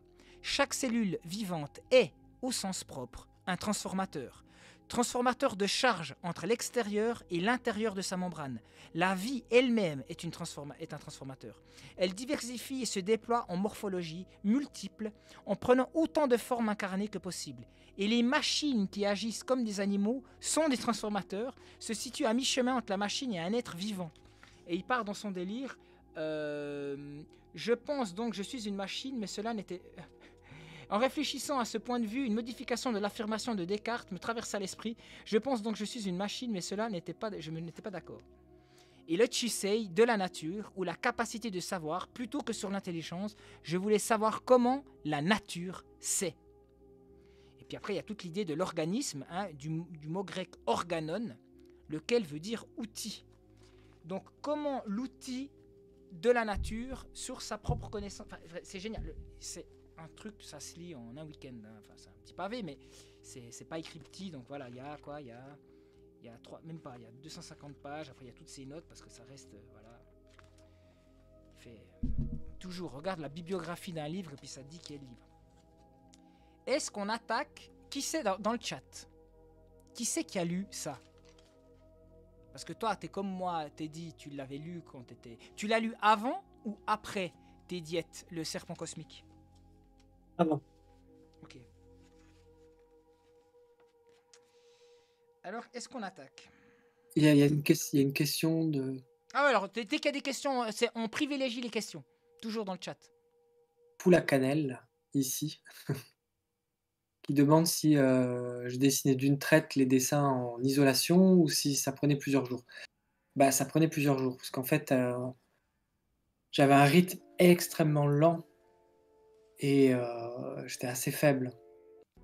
Donc du coup, je, prenais vraiment mon temps, euh, je faisais des, des recherches au crayon papier, ensuite je faisais le crayon, papier, je repassais au stylo noir, le coloriage à l'aquarelle. Ça prenait du temps, ouais. Donc c'était jamais en un jour. ouais. Par contre, en combien de temps, alors ça, je ne sens pas. Je calculais pas, les, les jours défilés, c'était... euh, La notion du temps, elle était un petit peu... Ah, je pense que ça, tout, doit s'arrêter. Tout doit être complètement. Euh, c'est de kaléidoscopique, ta notion du temps là. Ah, c'était un truc de ouf. C'était un truc de ouf. Alors il y a plusieurs questions là, c'est cool. C'est bien là, euh, au final j'avais tout un projet de faire des tunnels, mais on s'en fout, c'est toi l'invité, c'est toi qui parles. Euh, Est-ce Ouais. qu'une connexion serait possible avec des fruits comme des pommes ou des poires? Genre tu rencontres l'esprit de la pomme ou, de la pomme, ou, de la, ou du pommier Mais elle est pas si co- mais elle est cool cette question parce que comment on fait avec les plantes qui sont pas psychoactives? Vu que de toute façon dans les premiers, dans la deuxième catégorie d'êtres là, euh, il expliquait bien euh, Mabi qu'il y a aussi des, pla- des plantes qu'on diète qui sont pas forcément pardon, psychoactives, qui ne sont pas forcément psychoactives. C'est les- la plupart des plantes qu'on diète sont pas psychoactives. hein. La quasi-totalité. Mais du coup, la question, c'est euh, pourquoi on n'a Ouais. pas. Parce que je te rappelle que dans notre culture à nous, occidentale, après, bon, euh, tu vois euh, aussi d'ailleurs Burensteinas qui saute sur les. Non, non, on a traduit malus, la pomme, parce que c'est malhomme, et puis euh, du coup on a fait la pomme. Mais en gros, un objet qui est en un et un multiple, avec toute la notion alchimique qu'il lui y voit, parce qu'il fait une réinterprétation un peu post-17e siècle, vétérotestamentaire, de- de la Genèse. Euh, ce serait plutôt une grenade. Mais ça ne pose pas le problème. Est-ce qu'une grenade, alors est-ce qu'on peut se connecter aux grenades? Parce qu'en plus, il n'y a pas vraiment de pommes euh, en Irak, si c'est placé, euh, si le jardin d'Éden serait là-bas, était là-bas, pardon. Donc, la question c'est, t'es dit, est-ce que on pourrait rentrer en communication avec les esprits de certaines plantes qu'on a dans notre quotidien à nous? Oui, oui, oui. on a beaucoup de plantes, des, super plantes en Europe, des plantes médicinales, des plantes maîtresses, on en a plein. J'ai beaucoup d'amis apprentis qui ont diété des plantes en Occident. Et on a toute cette connaissance des druides, tu vois, les, les- les petites recettes de grand-mère, etc., tous les petits tips and tricks de, de grand-mère, tout ça, c'est notre connaissance euh, occidentale qui a été euh, castrée il y a longtemps, mais qui est là, hein, qui- qu'il faut déterrer tout doucement. Mais on a vraiment toute une pharmacopée hallucinante en Europe. hein. Ouais, a d'ailleurs, Montou, plantes qui Montou stoppent qui est super connecté, il dit qu'il mange des très petites quantités, une grande variété de plantes sauvages, avec l'idée qu'elles contiennent des substances rares et précieuses pour moi. Oui, moi je te, je, vois, je te vois tout à fait. D'ailleurs, dans tes vidéos, tu es toujours en train de mâchouiller un petit brin d'herbe ou un truc. Fais juste gaffe quand même à. Bon, c'est le truc, c'est le mythe, mais c'est pas un mythe. hein. Moi, j'ai- un pote qui, qui, dans la parasitologie, euh, tu te chopes le- le parasite du renard là, et qui se développe en 40 ans. Une fois que c'est. Et c'est les pires douleurs qui existent. hein. Euh, je sais plus comment il s'appelle d'ailleurs ce parasite. Euh, donc c'est l'histoire de toujours bien laver ses petites fraises des bois parce que s'il y a le renard qui aurait pissé. Pour l'avoir, faut vraiment le faire. Mais je connais un mec qui l'a eu. En plus, le mec, il a pas eu de cul parce qu'il est toujours dans la forêt. C'est un espèce de, gars génial en plus dans la forêt. Il a chopé Lyme, Borréliose et cette merde qui est hyper rare. Donc voilà. On hallucine toujours sur euh, les dangers. On a vu pendant ta diète, tu étais en contact avec la nature, euh, les animaux, les insectes et tout. Mais je te jure qu'en Europe, on a aussi nos petits trucs sympas. hein. Mais bien sûr. oui. Alors, est-ce que une connexion serait possible? Ça, je l'ai lu. L'expression, ah, ça c'est super intéressant. Nu- Nuage rouge qui est super. En plus, c'est un super intervenant euh, chez Pierre-Yves Lenoble. il- L'expression de. Ouais, vas-y. Tu l'as vu la question qu'il a posée? Bien sûr, ouais, ouais. je vais répondre d'abord à, à l'histoire des fruits et des pommes parce que c'est vachement intéressant. Ouais, ouais. On revient à toi. T'inquiète pas, Nuage rouge. Ouais, ouais, je l'ai vu, elle est, très bien cette question d'ailleurs. Euh, bah écoute, au bout d'un moment, tu te rends compte que tout, tout est conscient et tout a un esprit, mais ça va très loin. D'ailleurs, au, au- au Japon, ils, ils considèrent qu'il y a des, des esprits partout, quoi. Et tu te rends compte que même un briquet, bah, c'est vivant, a une conscience, il y a un esprit dedans, même plusieurs. Et pareil pour les, les- les fruits, les pommes, les poires, etc. Quoi. C'est, au bout d'un moment, euh, tu- tu- quand tu commences à, à lever les voiles, on va dire. euh, on ouais, retombe dans une dimension animiste, quoi, un peu Shinto. J'en sais- J'en sais rien. En tout cas, euh, tu C'est les peux- Kami. Tu peux rentrer en communication avec un peu tout et, et, euh, et partager, échanger, etc. Quoi. Ça, c'est clair. Après, ça demande. euh, pour, pour nous, occidentaux, ça nous demande de faire du chemin pour en arriver là. Tu vois. Alors, il y a Nuage Rouge qui pose une question assez chouette. L'expression de l'art n'existe-t-elle qu'au niveau de l'existence terrestre, selon vous? Écoute, moi, je vais te donner ma réponse, mais je ne suis pas non plus Euh, voilà, c'est que mon point de vue. euh, je prétends pas connaître tout. euh, j'ai pas la science infuse sur tout. J'ai pas la vérité sur tout. Mais de ce que j'ai découvert donc euh, dans ces pratiques et surtout après, parce qu'après j'ai continué mon chemin personnel, on va dire. Et euh, pour moi, euh, l'art est principalement une. Enfin, l'expression de l'art, elle, est- principalement au-delà de la. enfin, elle est partout. C'est euh, ce qu'on fait de mieux, c'est créer. Tu vois, à des niveaux euh, très profonds, en fait. hein. C'est la pure création. Ce qu'on fait, c'est qu'on crée des mondes et après on s'incarne dedans pour, euh, pour voir ce que ça fait pour le fun, tu vois. Donc, si tu veux, on n'arrête pas de créer constamment. Je dis, je dis nous pour simplifier. hein. Et euh, quand, tu, quand tu rentres dans des niveaux subtils, jusqu'au niveau divin, jusqu'à même euh, euh, l'unité, etc., c'est de la pure créativité, c'est de la pure, pure création, comment on pourrait dire, qui dépasse toute imagination. Notre imagination ici, elle est, elle est vraiment très, elle est microscopique par rapport à ce qu'on est capable réellement de créer, d'expérimenter, etc. Donc pour moi, l'expression de l'art, elle existe clairement euh, à d'autres niveaux euh, d'existence euh, terrestre. Et j'ai envie de dire, elle existe surtout dans, tous ces niveaux. Il y a, tellement de... C'est extrêmement vaste. hein. Et le fait même que la nature évolue et se bride, et que génétiquement, de toute façon, elle continue de se générer et de changer. Tu prends, euh, d'ailleurs, l'humain peut s'amuser. Moi, j'ai un, vieux boomer qui fait depuis 40 ans euh, des, des- Il crée des, des, orchidées et il arrive à choper des effets. et Il fait, des, il fait vraiment un art de. Alors c'est un biologiste, hein, c'est un docteur Esplande, d'ailleurs, que le docteur Azevedo connaît. Il a sa serre à lui dans des conditions incroyables. Une espèce de- on pourrait faire un truc de Tim Burton dedans, là, dans sa grande serre qui est toute déco- défoncée. puis- Mais lui, il accentue juste ce que la nature fait. C'est de la création tout le temps.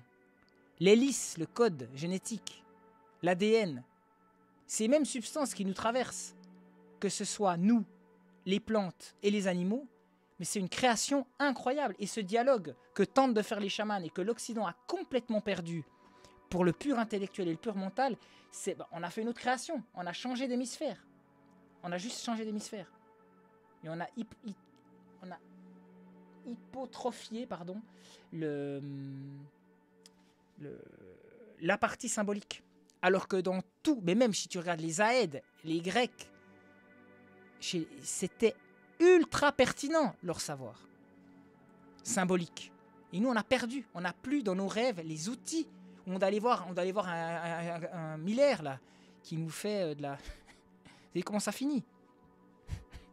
Quand on va voir un Gérard Miller pour, euh, pour analyser nos rêves.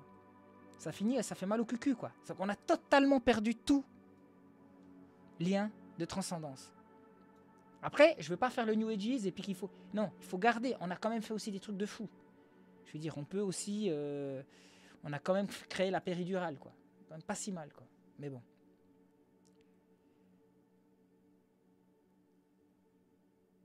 Ah oui, ce que j'adore aussi, c'est, je voulais revenir là-dessus par rapport à ta question du quotidien, là. Parce que là, j'ai un autre commentaire euh, d'un, gars en Takiwazi où j'ai lu. Bah, j'ai passé du temps hein, pour préparer ce live, hein, les amis. Indépendamment du zapping. L'idée majeure qui surplombe tout ça, en réalité, c'est d'être en mesure d'établir une vraie distinction entre le vrai toi et ton mental, entre ton identité réelle et ton ego. Je ne dirais pas que c'est une solution miracle, car il y a un vrai travail effectué après tout, intégrer les enseignements, mais l'ayahuasca montre la voie, et c'est surtout de différencier ton mental et toi. Tu n'es pas ton mental, et ça je trouvais super intéressant, ce commentaire et, cette, euh, et ce, témoignage. Et ça, ça en revient à ce que tu m'as dit, Teddy, c'est hallucinant, parce qu'il y a une convergence de tous les témoignages. En fait, l'ayahuasca va se saisir de ce qui cloche et te le mettre sous le nez. Tu vas souvent devoir te confronter ou à un corps et un corps aux choses néfastes qui squattent à l'intérieur de toi et qui t'arrivent pas à te débarrasser d'une façon rationnelle, en faisant usage de ton intelligence. Mais accentuer le traumatisme n'est qu'une première phase. L'idée que ce que tu le vois, enfin l'idée que tu le vois, enfin pour ce qu'il est. que tu t'en rendes conscient, plutôt que de laisser sécréter son venin en sourdine, et en le refoulant, en le niant, mais en le laissant finalement vivre en toi à ton insu. C'est ainsi que fonctionne la médecine, elle amplifie les troubles et les amène devant la conscience afin qu'ils n'apparaissent sous leur jour véritable. Lui, il a fait une expérience ultra badante. Par contre, il y a des gens, Jérémy Larby, il a refait aussi une grosse claque, mais Jacques Mabi, c'est hallucinant. Jacques Mabi, il est à un autre niveau. Hein. Jacques Mabi, ça a été impressionnant, ça, ça, ça, son contact avec les esprits de la plante. Il y a d'autres questions que tu as repérées, euh, mon cher Teddy? Oui, il y en a eu plein là. Alors vas-y, fonce. Alors.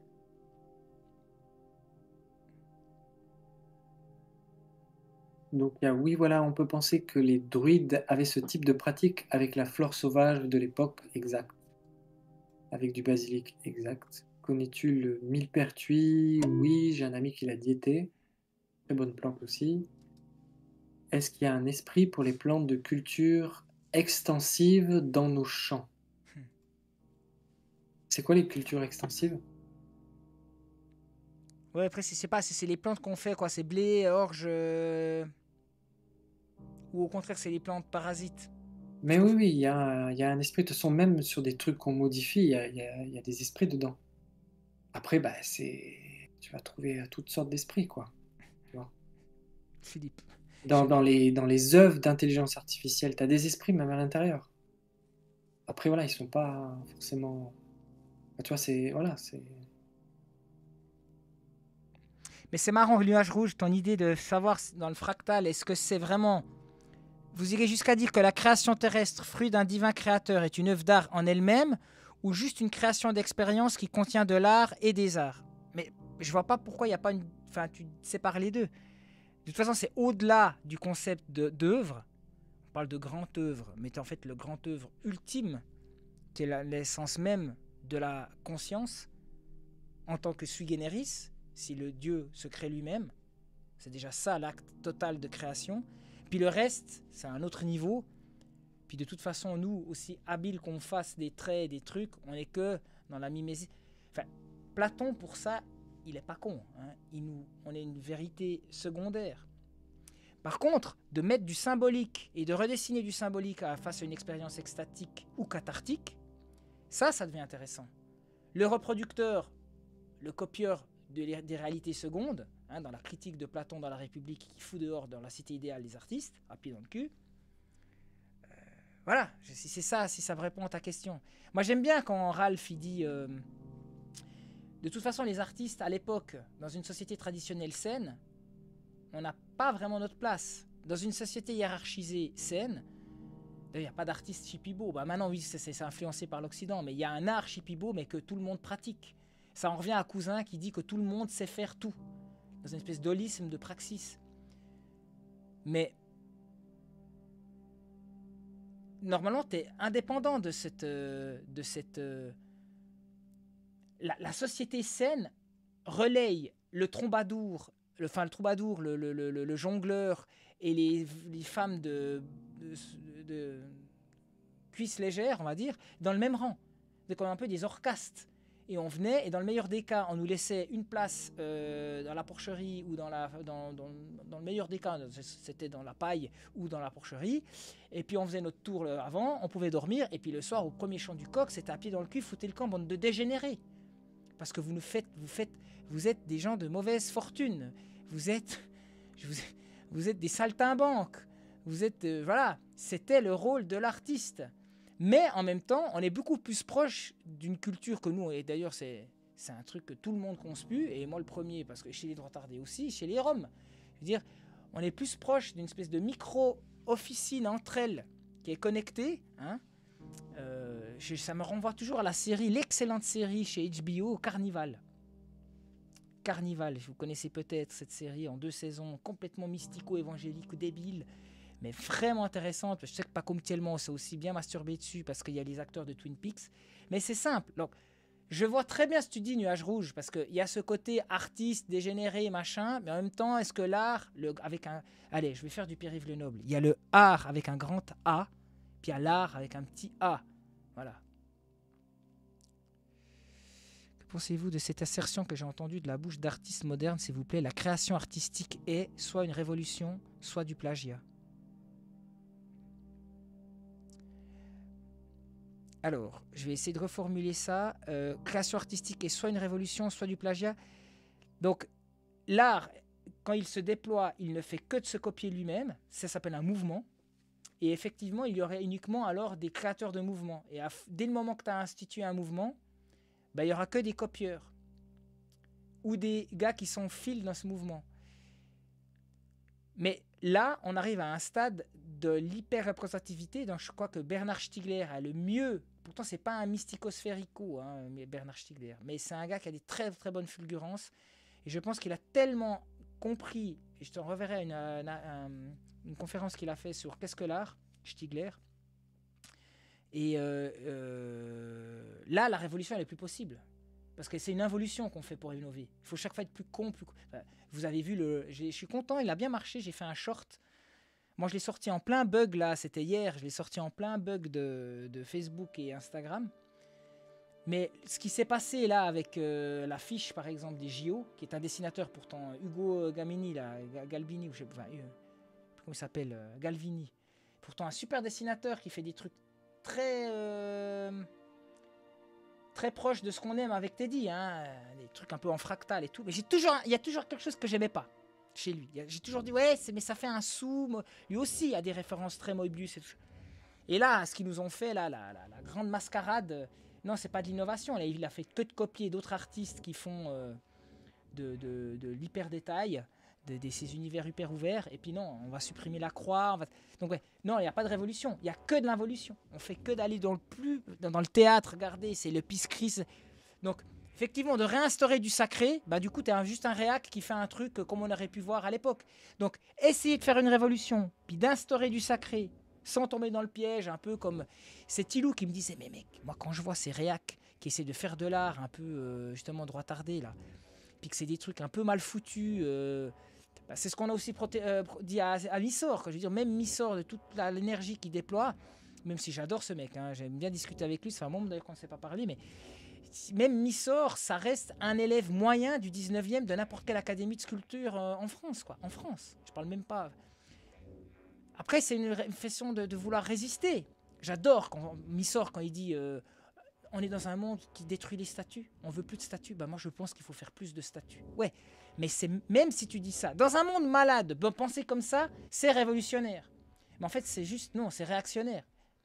Et puis les réactionnaires, la critique de la gauche, elle le fait bien. Vous êtes que des, des gros cons qui agissaient après coup. La création c'est chez nous. Mais moi je leur dis non non non, c'était chez vous à l'époque. Mais maintenant vous créez plus, vous détruisez. Donc maintenant la création c'est de la destruction. Mais à un moment quand tu as tout détruit, il n'y a plus qu'une pièce de Lego et tout. Donc c'est un large. J'adore euh, Nuage Rouge, je vais faire la même phrase que dit Pierre-Yves. C'est bordel, quand tu poses des questions, nous là, ils vont durer 4 heures. J'ai fait ma partie. Comment tu penses euh, répondre à cette question? Création ou plagiat Révolution ou plagiat, euh, Teddy Hugo Gattoni, merci.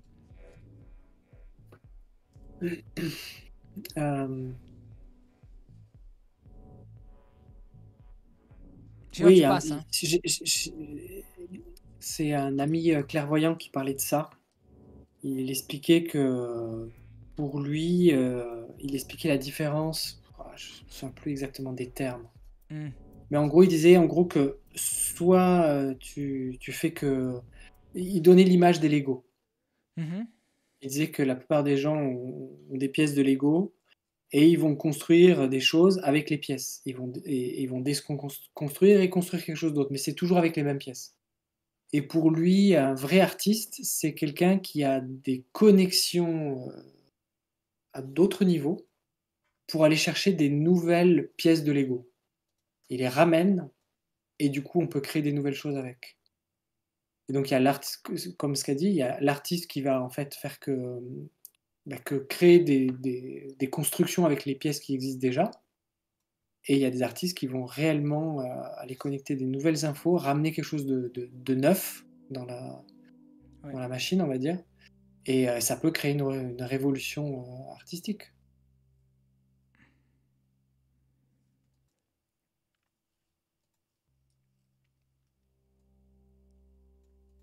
Alors, qu'est-ce que comme question? Le plagiat, c'est quand tu copies quelque chose et que tu dis que c'est original. Or, si tu te prétends pas que c'est de l'original, ce n'est plus que du plagiat. Bah, dans ce cas-là, effectivement, il n'y a plus de chantier gothique. Parce qu'il y a les quatre révolutions euh, euh, gothique euh, euh, euh, enfin, ça, tu finis par flamboyant et rayonnant. Mais c'est toujours le même principe. Croisée d'ogive, six-partite, octopartite, des, des frises, des arcs brisés, euh, des triforiums ajourés, euh, des fenêtres lancéolées. euh, et puis, tu les appliques et tu les multiplies. D'ailleurs, le gothique, à un moment, arrive à son paroxysme avec l'art flamboyant. Il va que répéter toutes les technologies de tous les autres chantiers parce que tout le monde communique. Les artisans, d'ailleurs, en plus, ils tournent dans les chantiers. Donc, les mêmes, tu peux reconnaître qu'à Reims, ils ont tourné, ils sont allés après. Entre, depuis Chartres jusqu'à. euh, ils ont commencé à Soissons. Et, et Sens. Ils, finissent après euh, à, Reims. Euh, il y a une multiplicité du phénomène. Tu reproduis, pardon, une reproductibilité du phénomène. Mais comment maintenant faire un saut, non pas une différence de nature, enfin une différence de nature et non pas juste une différence de degré, comme dit Jung en parlant de la folie, comment on peut créer une nouvelle folie? Je ne sais pas. Parce que même admettons qu'on crée des nouveaux systèmes de conscience par euh, les procédés virtuels et de, de, de- se foutre des puces, puis d'avoir une expérience esthétique avec des puces et tout, ben, ça restera toujours du simulacre. Donc peut-être que ça aussi, ça rejoint mon tunnel d'avant sur l'âge du verso, c'est que la vraie révolution, c'est de réintégrer une nouvelle créativité euh, transcatégorique entre la culture occidentale qui est euh, un simulacre et euh, l'art qui est beaucoup plus proche de l'artisanat anonyme des sociétés premières, j'allais dire archaïques mais premières. Peut-être que même de, de, l'imaginer, on n'a pas encore les clés. On peut mettre en concept le truc, mais déjà c'est faux. Faudrait déjà, je pense qu'il faudra le vivre. Le vrai art, ce sera un art qui se revit comme à l'époque où les mecs construisaient, ils étaient sur un chantier, ils en crevaient, ils n'avaient même pas vu la fin du chantier de la cathédrale, mais ils étaient connectés et ils, participaient à un élan plus grand. Je pense que l'Occident doit retrouver ça, mais en amenant d'autres éléments. Peut-être faire ça tout en allumant l'élément technologique, je ne sais pas. Je sais pas. C'est un truc, c'est hyper intéressant. Là, alors- je, Ouais. je vais, euh, je vais pas trop tarder. Ouais, bah, réponds encore à trois questions, puis tu fais, je fais pas de tunnel. La Ouais. création est-elle liée aux états proches de la mort? Ça, c'est pas mal. Et pourtant, on parle d'art gothique et nul songe à dire que ce n'est pas de l'art, même si c'est de l'architecture. Bon, ça, c'est aussi un large débat. Alors, on, sort, de l'histoire de l'art euh, plutôt que la, ce qu'on aime dans le sujet sur le chamanisme.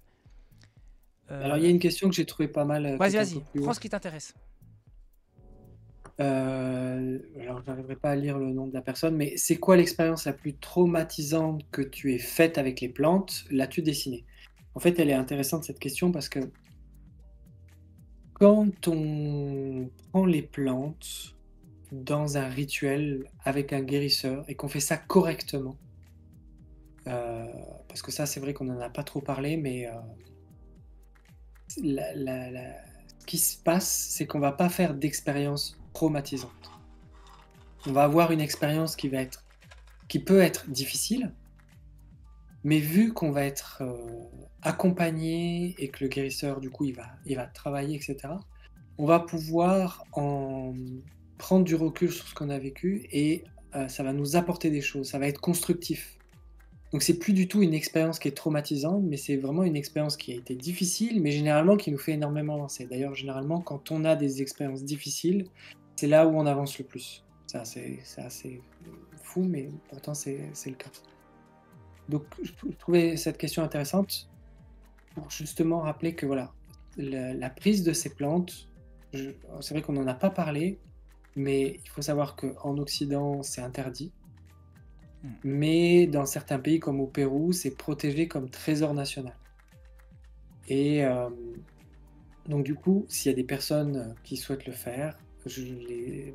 Voilà, chacun fait ce qu'il veut, mais je vous encourage vivement de faire ça avec un guérisseur qui a été formé, euh, qui a fait ses diètes. Et euh, du coup, il va y avoir euh, un rituel, une cérémonie qui est très importante il y a tout un contexte, il y a tout un encadrement, et, tout cet encadrement fait que les expériences ne vont plus être traumatisantes. Elles peuvent être difficiles, mais elles vont toujours aller dans le sens d'un- mieux-être, de se soigner, d'avancer, euh, de se remettre en question, etc. Euh, ça peut arriver qu'on a une expérience qui est vraiment difficile et qu'on a du mal à la digérer. On pourrait presque la,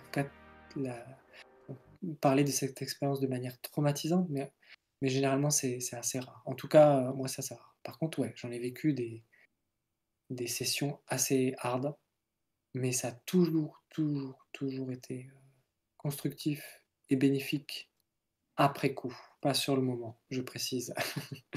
sur le moment, t'en chies, t'en chies. C'est généralement après coup.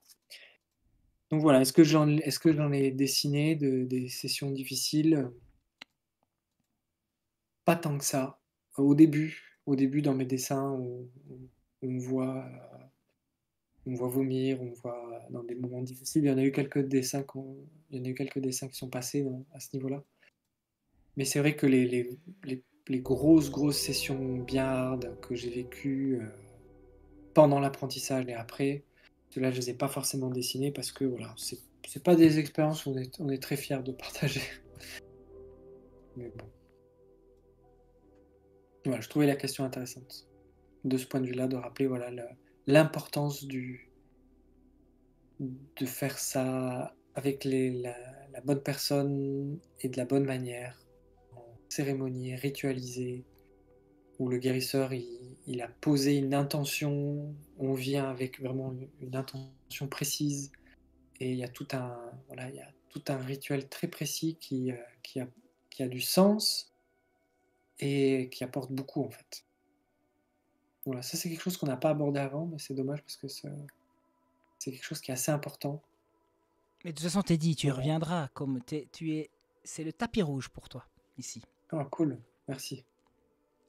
Si tu fais des lives l'après-midi, c'est mieux parce que j'aime bien me coucher tôt.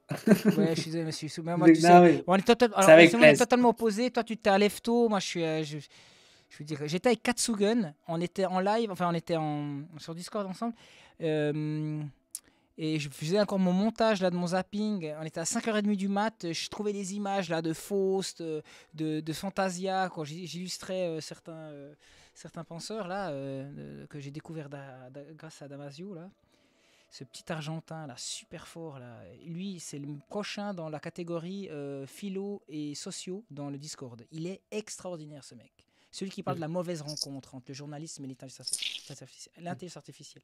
Bref, t'es dit, fonce, t'es papa, t'es comme, j'ai le même problème avec Chagat, euh, avec toi, c'est-à-dire que vous êtes des gens exceptionnels, mais vous êtes euh, dans le vrai monde.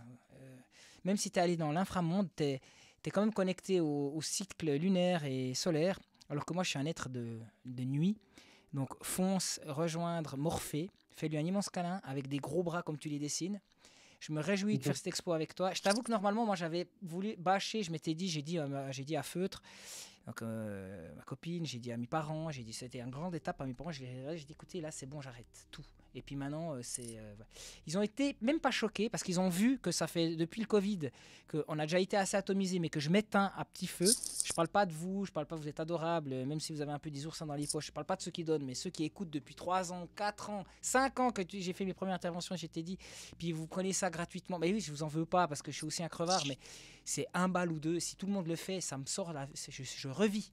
C'est juste ça. Vous êtes, je comprends pas. Moi, chaque fois que je vois un musicien de rue, ça fait 20 ans qu'il y a le même accordéoniste complètement hallucinant, un petit polonais là, qui fait euh, tous les trucs de Bach là, hyper bien là. Peut-être générique de Il était une fois, euh, tu vois. au- au- Mais chaque fois que je le vois, même si j'ai rien, une fois je me suis retrouvé, je devais aller bouffer, et ben je lui ai quand même filé. Je dis, bon, il me reste une boîte de thon chez moi. Alors, je, vais- je je voulais m'acheter du poulet pour- avant d'aller au fit.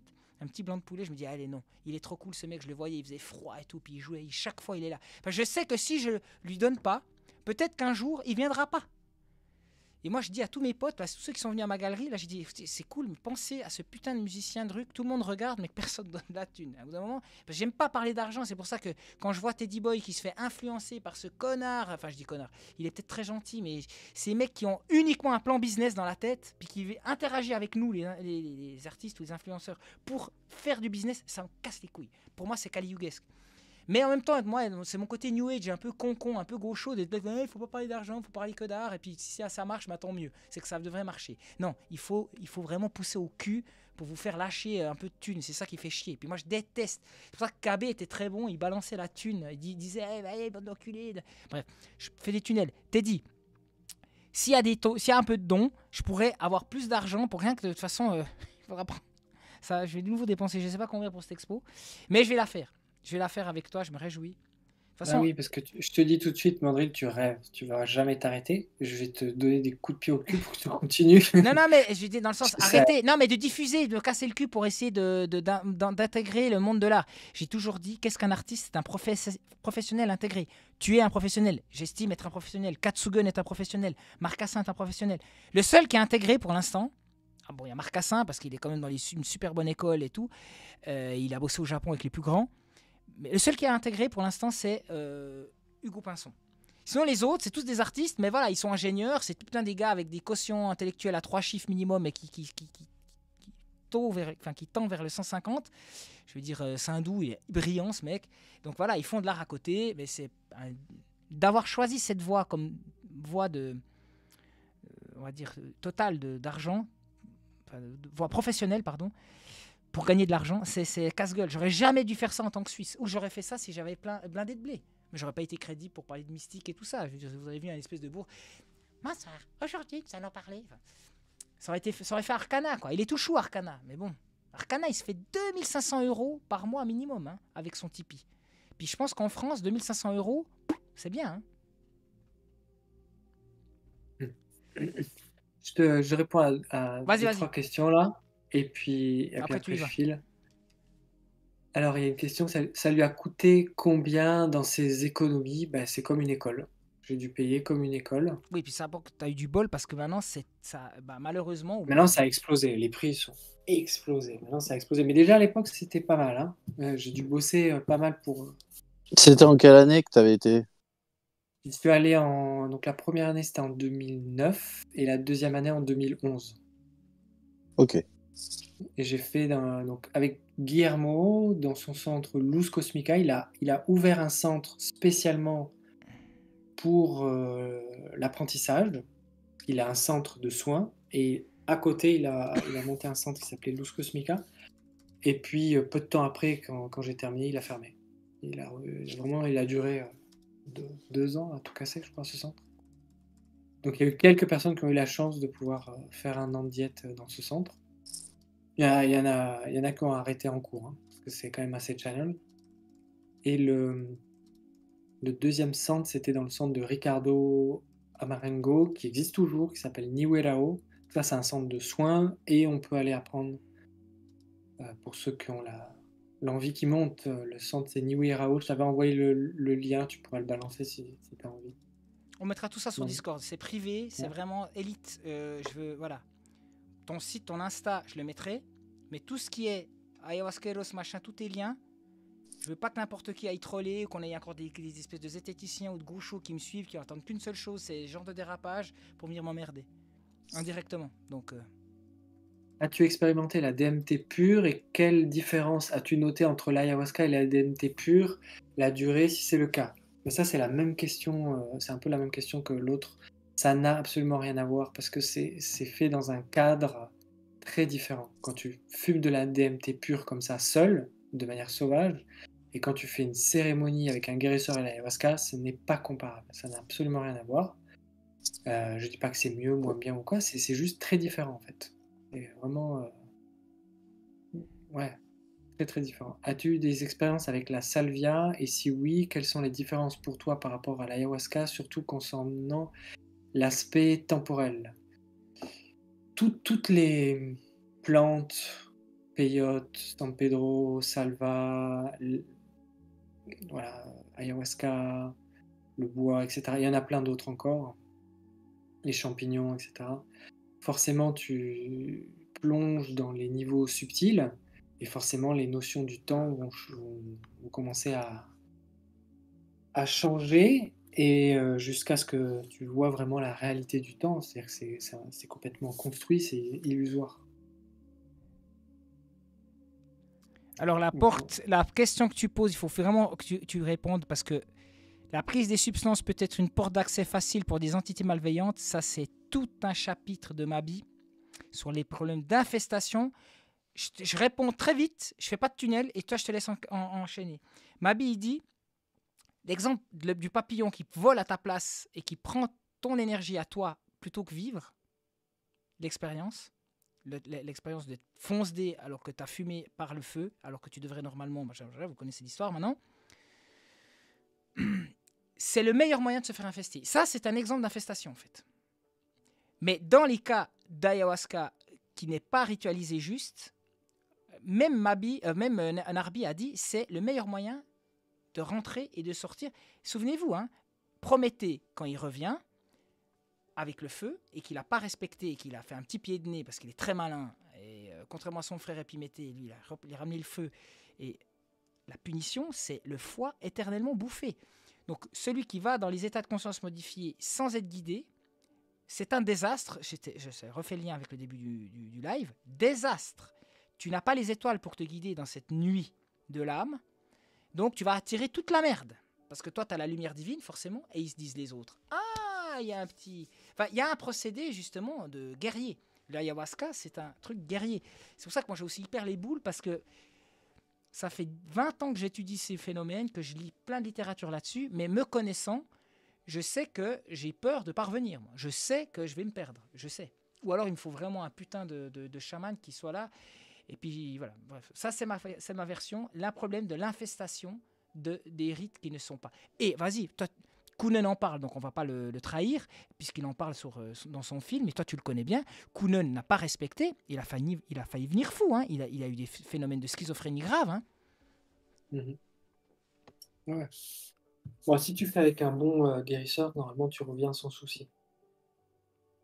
C'est voilà, je te dis juste. euh, Donc, admettons Et- que tu te fais un, te- un- un- infester, tu revois le bon et du coup, tu, tu, tu retrouves. Ça doit être hallucinant de voir le mec qui, était, qui a complètement pété les plombs. Parce que je sais que j'ai des exemples avec des gens qui ont pris des champis, avec des phénomènes de, de dissociation qui sont jamais revenus. hein. Bah ouais, quand tu fais ça de sauvage, il y a des risques, ça c'est clair. Mais en fait, il faut le voir comme ça. C'est, Il faut comprendre que quand on prend euh, une plante psychotrope, d'un coup, on va avoir des visions. Mais en fait, on va rien voir. On va être complètement aveugle. Et, euh, et du coup, on voit pas vraiment ce qui se passe réellement, en fait. Tu vois, on voit qu'une. qu'un Ouais, on voit la théâtre, on voit la scène, mais en fait, on voit pas qu'est-ce qui se passe, qui agit. Enfin, il y a Ah, le deck- a petit le- échantillon. Ouais. Ah, Vraiment un tout- tu vois. Et c'est vrai que plus tu diètes, plus tes visions changent. Ça prend du temps. hein. Vraiment, ça prend du temps. hein. C'est nous au début, quand on a commencé à apprendre, on allait chanter, on, on en prenait plein la figure, mais on s'en rendait pas compte. Et, après coup, quand on discute avec des, potes apprentis, on est là, putain, ils ont dû bien se marrer les, guérisseurs en nous voyant faire n'importe quoi au début, mais c'est comme ça que t'apprends, tu vois. Bref. Et là, avec le temps, tout doucement, les diètes s'intègrent, les visions commencent à changer, et là, tu commences tout doucement à un peu plus, à un peu plus voir. Et je dis bien un peu plus voir. Et, euh, ouais, peux te dire que là, j'ai halluciné, et j'ai compris pourquoi j'avais tant de choses à, nettoyer, tant d'entités, etc. Du peu d'années que j'ai fait à faire, à prendre des, des drogues et des plantes de manière sauvage. Donc oui, la prise de substances, en particulier sauvages, c'est une porte d'accès facile pour des entités malveillantes. Clairement. Voilà, ça, il faut en avoir conscience. J'espère que vous- c'est vraiment Après, un mot d'ordre de ce que chacun- vient de nous dire Teddy. hein. C'est hyper Chacun important. fait ce qu'il veut. Chacun fait ce qu'il veut, etc. Je dis pas qu'à chaque fois que tu vas prendre, tu vas, tu vas en prendre plein la figure, je dis pas ça, mais je- de, ce- de ce que moi j'ai vu, voilà. Et euh, après, voilà, c'est les entités, pourquoi elles viennent. Ça, ça se met dans les failles, ça se met dans les, dans les trucs qu'on n'a pas digérés, dans les trucs euh, qu'on met sous le tapis, dans les, dans les poubelles qu'on qu'on met pas au bon endroit, etc., etc., quoi, tu vois. Tu, enfin voilà, ça, on pourra en discuter pendant des heures et des heures et des heures. Mais généralement, quand tu fais ça euh, avec euh, un guérisseur, tu as beaucoup moins ça. Parce que lui, il va protéger l'espace, il va protéger le travail, il va protéger la cérémonie, il va protéger les gens.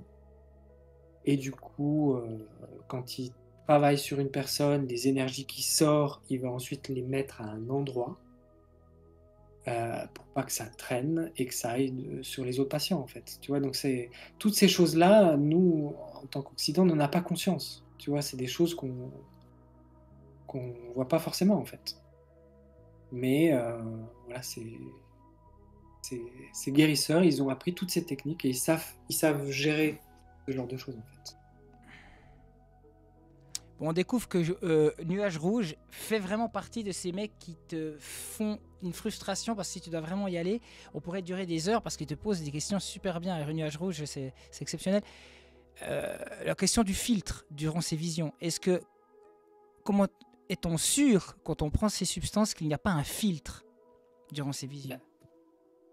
Euh, la diète et La le diète. travail sur soi. Ouais.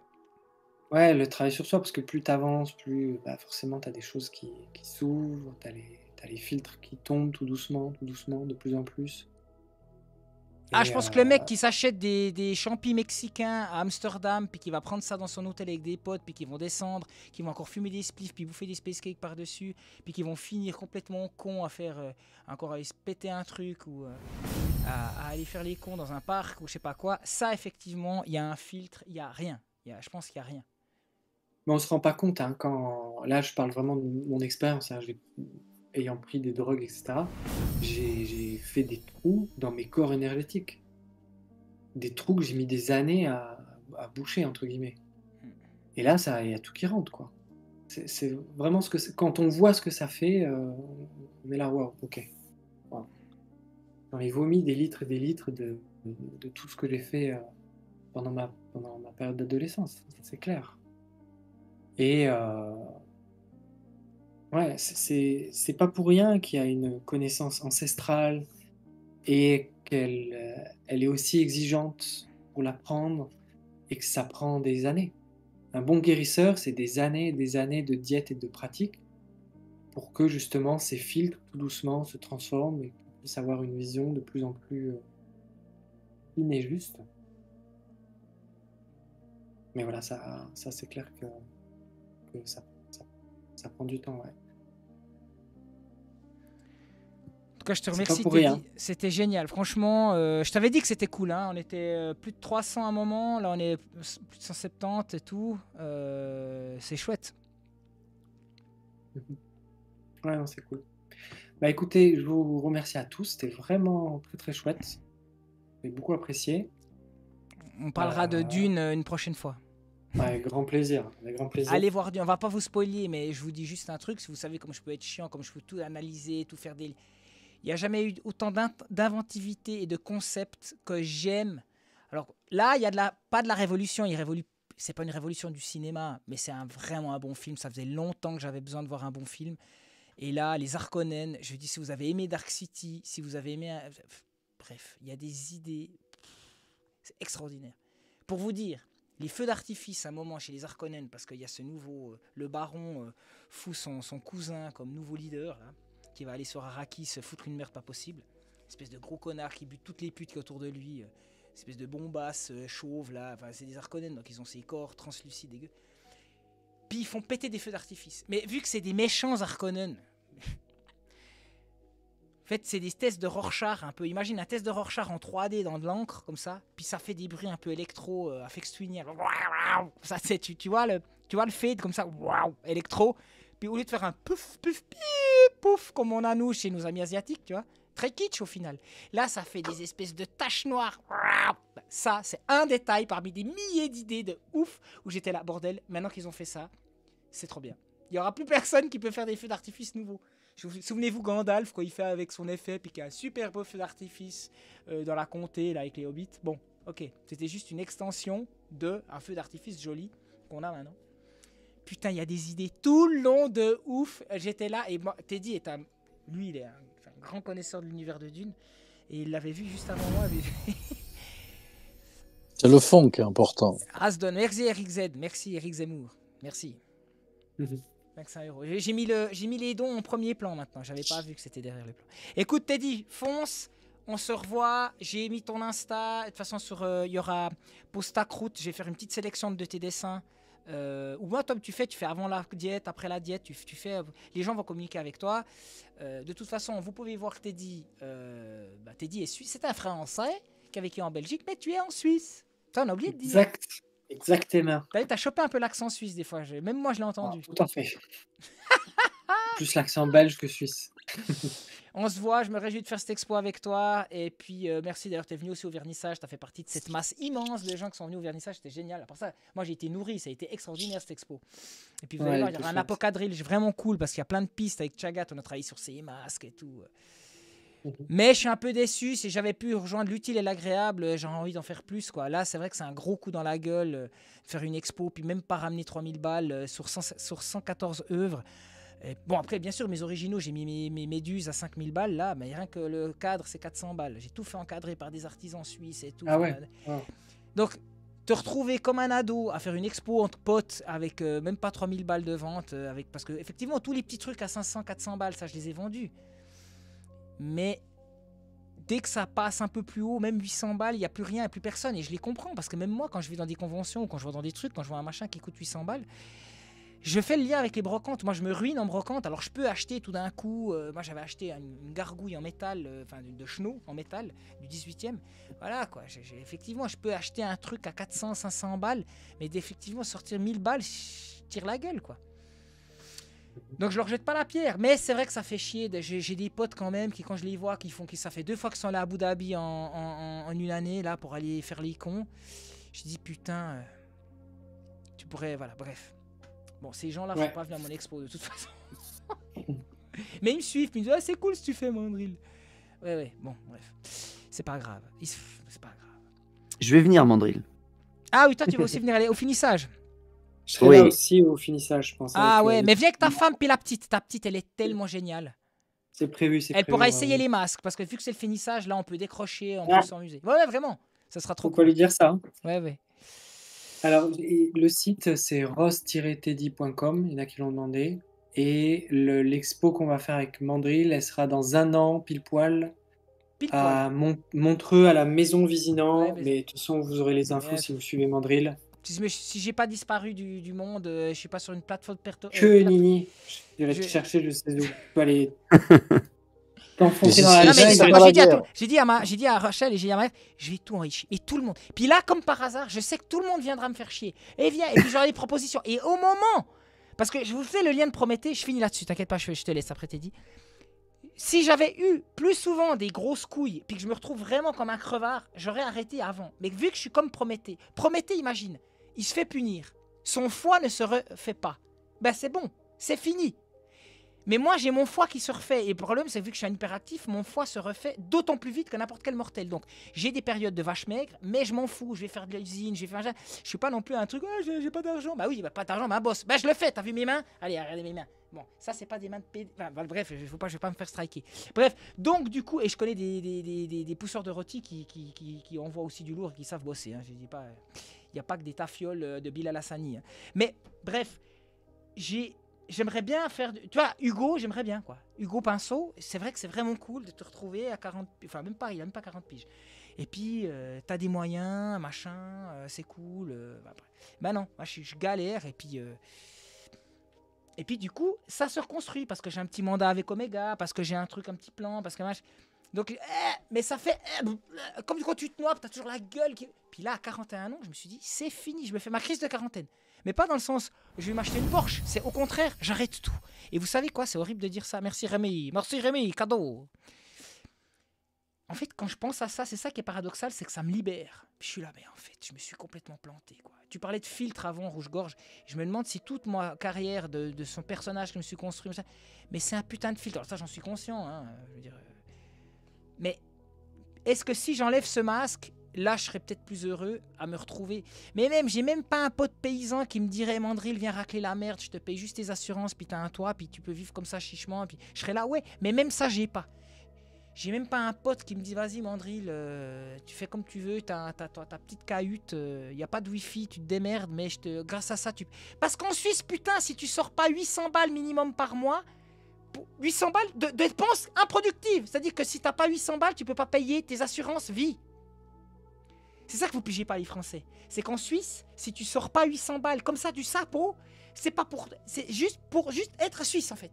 Pour être Suisse, pour avoir le cul posé en Suisse, il faut sortir 800 balles avec tes deux. Si tu as une assurance vie, puis une assurance complémentaire au cas où. C'est 800 balles. Quand euh, euh, j'ai euh, la Sainte Main qui est là, Fossile, quand il a vu qu'en Suisse, simplement avoir une bagnole, même pas avec un garage, une bagnole à l'année, moi à Neuchâtel, avec une place blanche où je peux passer ma caisse, c'est 250 euros par mois. Voilà. C'est la moitié de ton SMIC. Voilà, pam, ça c'est en Suisse. Et puis C'est l'enfer. C'est l'enfer C'est l'enfer l'enfer. Et puis putain, moi j'ai quoi? J'ai accès, vu que j'ai réalité lune et puis que j'ai pas un papier, j'ai ces putains de frousse que vous faites partie, que je vous aime, qui vient, qui fait que tous les boulots que j'aime bien faire, mettre de sport, sécurité, sont plombés à 25 balles de l'heure. Alors c'est clair que pour vous, 25 balles de l'heure, vous êtes là, putain, c'est génial. Putain, j'avais des gars qui venaient de Grenoble faire des heures de sécu. De Grenoble Faire 8 heures de... Mais moi, avec 25 balles de l'heure, je finis à même pas 3,8 par mois, mais je suis que, je peux rien faire. Alors je te dis 3800 balles par mois, mais vous dites, mais c'est incroyable. Mais non, mais t'enlèves 800 balles, justement, rien que pour payer tes assurances. Et puis après, t'as le vrai monde. Et puis viens, viens à la Migros, à la Copé avec moi. Puis tu verras les prix pour bouffer. On parlait de pommes et de bananes pour se connecter à elle. Bah tu te connectes pas aux pommes et aux bananes. Tu te retrouves à bouffer de la merde. Et puis moi, je fais tous mes sacrifices. Parce qu'à 40 ans, si je suis sec comme je suis, puis bien dans ma peau, puis pas, j'en parais pas euh, 50, c'est parce que j'essaie de bien bouffer. Mais bien bouffer en Suisse, mais c'est un truc de malade. Donc il me reste rien. J'ai pas d'épargne, j'ai que dalle. Je suis dead. Je suis dead. Il vaut mieux être un gitan en Suisse. Ouais, bon, ouais, ouais. Prométhée, c'est un alcoolique en fait. Bon, vas-y, Teddy, je te laisse filer. Je te remercie, t'as un. D'ailleurs, Je sais pas comment tu fais pour t'en sortir, toi. hein. Avec ta famille et tout, euh, voilà, t'as. Ah, là, je galère. Là, là, je galère. T'es comme moi. Actuellement, là, c'est euh, oh, plus serré. Mais ça va, je garde le sourire. Mais Écoute, toi, t'es un gars, t'as un- une nonchalance, une bonhomie, je sais pas comment tu fais. T'es quoi comme signe, toi? Taureau, ascendant Capricorne. Ah, putain, deux. Ah, pas mal. Ouais, taureau, scorpion, généralement, ça pique. hein. Mais Mhm. là, tu vois, ça passe. Mhm. Nickel. Ok, Teddy, je te remercie, je t'embrasse. À tout bientôt. Ouais, merci à tous. Bonne soirée. Ciao, ciao. Salut. Alors, les amis, c'était génial, hein? Mhm. On a voyagé. J'hésite. Vous avez regardé Regardez, regardez. Je vais me remettre dans mon petit laboratoire. en fait, si tu veux, j'ai synthétisé les meilleurs passages de, du Serpent Cosmique. Donc, soit je vous fais des petites lectures et puis on commente parce qu'il y a vrai. Non, mais à part ça, son idée. Page 76. J'étais ahuri. Personne n'avait remarqué les liens possibles entre mythes des peuples primitifs et la biologie moléculaire. Et là, il te montre les schémas des ayahuasqueros, de la peinture, parce qu'on a aussi parlé de l'âge. Teddy interprète ses visions avec les filtres street art, Moebius, machin. mais les ayahuasqueros, ils produisent aussi des images. Et ça, la grande théorie de, ce bouquin, du double serpent et de tous les liens. On a vu avec le super euh, Loïc, Jean-Loïc Lequel, Lequelec, vous avez vu ce gars qui monte les cartographies de tous les mythes, mythes d'émergence, mythes célestes. En fait, c'est là qu'il fait une petite fessée à Jung qui dit ouais mec, il n'y a pas un archétype. Y a... Mais je, je trouve qu'il est un peu sévère avec Jung parce qu'en fait, il a jamais dit qu'il y avait un archétype. Il y a des archétypes différents et des égrégores différents. Et il y a là, tu peux refaire du Delavier avec de la climatoculture et puis tu as ta cosmogonie par rapport à ton lieu. Donc, je le trouve un peu sévère, le Jean-Loïc euh, Le Quélec.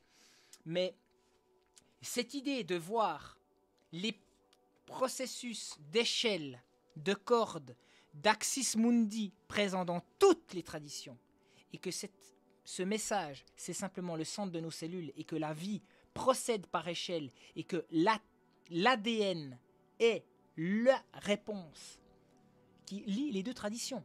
Le chamanisme, c'est le serpent, c'est la connaissance dans le euh, judéo-chrétien, et euh, le judéo-christianisme, et c'est la biotechnologie qui n'est pas possible d'être reproductible. La technologie de l'ADN, c'est même au niveau de la matière, la miniaturisation la plus petite possible. Après, il y aura le niveau quantique, tu vas me dire. Bah, ça tombe bien parce que c'est exactement ça. C'est le, le plus petit dénominateur commun de toute la vie, la séquence d'ADN, qui agit sur l'énergie et la pensée. Donc voilà, est-ce que, si vous voulez, je le fais, ou alors ben, on lit le chat, euh, on peut parler de Dune. euh, euh, comment ça va la Sainte Main? Bah, ça va bien. Est-ce que tu l'as Ça lu, va le bien. serpent cosmique, sale gredin? Non, je l'ai pas lu, mais j'ai vu que tu avais fait des, euh, des, des stories là-dessus. Ça, a l'air- ça a l'air pas mal. hein. Mais Ça a l'air pas mal. D'ailleurs, ton intro était incroyable. Je l'ai regardé juste avant de venir. euh, C'est toi qui fais le zap? Oui. Ah ouais, vraiment, vraiment fou. hein. Alors j'ai la, j'ai parce que bon, Katsugun, on était les deux. Katsugun, en fait, j'ai réutilisé le l'ancien euh, euh, live que j'avais fait, l'ancienne intro qui a été striké, et avec une super musique euh, que d'ailleurs Katsugun avait remixé, qui est un truc un peu voilà Kaliugesque, hein. C'est une track qu'on a dans le Spider-Man 2 là, mais qui est cool cette track. Je sais plus qui c'est qui l'a fait d'ailleurs. C'est pas Kenny West? Euh, je sais plus. Mais là, il l'a remixé avec des chants parce que je, je l'ai. Si tu veux, quand je suis arrivé, je l'ai écouté sur le casque. Oui, oui, oui, super j'ai- beau. hein. j'ai C'est, euh, retravaillé. Et du coup, là, j'ai repris les images qu'il avait fait. Et puis, bon, bah, je. Mais les gars, vous imaginez pas comme je bosse parce que le type là qui fait sa conférence d'astrophysique, en fait, le problème c'est qu'il y a soit un plan sur lui, soit un plan général avec le truc tout flou. Donc, moi, je vais retrouver les images qu'il trouve, qu'il montre. S'il n'y a pas, je les reprends, je les print screen, je les augmente en intelligence artificielle avec Topaz que j'ai acheté 150 balles, mais en fait il est génial ce programme, je ne regrette pas. Et du coup ça me permet de, rebooster les images. Puis sinon, bah moi je commente, je mets des trucs, je mets les musiques et tout, puis je fais tout. Et en fait j'aimerais trop être payé pour ça parce que les gars, je, pourrais vous faire un zap de spion, mais intelligent. En même temps avec un peu déconne, puis bien sûr un peu de retardé. Puis personne fait ça. C'est-à-dire prendre des trucs liés avec de l'histoire de l'art tout en étant un peu, voilà, euh, pas trop, pas trop perché, pas prendre des. Parce que je pourrais faire un zapping. Ah, J'ai hésité, j'ai chopé des, des comptes. Mais en fait, j'ai fait l'Antoine Daniel, j'ai chopé des comptes à même pas, euh, genre un mec à 25 abonnés. Et il- est là, c'est. Ah, Mais faut que je vous le montre. je suis tombé sur un truc, les gars. Je suis tombé. C'est le saint. C'est quoi? Le singe chaman je sais pas, je vais pas être méchant avec toi parce que peut-être t'es un mysticosphérique parce que du, du coup t'as. C'est peut-être un clin d'œil pour moi que t'as fait, mais mec, euh, j'ai eu peur quoi. Non, mais je vais pas mettre ça, c'est horrible. Mais j'ai vu des vidéos de lui, euh, c'est hyper malaisant. Et là, on voit l'histoire de entre connaissance et augmentation de la connaissance du réel et de la qualité invisible du monde, ou inflation de l'ego. Et là, le mec, euh, voilà, moi j'ai jamais eu la prétention, j'ai toujours, et d'ailleurs Pierre-Yves Lenoble le dit aussi, on est des vulgarisateurs, on, on a compris deux trois trucs, on le montre et des fois on s'est planté, on l'avoue qu'on se plante et tout. Mais ça va pas plus loin. On est la, mysticosphère, il n'y a pas de centre. Bien sûr que c'est Mandrill, bien sûr on déconne, il y a Apocadisciple là sur le Discord, mais c'est que de la déconne ça, c'est justement pour se foutre de la gueule des New Age et puis de. Par contre, quand ça commence à, vouloir euh, prétendre à. Non mais j'hésite presque à vous le montrer, mais en fait il faut que je branche mon disque dur. Non mais je vais pas faire ça, ça c'est salaud, parce que peut-être le mec il est en plus pas, il est pas stable psychi- euh, psy- psychologiquement, donc euh, s'il voit qu'on se fout de sa gueule, euh, il va peut-être mal le Ne va pas fâcher l'audience. Ouais, non, mais ça m'a vraiment fait mal au cœur parce qu'il y a vraiment des perchés, quoi. Internet, c'est vraiment un, un- un- un monde de perchés. Euh, Alors, voilà, ça, j'ai trouvé ultra intéressant.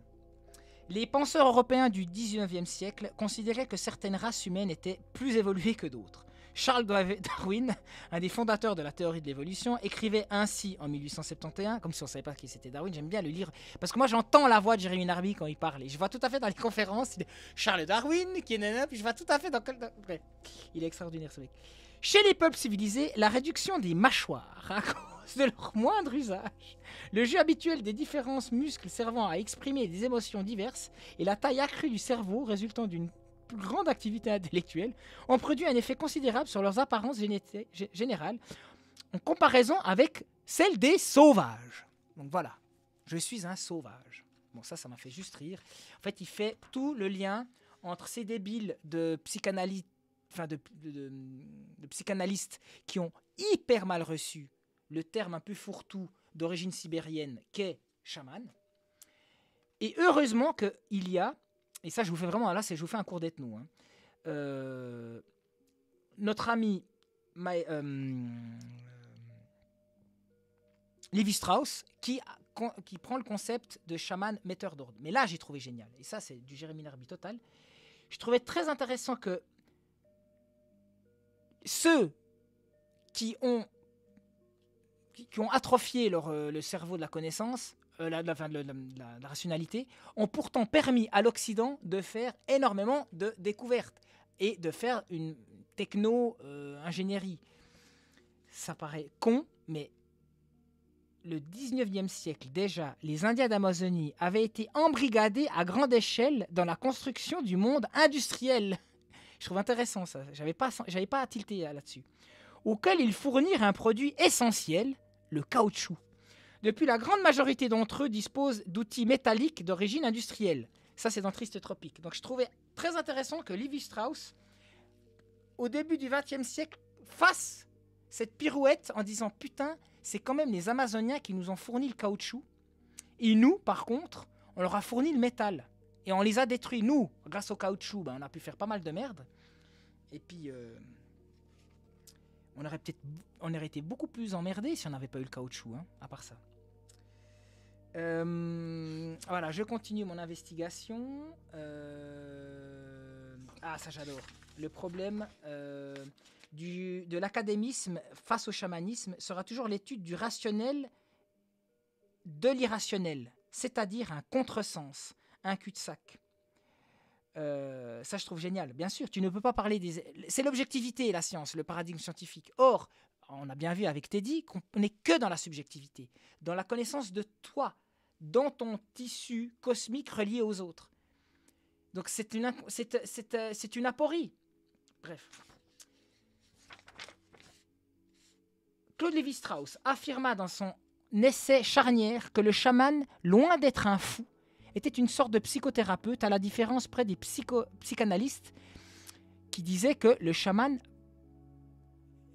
donc dévoyé, tandis que le chaman parle. Pour Lévi-Strauss, ce dernier était surtout un créateur d'ordre qui guérissait les gens en transformant leurs douleurs incohérentes et arbitraires en une forme ordonnée et intelligible. Lorsque l'anthropologie structurale prétendit accéder au rang de science et que les anthropologues s'affairent à trouver de l'ordre dans l'ordre, le chaman est devenu créateur d'ordre. Depuis que la discipline vit une crise d'identité, post-structuraliste, ne sachant plus si elle est une science ou une forme d'interprétation, le chaman s'est mis à exercer toutes sortes de métiers. Finalement, certains anthropologues ont récemment commencé à remettre en question la recherche obsessionnelle d'ordre de leur discipline et ont vu que les chamans dans le pouvoir résident précisément dans, la sape de la recherche d'ordre. Et puis après, Lévi-Strauss parle de chamanisme et des techniques archaïques de l'extase. Ça, c'est super intéressant. Et j'ai vu que dans le chat, il y avait tout un lien avec Mircea Eliade. Et Mircea Eliade, lui, a fait vraiment, d'ailleurs, euh, un, gros euh, bémol sur le terme euh, chaman. Et par contre, on a, on a malheureusement trop souvent affublé Eliade de mysticisme latent. Donc c'est toujours ce que disait Jérémy Narby, c'est-à-dire que quand tu es anthropologue, tu as un glissement ou un moment quand tu t'investis dans cette étude du chamanisme, tu passes du rayon sciences sociales à euh, euh, rayon New Age.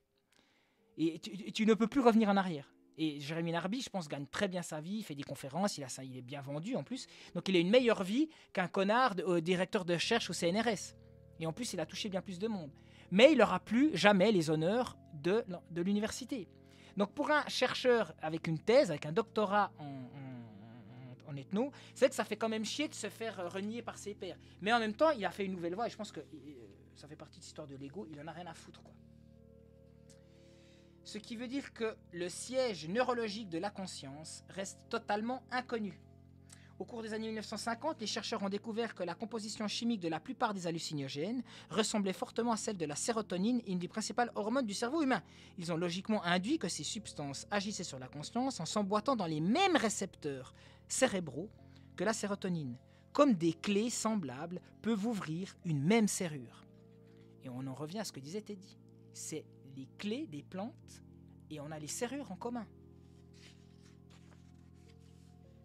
La partie euh, super bio. Alors bon, je vous passe parce qu'il y a des passages super intéressants, mais je les passe. je vous fais vraiment un gros résumé pour ceux qui ne l'ont pas lu. Mais je vous conseille de le lire. Moi, je vous sélectionne ce que j'ai. euh,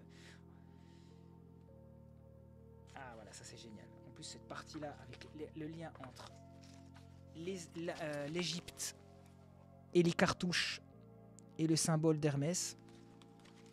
Alors les amis, je me précipitais à mon bureau et plongeais dans le livre de Mircea Eliade, Le chamanisme et les techniques archaïques de l'extase. Et je découvrais qu'il existait d'innombrables exemples d'échelles chamaniques sur les cinq continents, ici des échelles tournantes, là des escaliers ou des cordes tressées, en Australie, au Tibet, au Népal et en Égypte et en Afrique, en Amérique du Nord ou au Sud, et le symbolisme de la corde comme celui de l'échelle.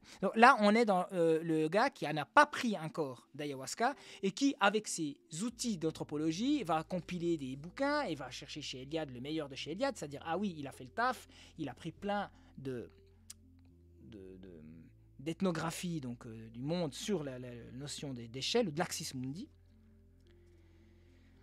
par la méditation d'une corde ou d'une échelle, comme d'ailleurs par une liane, un pont, une chaîne, des flèches, etc. Les dieux descendent sur la terre et les humains montent au ciel. Eliade cite en même temps un exemple tiré de l'Ancien Testament où Jacob rêve d'une échelle dont le sommet atteint le ciel et par lequel les anges du Seigneur montent et descendent. Selon Eliade, l'échelle chamanique est la forme première de la notion d'axe du monde qui connecte les différents niveaux du cosmos et que l'on retrouve dans de, nombreux mythes de création sous forme d'arbres.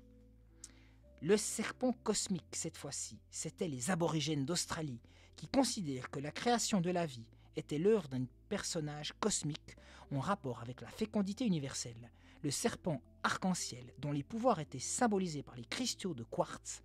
Or, les décennats d'Amazonie colombienne représentaient souvent l'anaconda cosmique, créateur de la vie sur Terre, accompagné d'un cristal de quartz. Donc là, ça fait un petit pied de nez à Jean-Loïc euh, parce qu'on pourrait faire une carte du coup. Il faudrait d'ailleurs qu'il fasse aussi une carte de, des échelles d'Axis Mundi et de serpents.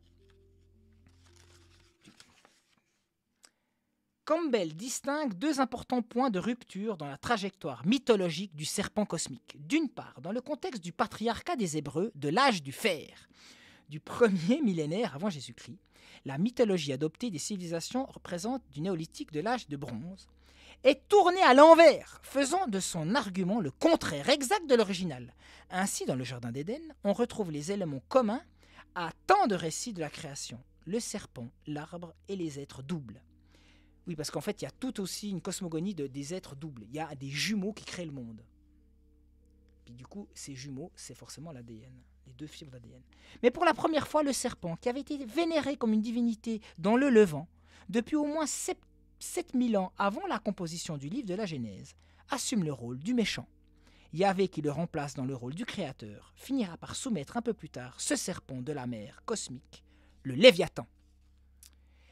Ces dieux patriarcaux et exclusivement masculins sont incomplets et ce qui concerne la en ce qui concerne la nature, l'ADN, comme le serpent cosmique, n'est ni masculin ni féminin, même si les créatures sont soit l'un, soit l'autre, soit les deux. Gaïa, la déesse grecque de la terre, est aussi incomplète que Zeus.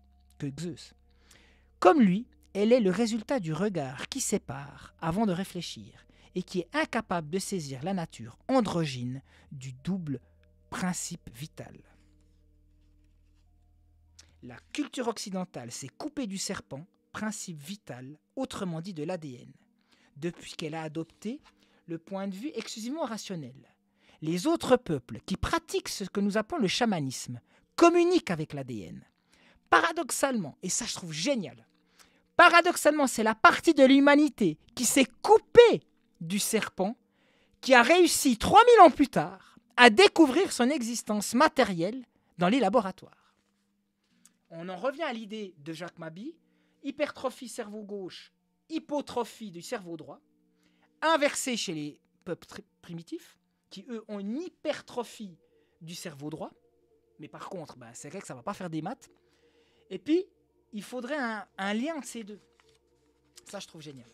Vous m'arrêtez hein, si jamais... euh, euh, pas à écrit parce que je peux pas lire et lire, mais euh, Katsugen, si tu vois des gars qui disent des trucs intéressants, tu me dis. Oui, je check. Là, on commence à rentrer dans la théorie de Mabi. Je vous passe, je vous passe. Là, on est à la moitié du bouquin. Euh, là, il a pris les drogues. Là, il a compris. Là, il a pris sa branlée. Et là, il explique maintenant sa fameuse théorie complètement géniale.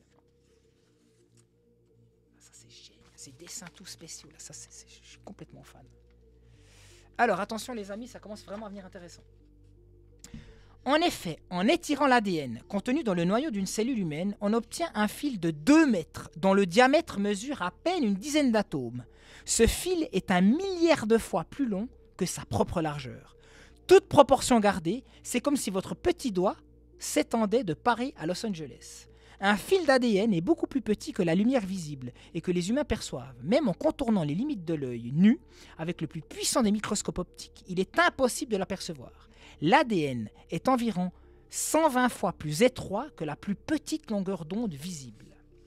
Un être humain moyen est constitué d'environ 100 000 milliards de cellules, ce qui veut dire qu'il y a 200 milliards de kilomètres d'ADN dans un corps humain, ce qui correspond à 70 allers-retours entre Saturne et le Soleil. Vous qui pourrez voyager dans votre vie entière dans un Boeing 747 lancé à pleine vitesse, vous ne parcouriez même pas un centimètre de cette distance. Un centième, pardon, de cette distance. Votre ADN personnel est capable d'embobiner la Terre 5 millions de fois. Je crois qu'il faisait le calcul. Tu fais 5 millions de fois 40 000. Je crois que ça fait. Ouais, ça fait plus ou moins. En fait, si tu veux, c'est comme si tu avais la longueur de la Voie lactée. Chaque humain résumait en microcosme la longueur totale de la Voie lactée en déroulant son fil d'ADN, ou tous ces fils d'ADN, tous ces rubans d'ADN présents dans chaque cellule. Je trouvais incroyable. C'est, c'est-à-dire que la table d'émeraude se retrouve résumée par notre dérive rationnelle. Je trouvais assez intéressant. Toute cellule du monde, qu'elle soit humaine, an- animale, végétale ou bactérienne, contient de l'ADN. Par ailleurs, elles sont toutes reliées. Ah oui, ça c'est génial.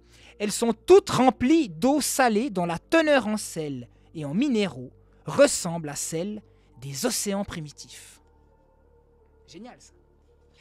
Donc je vous ai vraiment récupéré. C'est pour ça que je l'ai relu, puis je vous ai, je vous ai chopé tous les trucs que je trouvais qui m'avaient déjà touché à l'époque, mais là je vous le redis en, live. Donc il y a du boulot. hein. Alors, Eliade a montré ces différentes images que formait un thème commun qu'il appelait l'Axis Mundi ou l'axe du monde, et qu'il a retrouvé à travers la tradition chamanique des cinq continents. Selon Eliade, l'Axis Mundi permet d'accéder à l'au-delà et au savoir chamanique car il existe un passage paradoxal réservé normalement aux morts, que les chamans réussissent à emprunter de leur vivant. Et ce passage est très souvent gardé par un serpent ou un dragon. Le chamanisme pour Eliade est l'ensemble des techniques permettant de négocier ce passage, d'atteindre l'axe, d'acquérir le savoir qui est associé et de le ramener la plupart du temps dans le but de guérir les gens.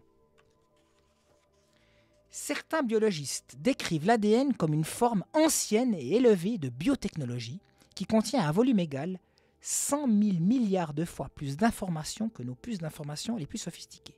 Peut-on encore parler d'une technologie dans ces circonstances? En fait, oui, parce qu'il n'y a pas d'autre mot pour ce support d'informatique, enfin pour ce support informatique capable d'autoduplication. La molécule d'ADN, large d'une dizaine d'atomes, constitue une sorte de technologie ultime. Elle est organique et si miniaturisée qu'elle s'approche des limites même de l'existence matérielle.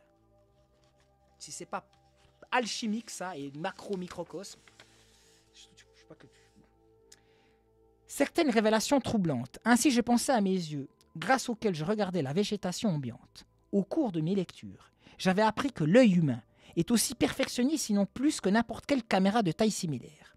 Les cellules de la première couche de la rétine sont capables de capter une seule particule de lumière ou photon, d'amplifier son énergie au moins d'un million de fois et de la transmettre sous forme de signal nerveux vers l'arrière du cerveau. L'iris joue le rôle. Là, qu'est-ce qu'il est en train de faire? Là, j'ai- chopé ce passage.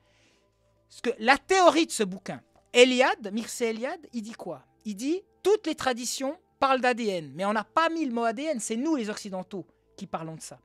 Donc est-ce qu'on pourrait communiquer puis dire, mais bordel, en fait les gars, vous avez dit un truc incroyable. Puis Jérémy Nardi, lui, qu'est-ce qu'il dit? Il dit autre chose. Il dit, non seulement Eliade a raison, il y a le chamanisme qui connecte avec l'échelle, qui est notre échelle à nous en commun dans les cellules, donc l'ADN, donc le serpent, mais ce que les visions qu'on voit, ces putains de trucs, attention, on va remettre ça maintenant euh, là, ces putains de fractales et ces serpents qu'on voit, tac, ça,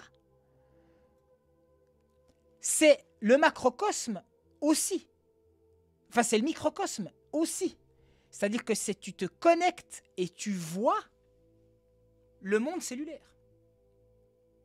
Sa théorie à, ma- à, Jérémy c'est que l'œil, dans les états de conscience modifiés, vu que tu as la plupart des temps les yeux fermés, ben en fait ton œil, il est quand même stimulé, mais c'est plus dans un. C'est comme si tu changeais d'optique. C'est plus l'optique euh, grand angle de l'œil normal, c'est un espèce de micro angle, micro objectif, et c'est ton esprit qui fait l'objectif, là l'optique, et l'optique de ton ADN et des connaissances. Et ça, c'est un truc génial de ce qu'il dit. Alors ça peut être critiquable, machin. euh, euh, J'aimerais bien avoir des scientifiques. Ouais. C'est- marrant parce que ça me fait penser à des, euh, à des personnes qui avaient fait euh, des, des expériences avec l'ayahuasca, Mhm. qui s'étaient mal passées. Oui. Et moi, ces personnes-là me racontaient toujours le même truc. Ils disaient qu'ils voyaient des serpents partout.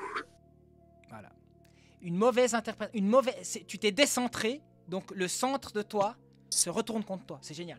Alors, Mm. je me, suis- je, me, je m'ai mis à penser au fait que cette fourmi. Ah oui, alors là, il, dit- il parle tout d'un truc, il explique euh, une sorte de fourmi euh, dans l'Amazonie. Génial.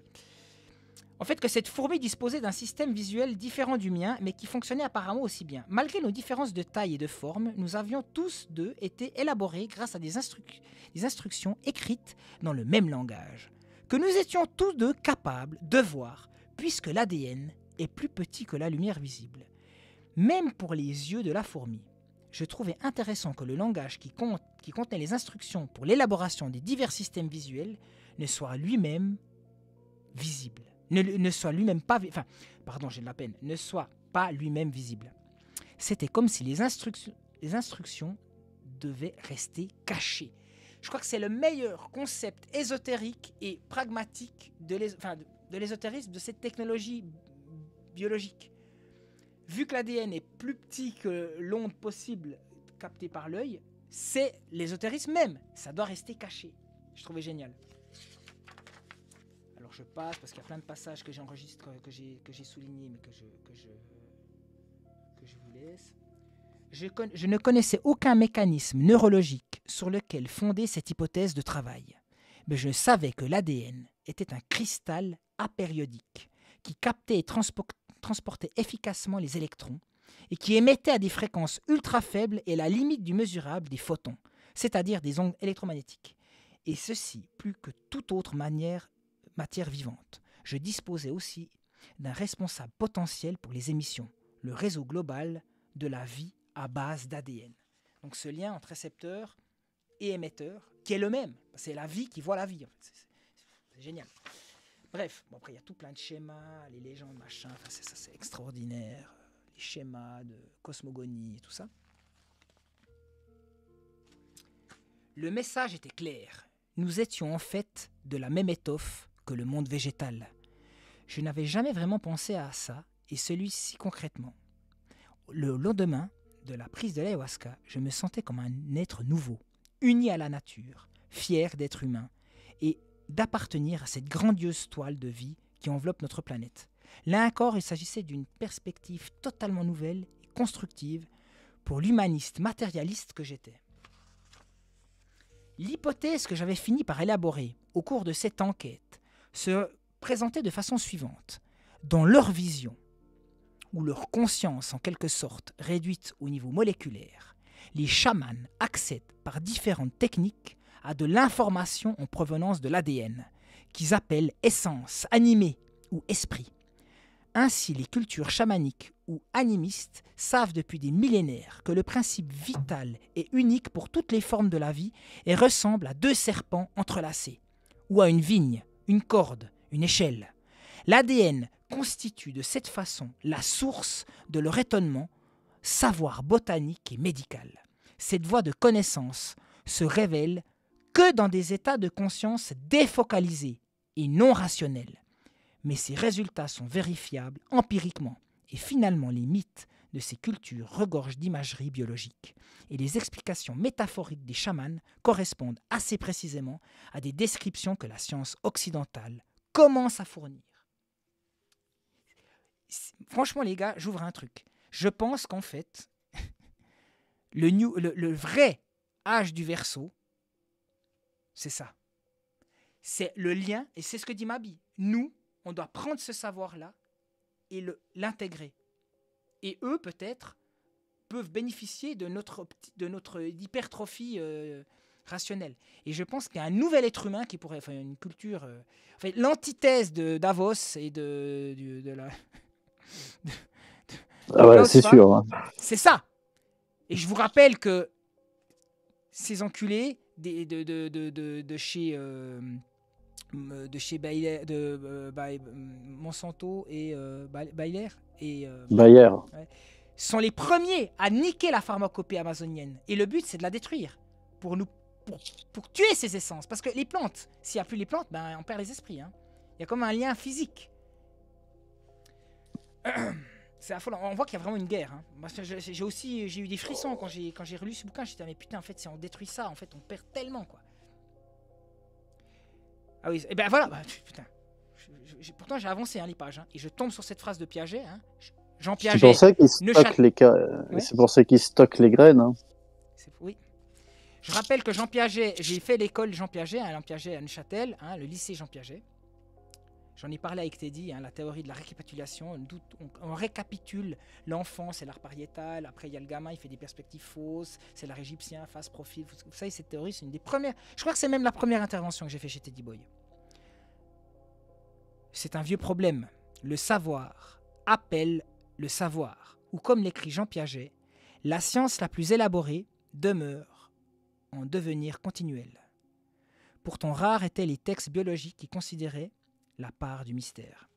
Allez, je lance un truc, c'est que la mysticosphère, on n'est pas si de soin de soin que ça, vu que ce qui est drôle, c'est que la mysticosphère, la plupart des gens qui sont sur ma chaîne, avec qui j'ai des échanges géniaux, je te salue Antoine, je te salue Philippe, c'est- pas des gens de la mysticosphère, et c'est peut-être même pas forcément des artistes, c'est des biologistes ou des ingénieurs, un peu comme Sindou, qui rejoignent la mysticosphère parce qu'ils ont cet appel. Et c'est ça qui me fait trop plaisir, c'est qu'il y a vraiment un côté interdisciplinaire dans, dans le bordel qu'on a créé depuis trois ans, là, depuis le Covid. Les polymathes. C'est ça qui fait plaisir. Ah, il y a, y a une question. euh, on Ouais. te demande euh, le nom de, de ton ouvrage. Ah, mais c'est le serpent cosmique de Jérémy Narby. Écoutez les amis, il y a deux livres qu'il faut lire, de, si je dois résumer ce soir. C'est L'intelligence dans la nature, en quête du savoir de Jérémy Narby. Enfin, c'est deux bouquins de Jérémy Narby. hein. Regardez, il m'a fait une très belle dédicace. En plus, je l'ai- mis en story. Bon, là, y y y il y a une symétrie euh, face au Discord, enfin face à OBS. Il m'a fait. Il est vraiment chouette ce mec en plus. Viva la vida mandrill avec un petit dessin euh, parce qu'il sait que je suis, je suis dessinateur. Euh, Là, c'est toute l'histoire du Chisei, tous les exemples d'in- d'intelligence animale, d'intelligence végétale, qu'est-ce que la conscience. Voilà. Et puis là, c'est les notes, parce que regardez, ça, c'est toutes les notes. On voit que c'est comme un, un universitaire, c'est-à-dire qu'il y a toutes les notes. Et les notes, moi, je les ai lues en même temps, chaque fois, je refondais à la page, donc là, à chaque page, il y a une note. Mais les notes sont tellement bien qu'elles sont aussi consommables séparées. Alors, toujours Lévi-Strauss, le chaman n'est pas l'esclave, mais le maître de l'anomalie du chaos.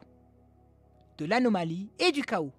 En révélant le défi des puissances qui règlent sa vie et en les surmontant vaillamment dans ce rite initiatique crucial qui réimpose de l'ordre sur le chaos et le désespoir. L'homme réaffirme sa maîtrise de l'univers et confirme son rôle du destin et du sort. Ça, c'est Brauman et Schwartz. Les anthropologues utilisent le terme chaman pour se référer aux personnes con- rencontrées dans les cultures sans écriture qui sont activement engagées dans le maintien et le rétablissement de certains types d'ordres. Et Amayon, en 82, ce qui peut en revanche distinguer le système chamanique, c'est qu'ils se définissent par rapport au désordre qu'il faut éviter et non par rapport à l'ordre qu'il faudrait maintenir. Opal, les chamans en tant que médiateurs créent de l'ordre et rétablissent l'équilibre à l'intérieur de leur groupe, telle façon que leur rôle est enraciné dans leur culture. Alors ça j'aime bien. Euh, Tausig, c'est tous des articles de 80, 89. Le chamanisme est une invention moderne, une catégorie occidentale, une réification astucieuse de pratiques disparates, de bribes de folklore et de folklorisation surplombante des résidus d'anciens mythes entremêlés et de politiques institutionnelles, académiques, des carrières, des conférences, des comités éditoriaux, des articles, des organismes de financement. Le premier anthropologue à critiquer le concept de chamanisme est sans doute Van Gennep, je renvoie au troisième apocadrille où je parle des rites de passage, qui est aussi à Neuchâtel. Euh, Van Gennep, le premier conservateur du musée, et qui en 1903 déjà protestait contre l'utilisation du mot obscur sibérien pour parler des croyances et coutumes. Alors, c'est marrant parce que ça reste du 19e, enfin, du, en 1903, donc j'allais dire du 19e siècle, bon, c'est du début 20e, mais voilà, il parlait des demi-civilisés de toutes les religions du monde. Et puis je vais finir par un petit rappel euh, très intéressant par rapport à notre iconographie, à nous, du serpent. Bien sûr, vous voyez les liens qu'on peut faire avec Hermès. Et tu sais ce que ça veut dire, euh, Shisei Chisei, ouais, vas-y. Euh, alors c'est traduit euh, intelligence, mais ce qui est intéressant, c'est de découper les, les, les deux euh, les deux caractères. Il y, a- il y en a un qui en fait veut dire, je crois que c'est connaissance et sagesse ou un truc comme ça, et l'autre c'est nature. C'est excellent. Mais tu vois que les, les Japonais, par l'animisme, ont beaucoup plus accès à certains concepts que nous, on n'arrive pas en, en- avec notre culture euh, gréco-latine à avoir. On est trop, trans- enfin, on est trop tranchant, quoi. Mhm. Et parce qu'il y a du que subtil. Il y a quand- du subtil en quand, fait. Quand pas- Teddy me parle de- d'esprit dans un briquet, ça faisait rire euh, Baltonsberg. Il disait ouais, euh, briquet, bri- bic. Mais non, je, je rappelle que le vintage n'ex- n'existe pas, n'a pas beaucoup de succès euh, au Japon parce qu'à passer 100 ans, un objet peut être porteur de yokai ou peut devenir un yokai. Donc euh, ça change tout. C'est marrant comme le Japon et l'Asie, au final, ils sont presque plus proches entre eux que nous. Mhm. Parce que eux, ça passe par le Pacifique, ça passe pas par l'Atlantique. Euh, bon, il y a toute l'histoire aussi de ce double, le, le double. Et le double, en fait, il y est, on l'a, Adam et Ève, le double. Donc il parle de Campbell, notre rapport aux êtres doubles du Jardin d'Éden. Au début, ils n'étaient qu'un, sous la forme d'Adam, puis divisés en deux, ils sont devenus Adam et Ève. Mais la légende de la côte d'Adam est clairement une inversion patriarcale, puisque le mâle y engendre la femelle, au contraire des mythes précédents et de la réalité biologique. Quant au serpent, sa damnation est particulièrement ambiguë, puisque le seul acte d'accusation que Yahvé porte contre lui est d'avoir révélé à Ève l'arbre qui permet de différencier le bien et le mal. Comment appliquer les dix commandements sans connaître cette différence Selon Campbell, ces inversions patriarcales adressent au cœur un message illustré qui renverse exactement le message verbal adressé au cerveau. Et cette discorde nerveuse habite le christianisme et l'islam, autant que le judaïsme, puisqu'ils partagent tous trois le legs de l'Ancien Testament. Bon, c'est pas mal. Ça, j'aimerais bien discuter. J'aimerais bien discuter avec François de, de cet aspect-là. Alors, bon, il y a plein, parce que j'ai souligné tellement de trucs, les amis, vous imaginez même pas comme j'adore ce bouquin et ça m'a fait plaisir de le relire. Et c'est hallucinant, comme un bouquin que t'aimes, que t'as déjà lu, tu le relis, c'est comme si t'étais en mode super-héros, enfin, super euh, cognition, c'est que tu lis tellement plus vite, parce que même 20 ans après, c'est comme si mon cerveau, il scandait les mots euh, encore plus rapidement que dans une lecture où tu découvres un texte, tu vois. Euh, je vais encore vous lire un dernier truc que je trouvais très intéressant. Mais tu sais que le, le double, tu l'as aussi en, en Égypte, avec le hiéroglyphe euh, du K. Le K, ça représente le double, en fait. Pourquoi euh, du là tu dis un peu trop woke? Parce que je critique le patriarcat des sociétés euh, de, 'fin, de, de nos amis juifs? Non, je pense qu'il y a une bonne critique euh, du patriarcat euh, qui n'est pas féminisme. Exactement comme j'ai expliqué dans mon exposition, où j'expliquais que on fête les 100 ans du manifeste de Breton. Et Breton balance dans son manifeste des choses incroyables qui paraissent complètement has-been maintenant. On parle de déconstruction des, euh, de- du regard, de la vision, retrouver les qualités sauvages de l'œil. Ça, c'est la magnifique petite Bonardelle qui parle dans la vidéo sur Baglis TV des artistes surréalistes et, des, et, des, et, des, et du grand jeu. Et de, je vous en avais déjà parlé, hein, de André Gilbert Lecomte, de Daumal, tous ces penseurs, tous ces poètes maudits. Et Breton, euh, il fait une synthèse, une déconstruction intelligente euh, du monde d'avant, mais c'est pas la déconstruction gauchiste. C'est retrouver les qualités sauvages de l'œil, se réapproprier euh, le sensitif, le vrai sensoriel. Il y a un truc, les mecs, en 1924, ils ont. Et moi, je fais un lien, c'est le sujet de mon prochain apocadrille, donc je vous le tease un peu. Mais c'est que la maîtrise de la photo, de l'hyper-représentativité, l'hyper-représentativité, pardon, dont parle très bien Stigler, est exactement la même temporalité que nous pour l'image num- numérique. C'est que nous, on est, en, 19 on- est en 2024, ça fait plus ou moins 40 ans qu'on maîtrise euh, l'image numérique. Il y en a eu bien avant, oui, vous avez me parlé de Pong et tout, c'est déjà du numérique. Mais la maîtrise vraiment de l'image de synthèse et tout ça, depuis Jurassic Park, c'est 30 ans. On peut imaginer avec la vidéo aussi euh, chez euh, Breton pour les surréalistes, c'est la même maîtrise. On est aussi en deux périodes.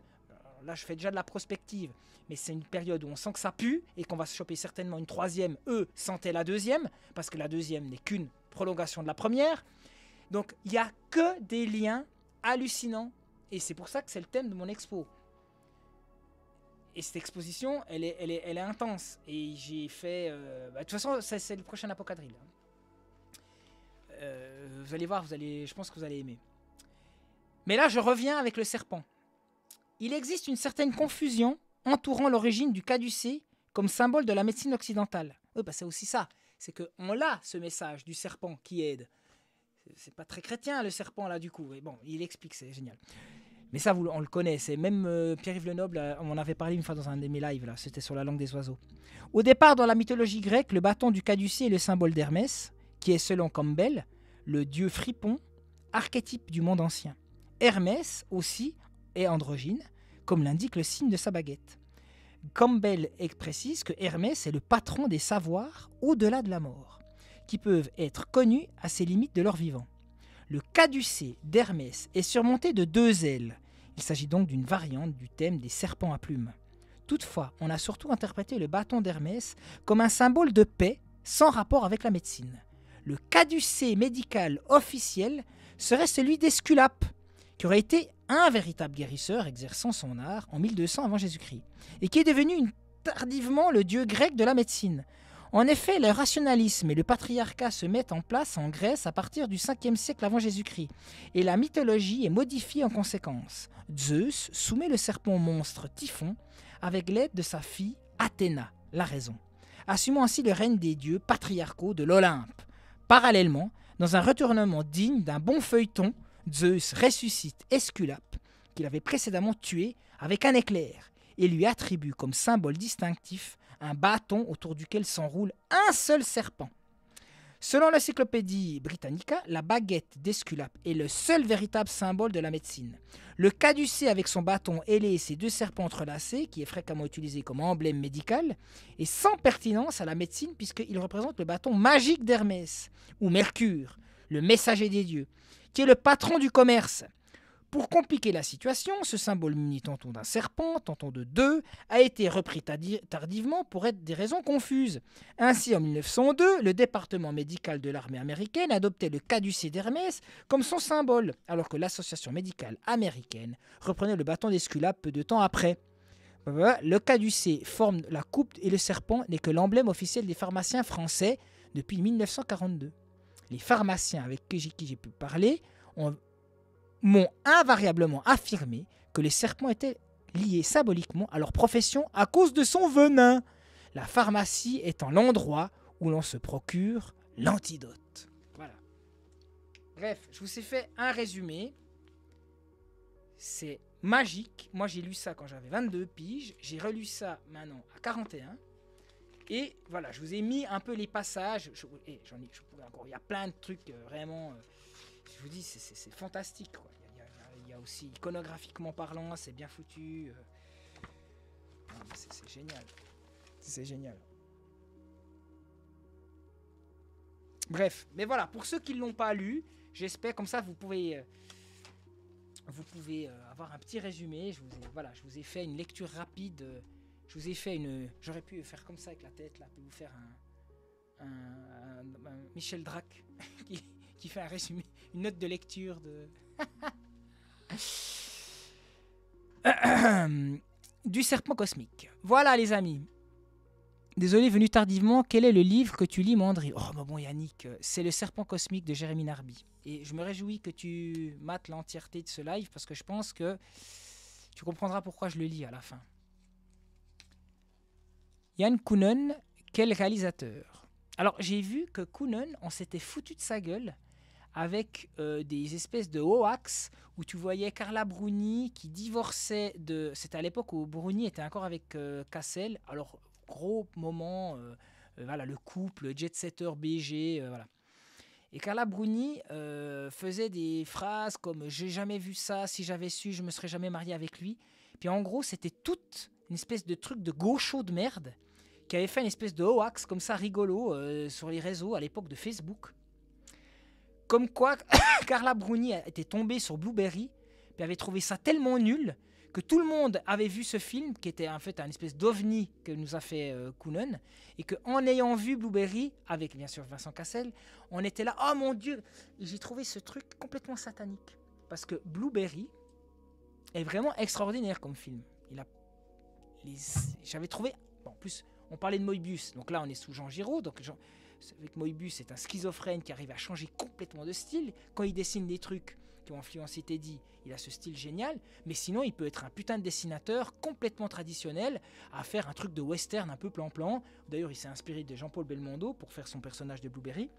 Et puis, vous connaissez Blueberry, c'est vraiment de la grosse BD tradie, euh, on pourrait dire vraiment le style BD belge, enfin école belge. Et euh, c'est une histoire de voilà de cow-boy et d'indiens. Et il y a des drogues, il y a des histoires. Et les putains de gauchos, ils ont fait. Ça a duré un moment là, avec euh, cette histoire de Carla Bruni découvre euh, quel, est ce, quel est ce réalisateur, qu'est-ce que c'est. Et j'avais été dégoûté de cette espèce d'humour de bouffe. Ah, ils sont vraiment. Ils sont vraiment pas ouverts ces gauchistes. Ils ont vraiment tous les défauts quoi.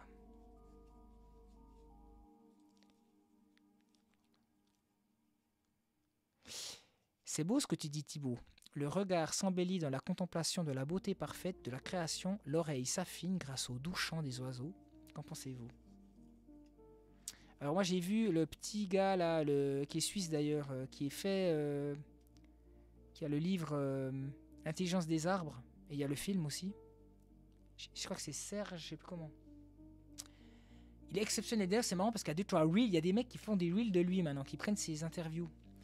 Il explique que les arbres sont connectés au chant des oiseaux et qu'en fait il y a une meilleure connexion d'une pousse des arbres avec le chant des oiseaux et que même au niveau de l'imagerie cérébrale, on est fait pour entendre des chants d'oiseaux et d'être connecté avec les ions positifs des arbres. Et que d'être connecté dans nos, villes sans bruit d'oiseaux et sans arbres, il n'y a, pas de c'est le meilleur moyen de faire mourir la, nourriture. Enfin, on n'a pas la nourriture de- des cellules, quoi. Donc, vu que tout est vibration, ces deux serpents sont connectés à ce chant des oiseaux. Et les arbres sans oiseaux grandissent moins bien, sans les chants des oiseaux. C'est que dans les serres, alors qu'ils ont tout pour que ça marche, ben, des fois ça va moins bien.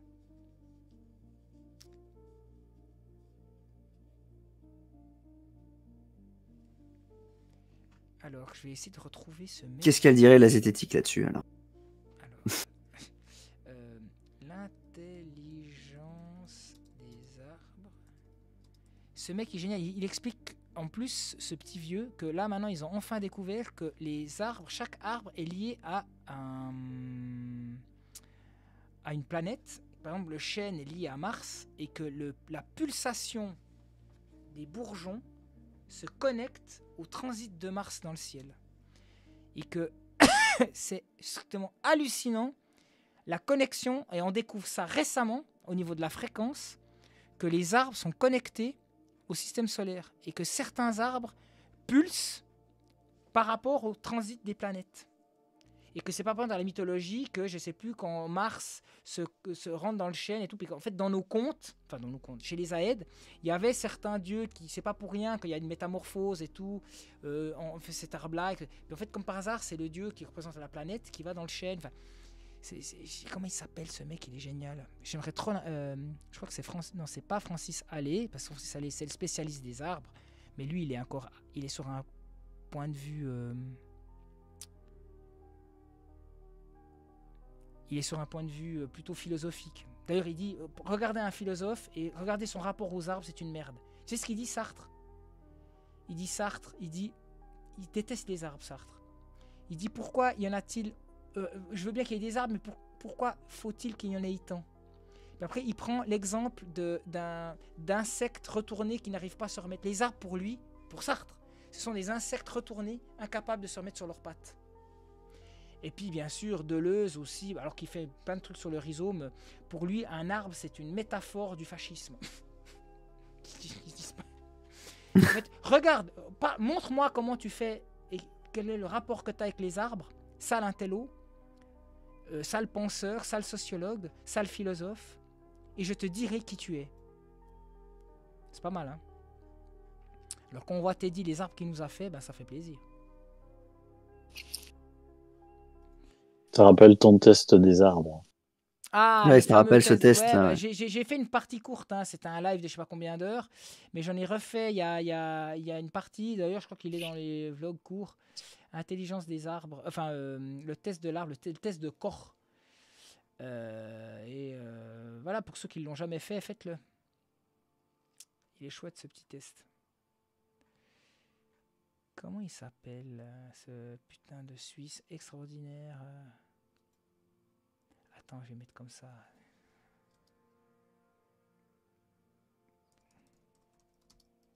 Plus. Je sais pas, peut-être que quelqu'un l'a noté puis qu'il voit de qui je parle.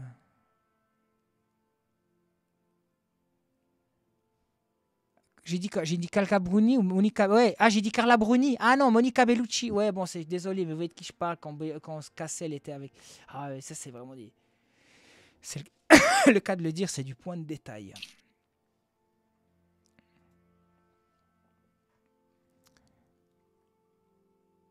Alors, comment il s'appelle ce mec? Ah oui, c'est ça.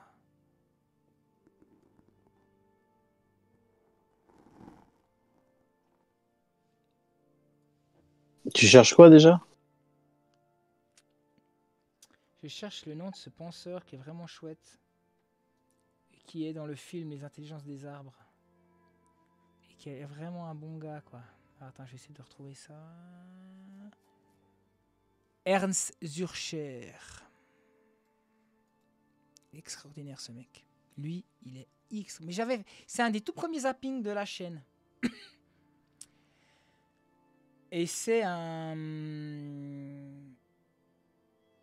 Ah, j'ai trouvé en allemand avec l'histoire des pulses. Mais en fait, il est sous-titré allemand, donc normalement, c'est bon.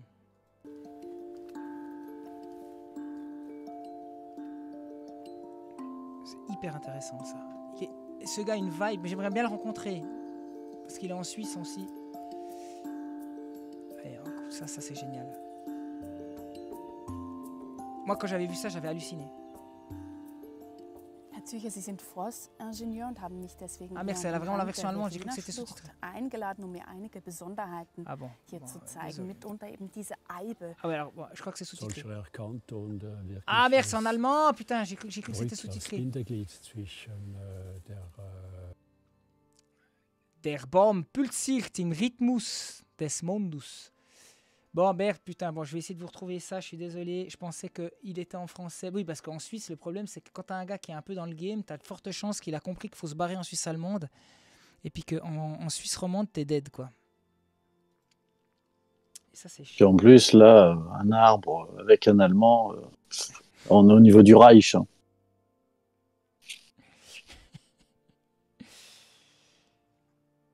Ah ouais, bon, là, là c'est la... Bon, ça, c'est une version TSR.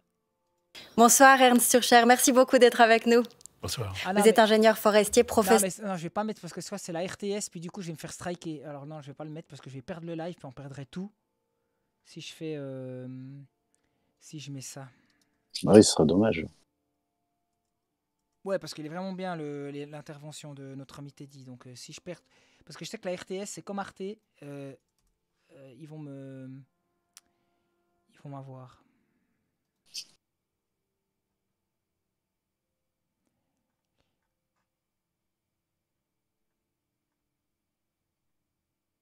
Mais il est vraiment chouette ce type. Mais je, je sais qu'il y a un. Alors attends, je vais faire comme ça.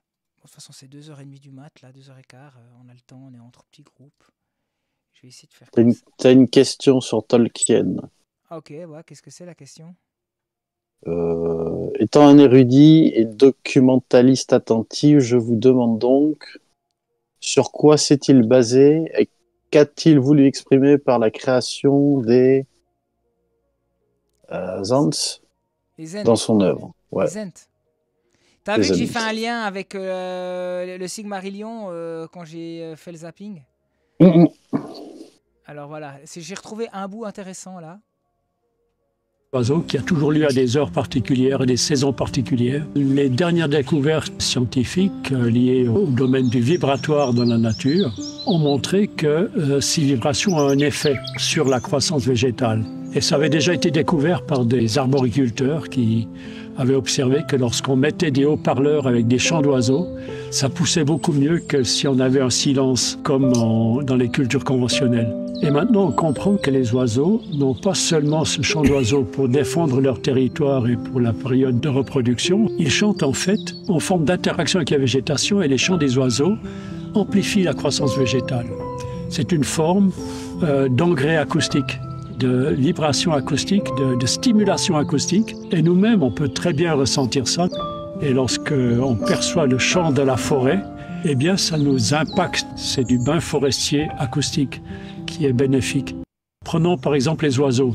Le chant des oiseaux qui a toujours lieu à des heures particulières et des saisons Voilà, particulières. ça, bon, Les ça, derniers- c'était un petit bout de passage où il est. Mais je- la pa- le passage où il parle de la pulsation des chaînes, là, c'est tellement bien. Alors euh, voilà, je trouvais ça intéressant. Il est chouette ce type, hein, il est vraiment accessible, il n'est pas prolixe, chiant. euh, c'est- extraordinaire hein, ce qu'il fait. hein. Ah oui, je crois que c'est là. Je crois que c'est là où il parle de la pulsation.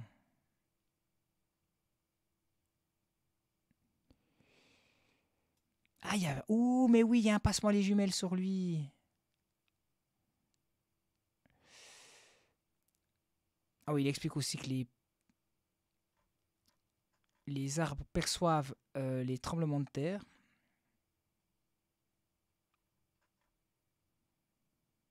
Voilà, c'est bon, j'ai trouvé les amis, enfin. En fait, c'est marrant, c'est le Facebook de Boomer qui m'a permis de retrouver en mettant simplement l'occurrence euh, Ernst. Alors, là, les cocos, c'est génial. Et ça envoie du lourd. Il y a un Écossais qui a eu une idée incroyable et s'est rendu compte que les bourgeons de tous les arbres pulsent avec une certaine cyclicité. Il a mesuré Attendez, je vous le mettrai en grand. Pourquoi il veut pas le mettre en grand? Attends, c'est tout. Je fais vraiment OK boomer quoi. Non, mais c'est pas possible. Bon, je suis désolé les amis, j'arrive pas à le mettre en grand. Alors voilà, on va faire comme ça.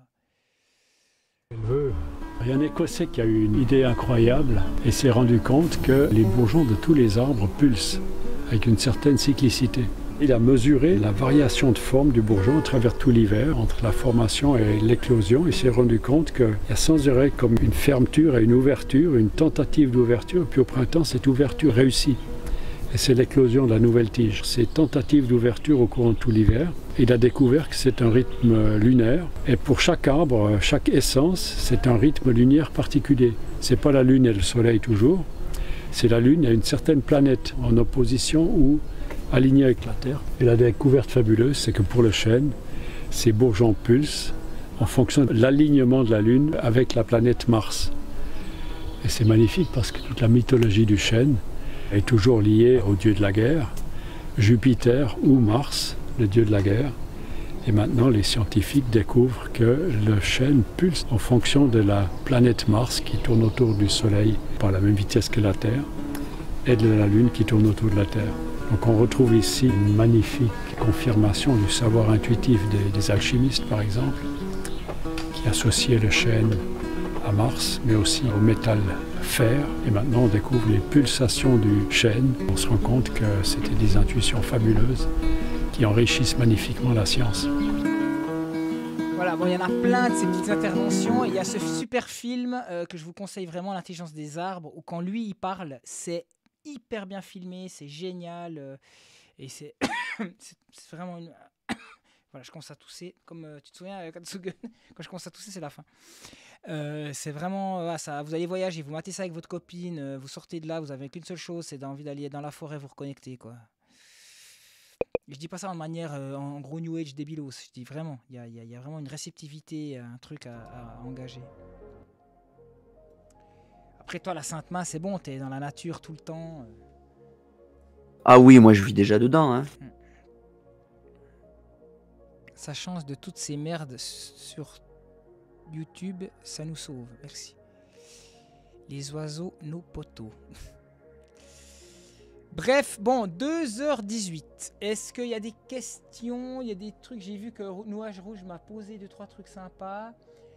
L'histoire de Tolkien. Bon, de toute façon, moi, je veux faire une fois un apocadrille avec, euh, avec mon ami John, mais je crois que ça va jamais être fait. John, il est. il- en fait, c'est. En fait, il fait pas partie de la mysticosphère, John. John, c'est un putain de dessinateur ultra bon, ultra talentueux. Mais je veux pas rentrer dans les détails, mais c'est pas du tout un mec dans notre camp, quoi. C'est un matérialiste, bah, paradoxalement. Ça reste un Américain, en fait. Il a pas. Il a, il a compris, il a une sensibilité, c'est hallucinant. En fait, c'est un cas, j'ai jamais vu ça. C'est un cas unique de sensibilité et de. mais d'incapacité à ressentir le, spirituel. Mais il y a pas, en fait, il y a pas que lui. J'ai quand même des artistes que j'adore et quand j'ai découvert quand ils étaient en privé, c'est un peu comme le, fan du rocker qui quand il découvre en privé le off du, de sa, de son, son idole. En fait, je dirais pas que c'est un vrai con, mais c'est hyper déçu quoi. Donc euh, bon, il va, nous parler de Tolkien, il va nous parler, il, est super intéressant, mais c'est le niveau 1, c'est niveau littéral, niveau 2, Platon, niveau allégorique, peut-être niveau 3, tropologique, donc niveau moral, mais le niveau 4, qui m'intéresse le plus chez Tolkien, le niveau anagogique, l'essence ésotérique, spirituelle, voire même eschatologique, la fin des temps, comment tu renvoies sa lecture, il n'y a pas. Il n'y a pas, il n'y a pas, il n'y a pas, il n'y a pas. Il y, a- y a tout qui s'écroule là.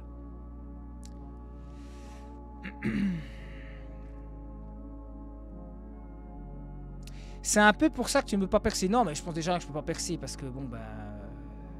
Mon, tr- mon truc, c'est trop grouillant. Les gens adorent, mais ils adorent. euh, ils vont. Je suis déjà étonné et je leur- veux pas qu'ils mettent ça dans leur salon. Alors après, les trucs qui marchent, je vois bien, c'est les trucs les plus aérés. Là, les méduses, tout le monde veut les prendre, mais bon, les gens, ils ont pas l'argent. Ma Babel, c'est hyper fort, mais c'est quand même le sujet Jules Vernesco euh, mystique, donc euh, ça marche. Mais tous mes ah, puis mes villes, ça marchait. Mais tous mes autres trucs, là, été étonné. Mon dernier dessin, là, mon truc de sur le Bauhaus, le, carnaval euh, attaquant le minimalisme, où je me suis cassé le cul. Il y a peut-être 500 heures de taf. Ben, les gens, ils adorent ça, mais je comprends, c'est.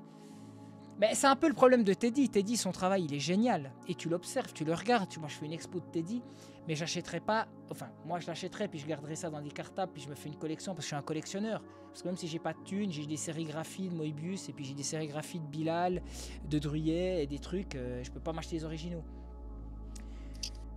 Mais Teddy, il a le même problème que moi. Je pense que je vois pas un mec qui, euh, qui met ça dans son salon, quoi. Parce qu'on a, c'est trop fort. Enfin, c'est trop. Donc en fait, on est victime aussi de notre folie, quoi. C'est que. Ouais, c'est. Quand tu vois, euh, par exemple, Moebius, quand il a fait euh, son. Les, plus beaux dessins qu'il a fait, c'est des derniers dessins qu'il a fait, le voyage pour Hermès. Son mandat qu'il a eu pour Hermès. Bah, c'est super aéré, quoi. Vous voyez ce qu'il a fait Pour Tolkien, j'ai peut-être une piste. Euh, je pense que c'est, euh, vu qu'il est beaucoup inspiré de euh, l'anneau des Nibelungen, Ouais. je pense que la référence avec les arbres, ça doit être euh, l'Yggdrasil.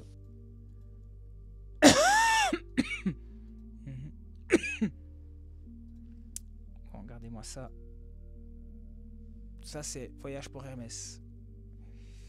Ça, c'est juste génial. Putain, c'est quoi ce site de merde J'étais sur Ingo, je connais pas ce site, je crois le premier truc que je tombe, puis je tombe sur cette merde. Voilà, je peux pas montrer les autres, ouais. Je suis obligé de faire comme ça, je peux pas passer d'une image à l'autre. Ouais, c'est fouillé, mais en même temps, c'est super clair. Ça, c'est magnifique, ça.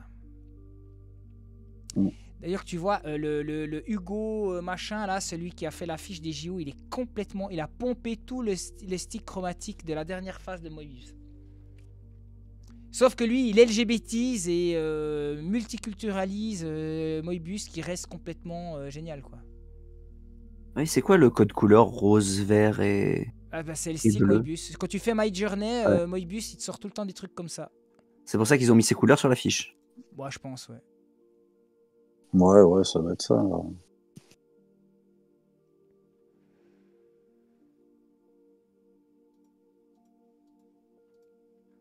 Ouais, ça c'est génial, ça, cette image, elle est incroyable. Il y, a- il y en a qui font une interprétation avec l'affiche euh, La fin de l'Atlantide, avec la grosse vague au fond. C'est vrai? Ouais. Comment la mer est arrivée si proche de Paris? C'est la grosse vague, elle arrive. Voilà. La vague de l'événement est arrivée. Ah, c'est ça. Et Par contre, gars- ils ont oublié, ils ont oublié de dessiner les rats. Ça, c'est. Ouais, ça, ça, tu peux avoir un immense tirage et un immense print, et puis ça, ça peut aller dans un de ces lofts à la con, quoi.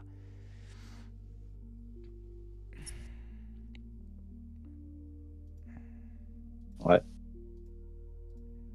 Non, Ça, mais c'est- là, les images que tu montres, c'est les mecs qui ont, ont fait l'affiche ou c'est du. Non, c'est Moebius. Non, ça, c'est du Moebius. C'est Moebius. C'est- ouais. C'est c'est lui qui a été pompé. Oui. Mais parce qu'ils font quoi d'autre en fait, les mecs qui ont fait l'affiche Justement? Mais il est assez bon à part ça. Mais j'ai j'ai toujours un truc qui m'a dérangé. Il y a toujours un truc qui m'a dérangé. Mais je vais te montrer ce qu'il fait. Attends, je vais te montrer. Bon, ce que moi j'ai bien dit. T'as vu, j'ai fait un petit reel qui a, qui a bien marché d'ailleurs. Oh, il, il était trop drôle. Ouais, mais c'est moi. une Montage d'enfer. Ouais, bah je l'ai fait en une heure. J'ai vu le truc, j'ai vu ça, il Ouais. faut que je le fasse. Faut, que- maintenant, il faut que je le fasse. Ça m'a forcé. c'est- Maintenant, c'est l'actu. Et euh... ouais, ouais, ça m'a.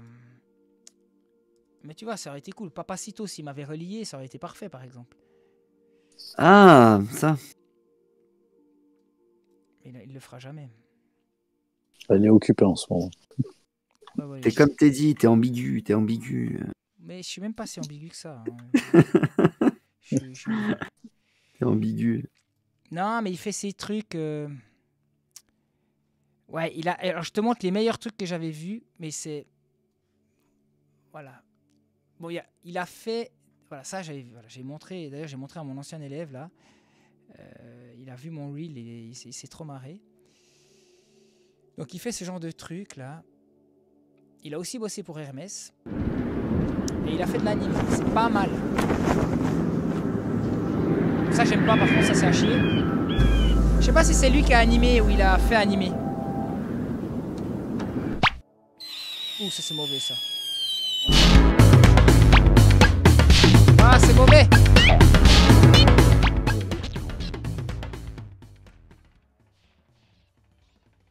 Ah, c'est nul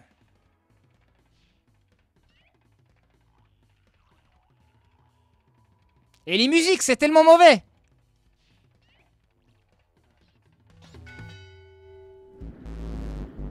Moi, c'est je- moi, je supporte pas.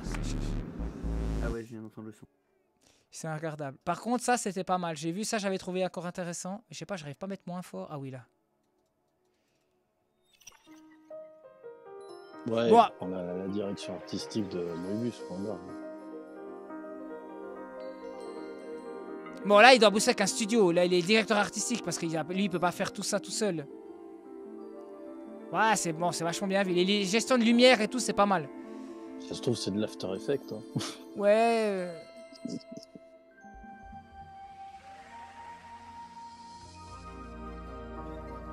il y a tout. Ouais, c'est Moebius, quoi.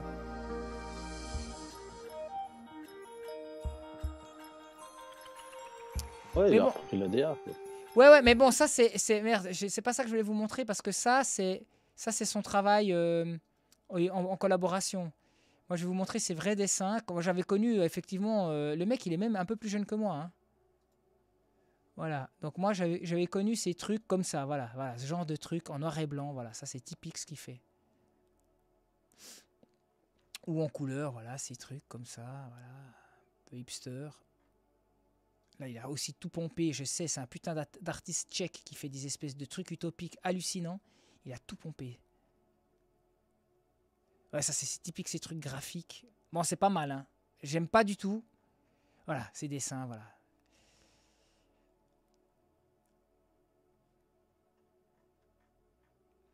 Puis après, ces trucs super précis. Alors là, il copie totalement le fils de Kaitsuhiro Otomo. Ces trucs au stylo bic noir, euh, voilà, c'est- totalement genre de style. D'ailleurs, le fils de Katsuhiro Otomo il est complètement cinglé. Il était là, il Ah bon? Ah, t'as jamais vu? Enfin, j'ai vu, j'ai vu ce qu'il faisait comme boulot, mais après. euh, T'as pas vu quand il est là? Attends, il faut que je te montre quand il est là. Il a écrit, il est là. euh, oui, euh, il tourne, tu sais, bon, il, il parle en japonais et tout. T'as Speedo. Puis il regarde la caméra, Speedo. Parce qu'en fait, puis c'est traduit après. euh, puis t'as la voix off. euh, oui, alors euh, en fait, j'ai choisi de me tatouer Speedo sur ma lèvre. Puis ça fait. Après, tu vois. Speedo. Puis là, c'est. Donc c'est écrit à l'envers, Speedo dans la gueule. Non mais. Ah ouais, le, le fils de. de... Le Katsuro Tomo, il est complètement perché, quoi. Et lui, alors lui, c'est infestation totale, chamanisme sauvage, et puis... Ouais, Moebius a créé l'affiche du film La guerre du feu. Moebius, il a bossé sur le cinquième élément. Moebius, il a bossé... euh, il a... Moebius, oublie. Ouais, alors Peters, Skeuten, exactement. Donc en fait, non, faut dire, il y a aussi Skeuten, les deux frangins d'ailleurs, mais Skeuten et Peters font ces univers. Oui, d'ailleurs, Bruxelles euh, Noir, là, non, comment c'est? Euh, Cité Obscure. Ouais, Cité Obscure. Oui, oui, mais c'est un espèce de compendium de plein de trucs que moi j'ai aussi comme référence. euh, euh, mais c'est pas pour faire la diversité puis retirer des croix, quoi. Tu vois, c'est là que tu vois que c'est hallucinant d'avoir fait ça, quoi. C'est hallucinant d'avoir ça. Parce qu'il l'aurait, il y aurait pas eu cette croix, ça aurait été encore une belle affiche. Le, le- d'avoir assumé ça, d'avoir mis ce, ce truc rose, euh, c'est, je comprends pas. Je, je, je- sais pas où c'est qu'ils ils vont, quoi.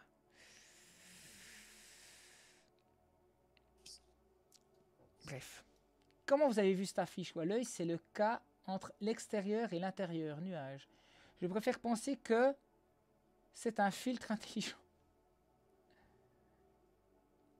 Bref. Bon, moi je vais Et arrêter. Tu l'avais, tu, Oui. tu l'avais vu l'affiche de Dune qu'avait fait. euh, c'était euh, Fi- euh, Figueroa, je crois. J'ai pas vu. Cherche, tu vas voir. Attends, Diane de Alberto, Alberto Faguet, euh, ouais, Vasquez euh, Figueroa, je crois. Je vais être fatigué, moi. Alors, j'ai pas ta référence là. euh, Diane de Cellier. Les éditions Diane de Cellier. Ah ouais, ok, d'accord, je vois. Ouais, ça a l'air pas mal.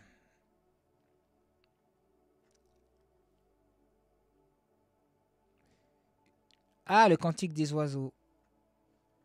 Ok, ouais, ça m'a l'air cool. Les thèmes ont l'air sympas. Ah ouais, bah tu m'as fait découvrir un truc. Bah tu vois, ça, je prends en print screen et je ferai une petite recherche.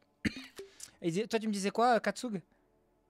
Tu, euh, fi- l'affiche de, de Dune qu'avait fait euh, Fi- Fi- Figuero- Figueroa, je sais plus comment tu dis. Ah ouais, Hugo Figuera, Figueroa. Ouais. Bah ouais, ça c'est vachement Teddy. Hein. Enfin, le Teddy, le nôtre maintenant, pas euh, l'ancien. Ouais. Hein Et ça, c'était les, les, les premiers euh, trucs euh, quand il. euh, c'était pour le, le premier film, enfin les premiers concepts, je crois. Ah bah l'affiche, elle est, là je l'ai trouvée à 1299 dollars. Ouais, trop belle. Trop, trop belle. Ouais, c'est très Teddy Boesque. Mm. Enfin, Teddy Rossesque, pardon. Parce que maintenant c'est fini Teddy Boyesque. C'est c'est relayé, c'est fini. Ah l'ont ouais. remplacé.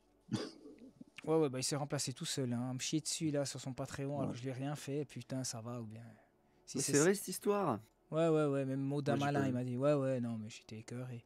Mais c'est pas grave. Écoute, s'il choisit ce. Voilà, moi j'ai chié sur Alex Graham. euh, voilà, mais je pense qu'il prend son. Il prend. Il... Alex Graham, je le vois, je lui pète une jambe. je le vois, Ah. mais avec amour. C'est pack Mais de toute façon, je pense que si je lui fais un tout petit carandage, sa jambe se pète. Donc voilà. Non, non, lui, il m'a vraiment fait un sale coup. Et je lui, je suis pas rancunier, mais je sais pas pourquoi avec lui, je sens qu'il faut pas pardonner. c'est son côté petit bourgeois, fils d'aristo assumé, en me disant, mais moi je suis vraiment un aristo. t'as- t'as aucun, aucune, aucun panache. Rien. Une merde. Ben oui, c'est le d'une Rodowski, de Jorodowski, bien sûr. Oui. C'est le projet, le fameux. Bon, les amis, on continue sur le Discord. Comme ça, moi, je dessine un petit coup aussi. Je vais faire pleurer la poutre et tout. Parce que j'en peux plus. Ça fait depuis 8 heures que je suis assis là comme un con.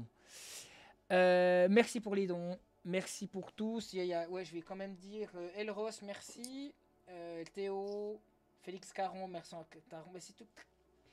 Félix Caron et Kogitsune, euh, adorable, toujours. Johan G, merci. Dans les désastres, on a perdu les étoiles.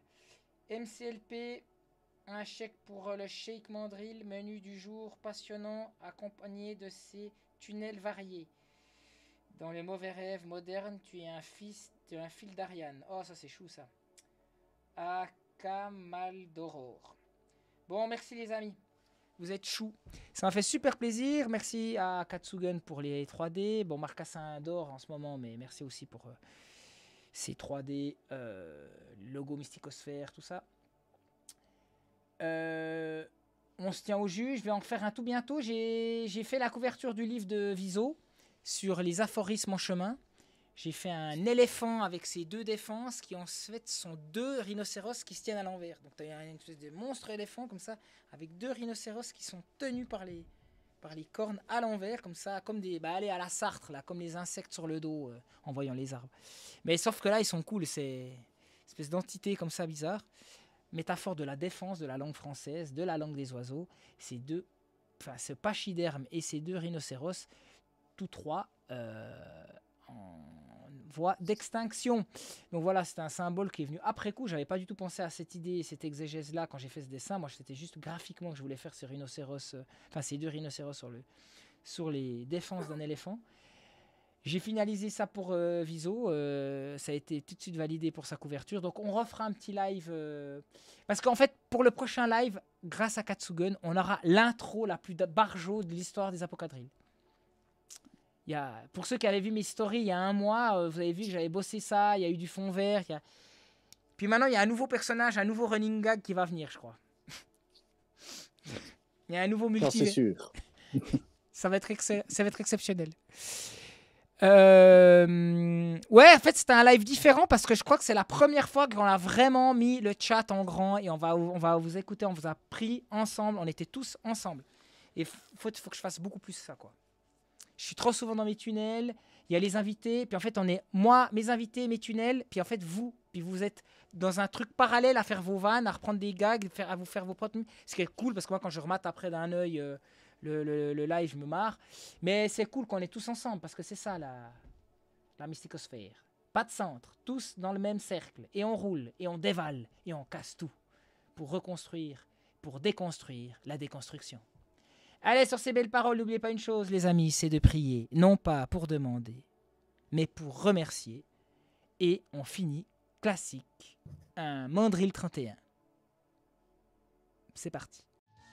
Quiconque ose défier la puissance de Zeus doit être puni. Tu erreras désormais dans un monde inconnu. Jusqu'au royaume d'Hadès, vos corps resteront inertes.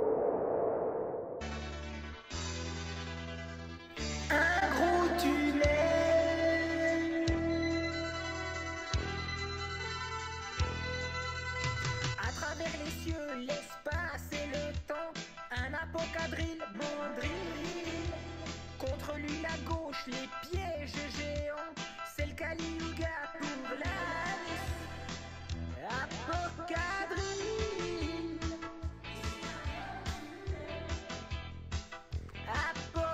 Apocadrille Élite pour son destin. Salut, c'est moi le facho, j'ai été collabo, j'écoute mon drill et c'est Apocadrill. Je suis un gros facho, je suis sur les gauchos, universitaire, progressiste et. Apocadrille Apocadrille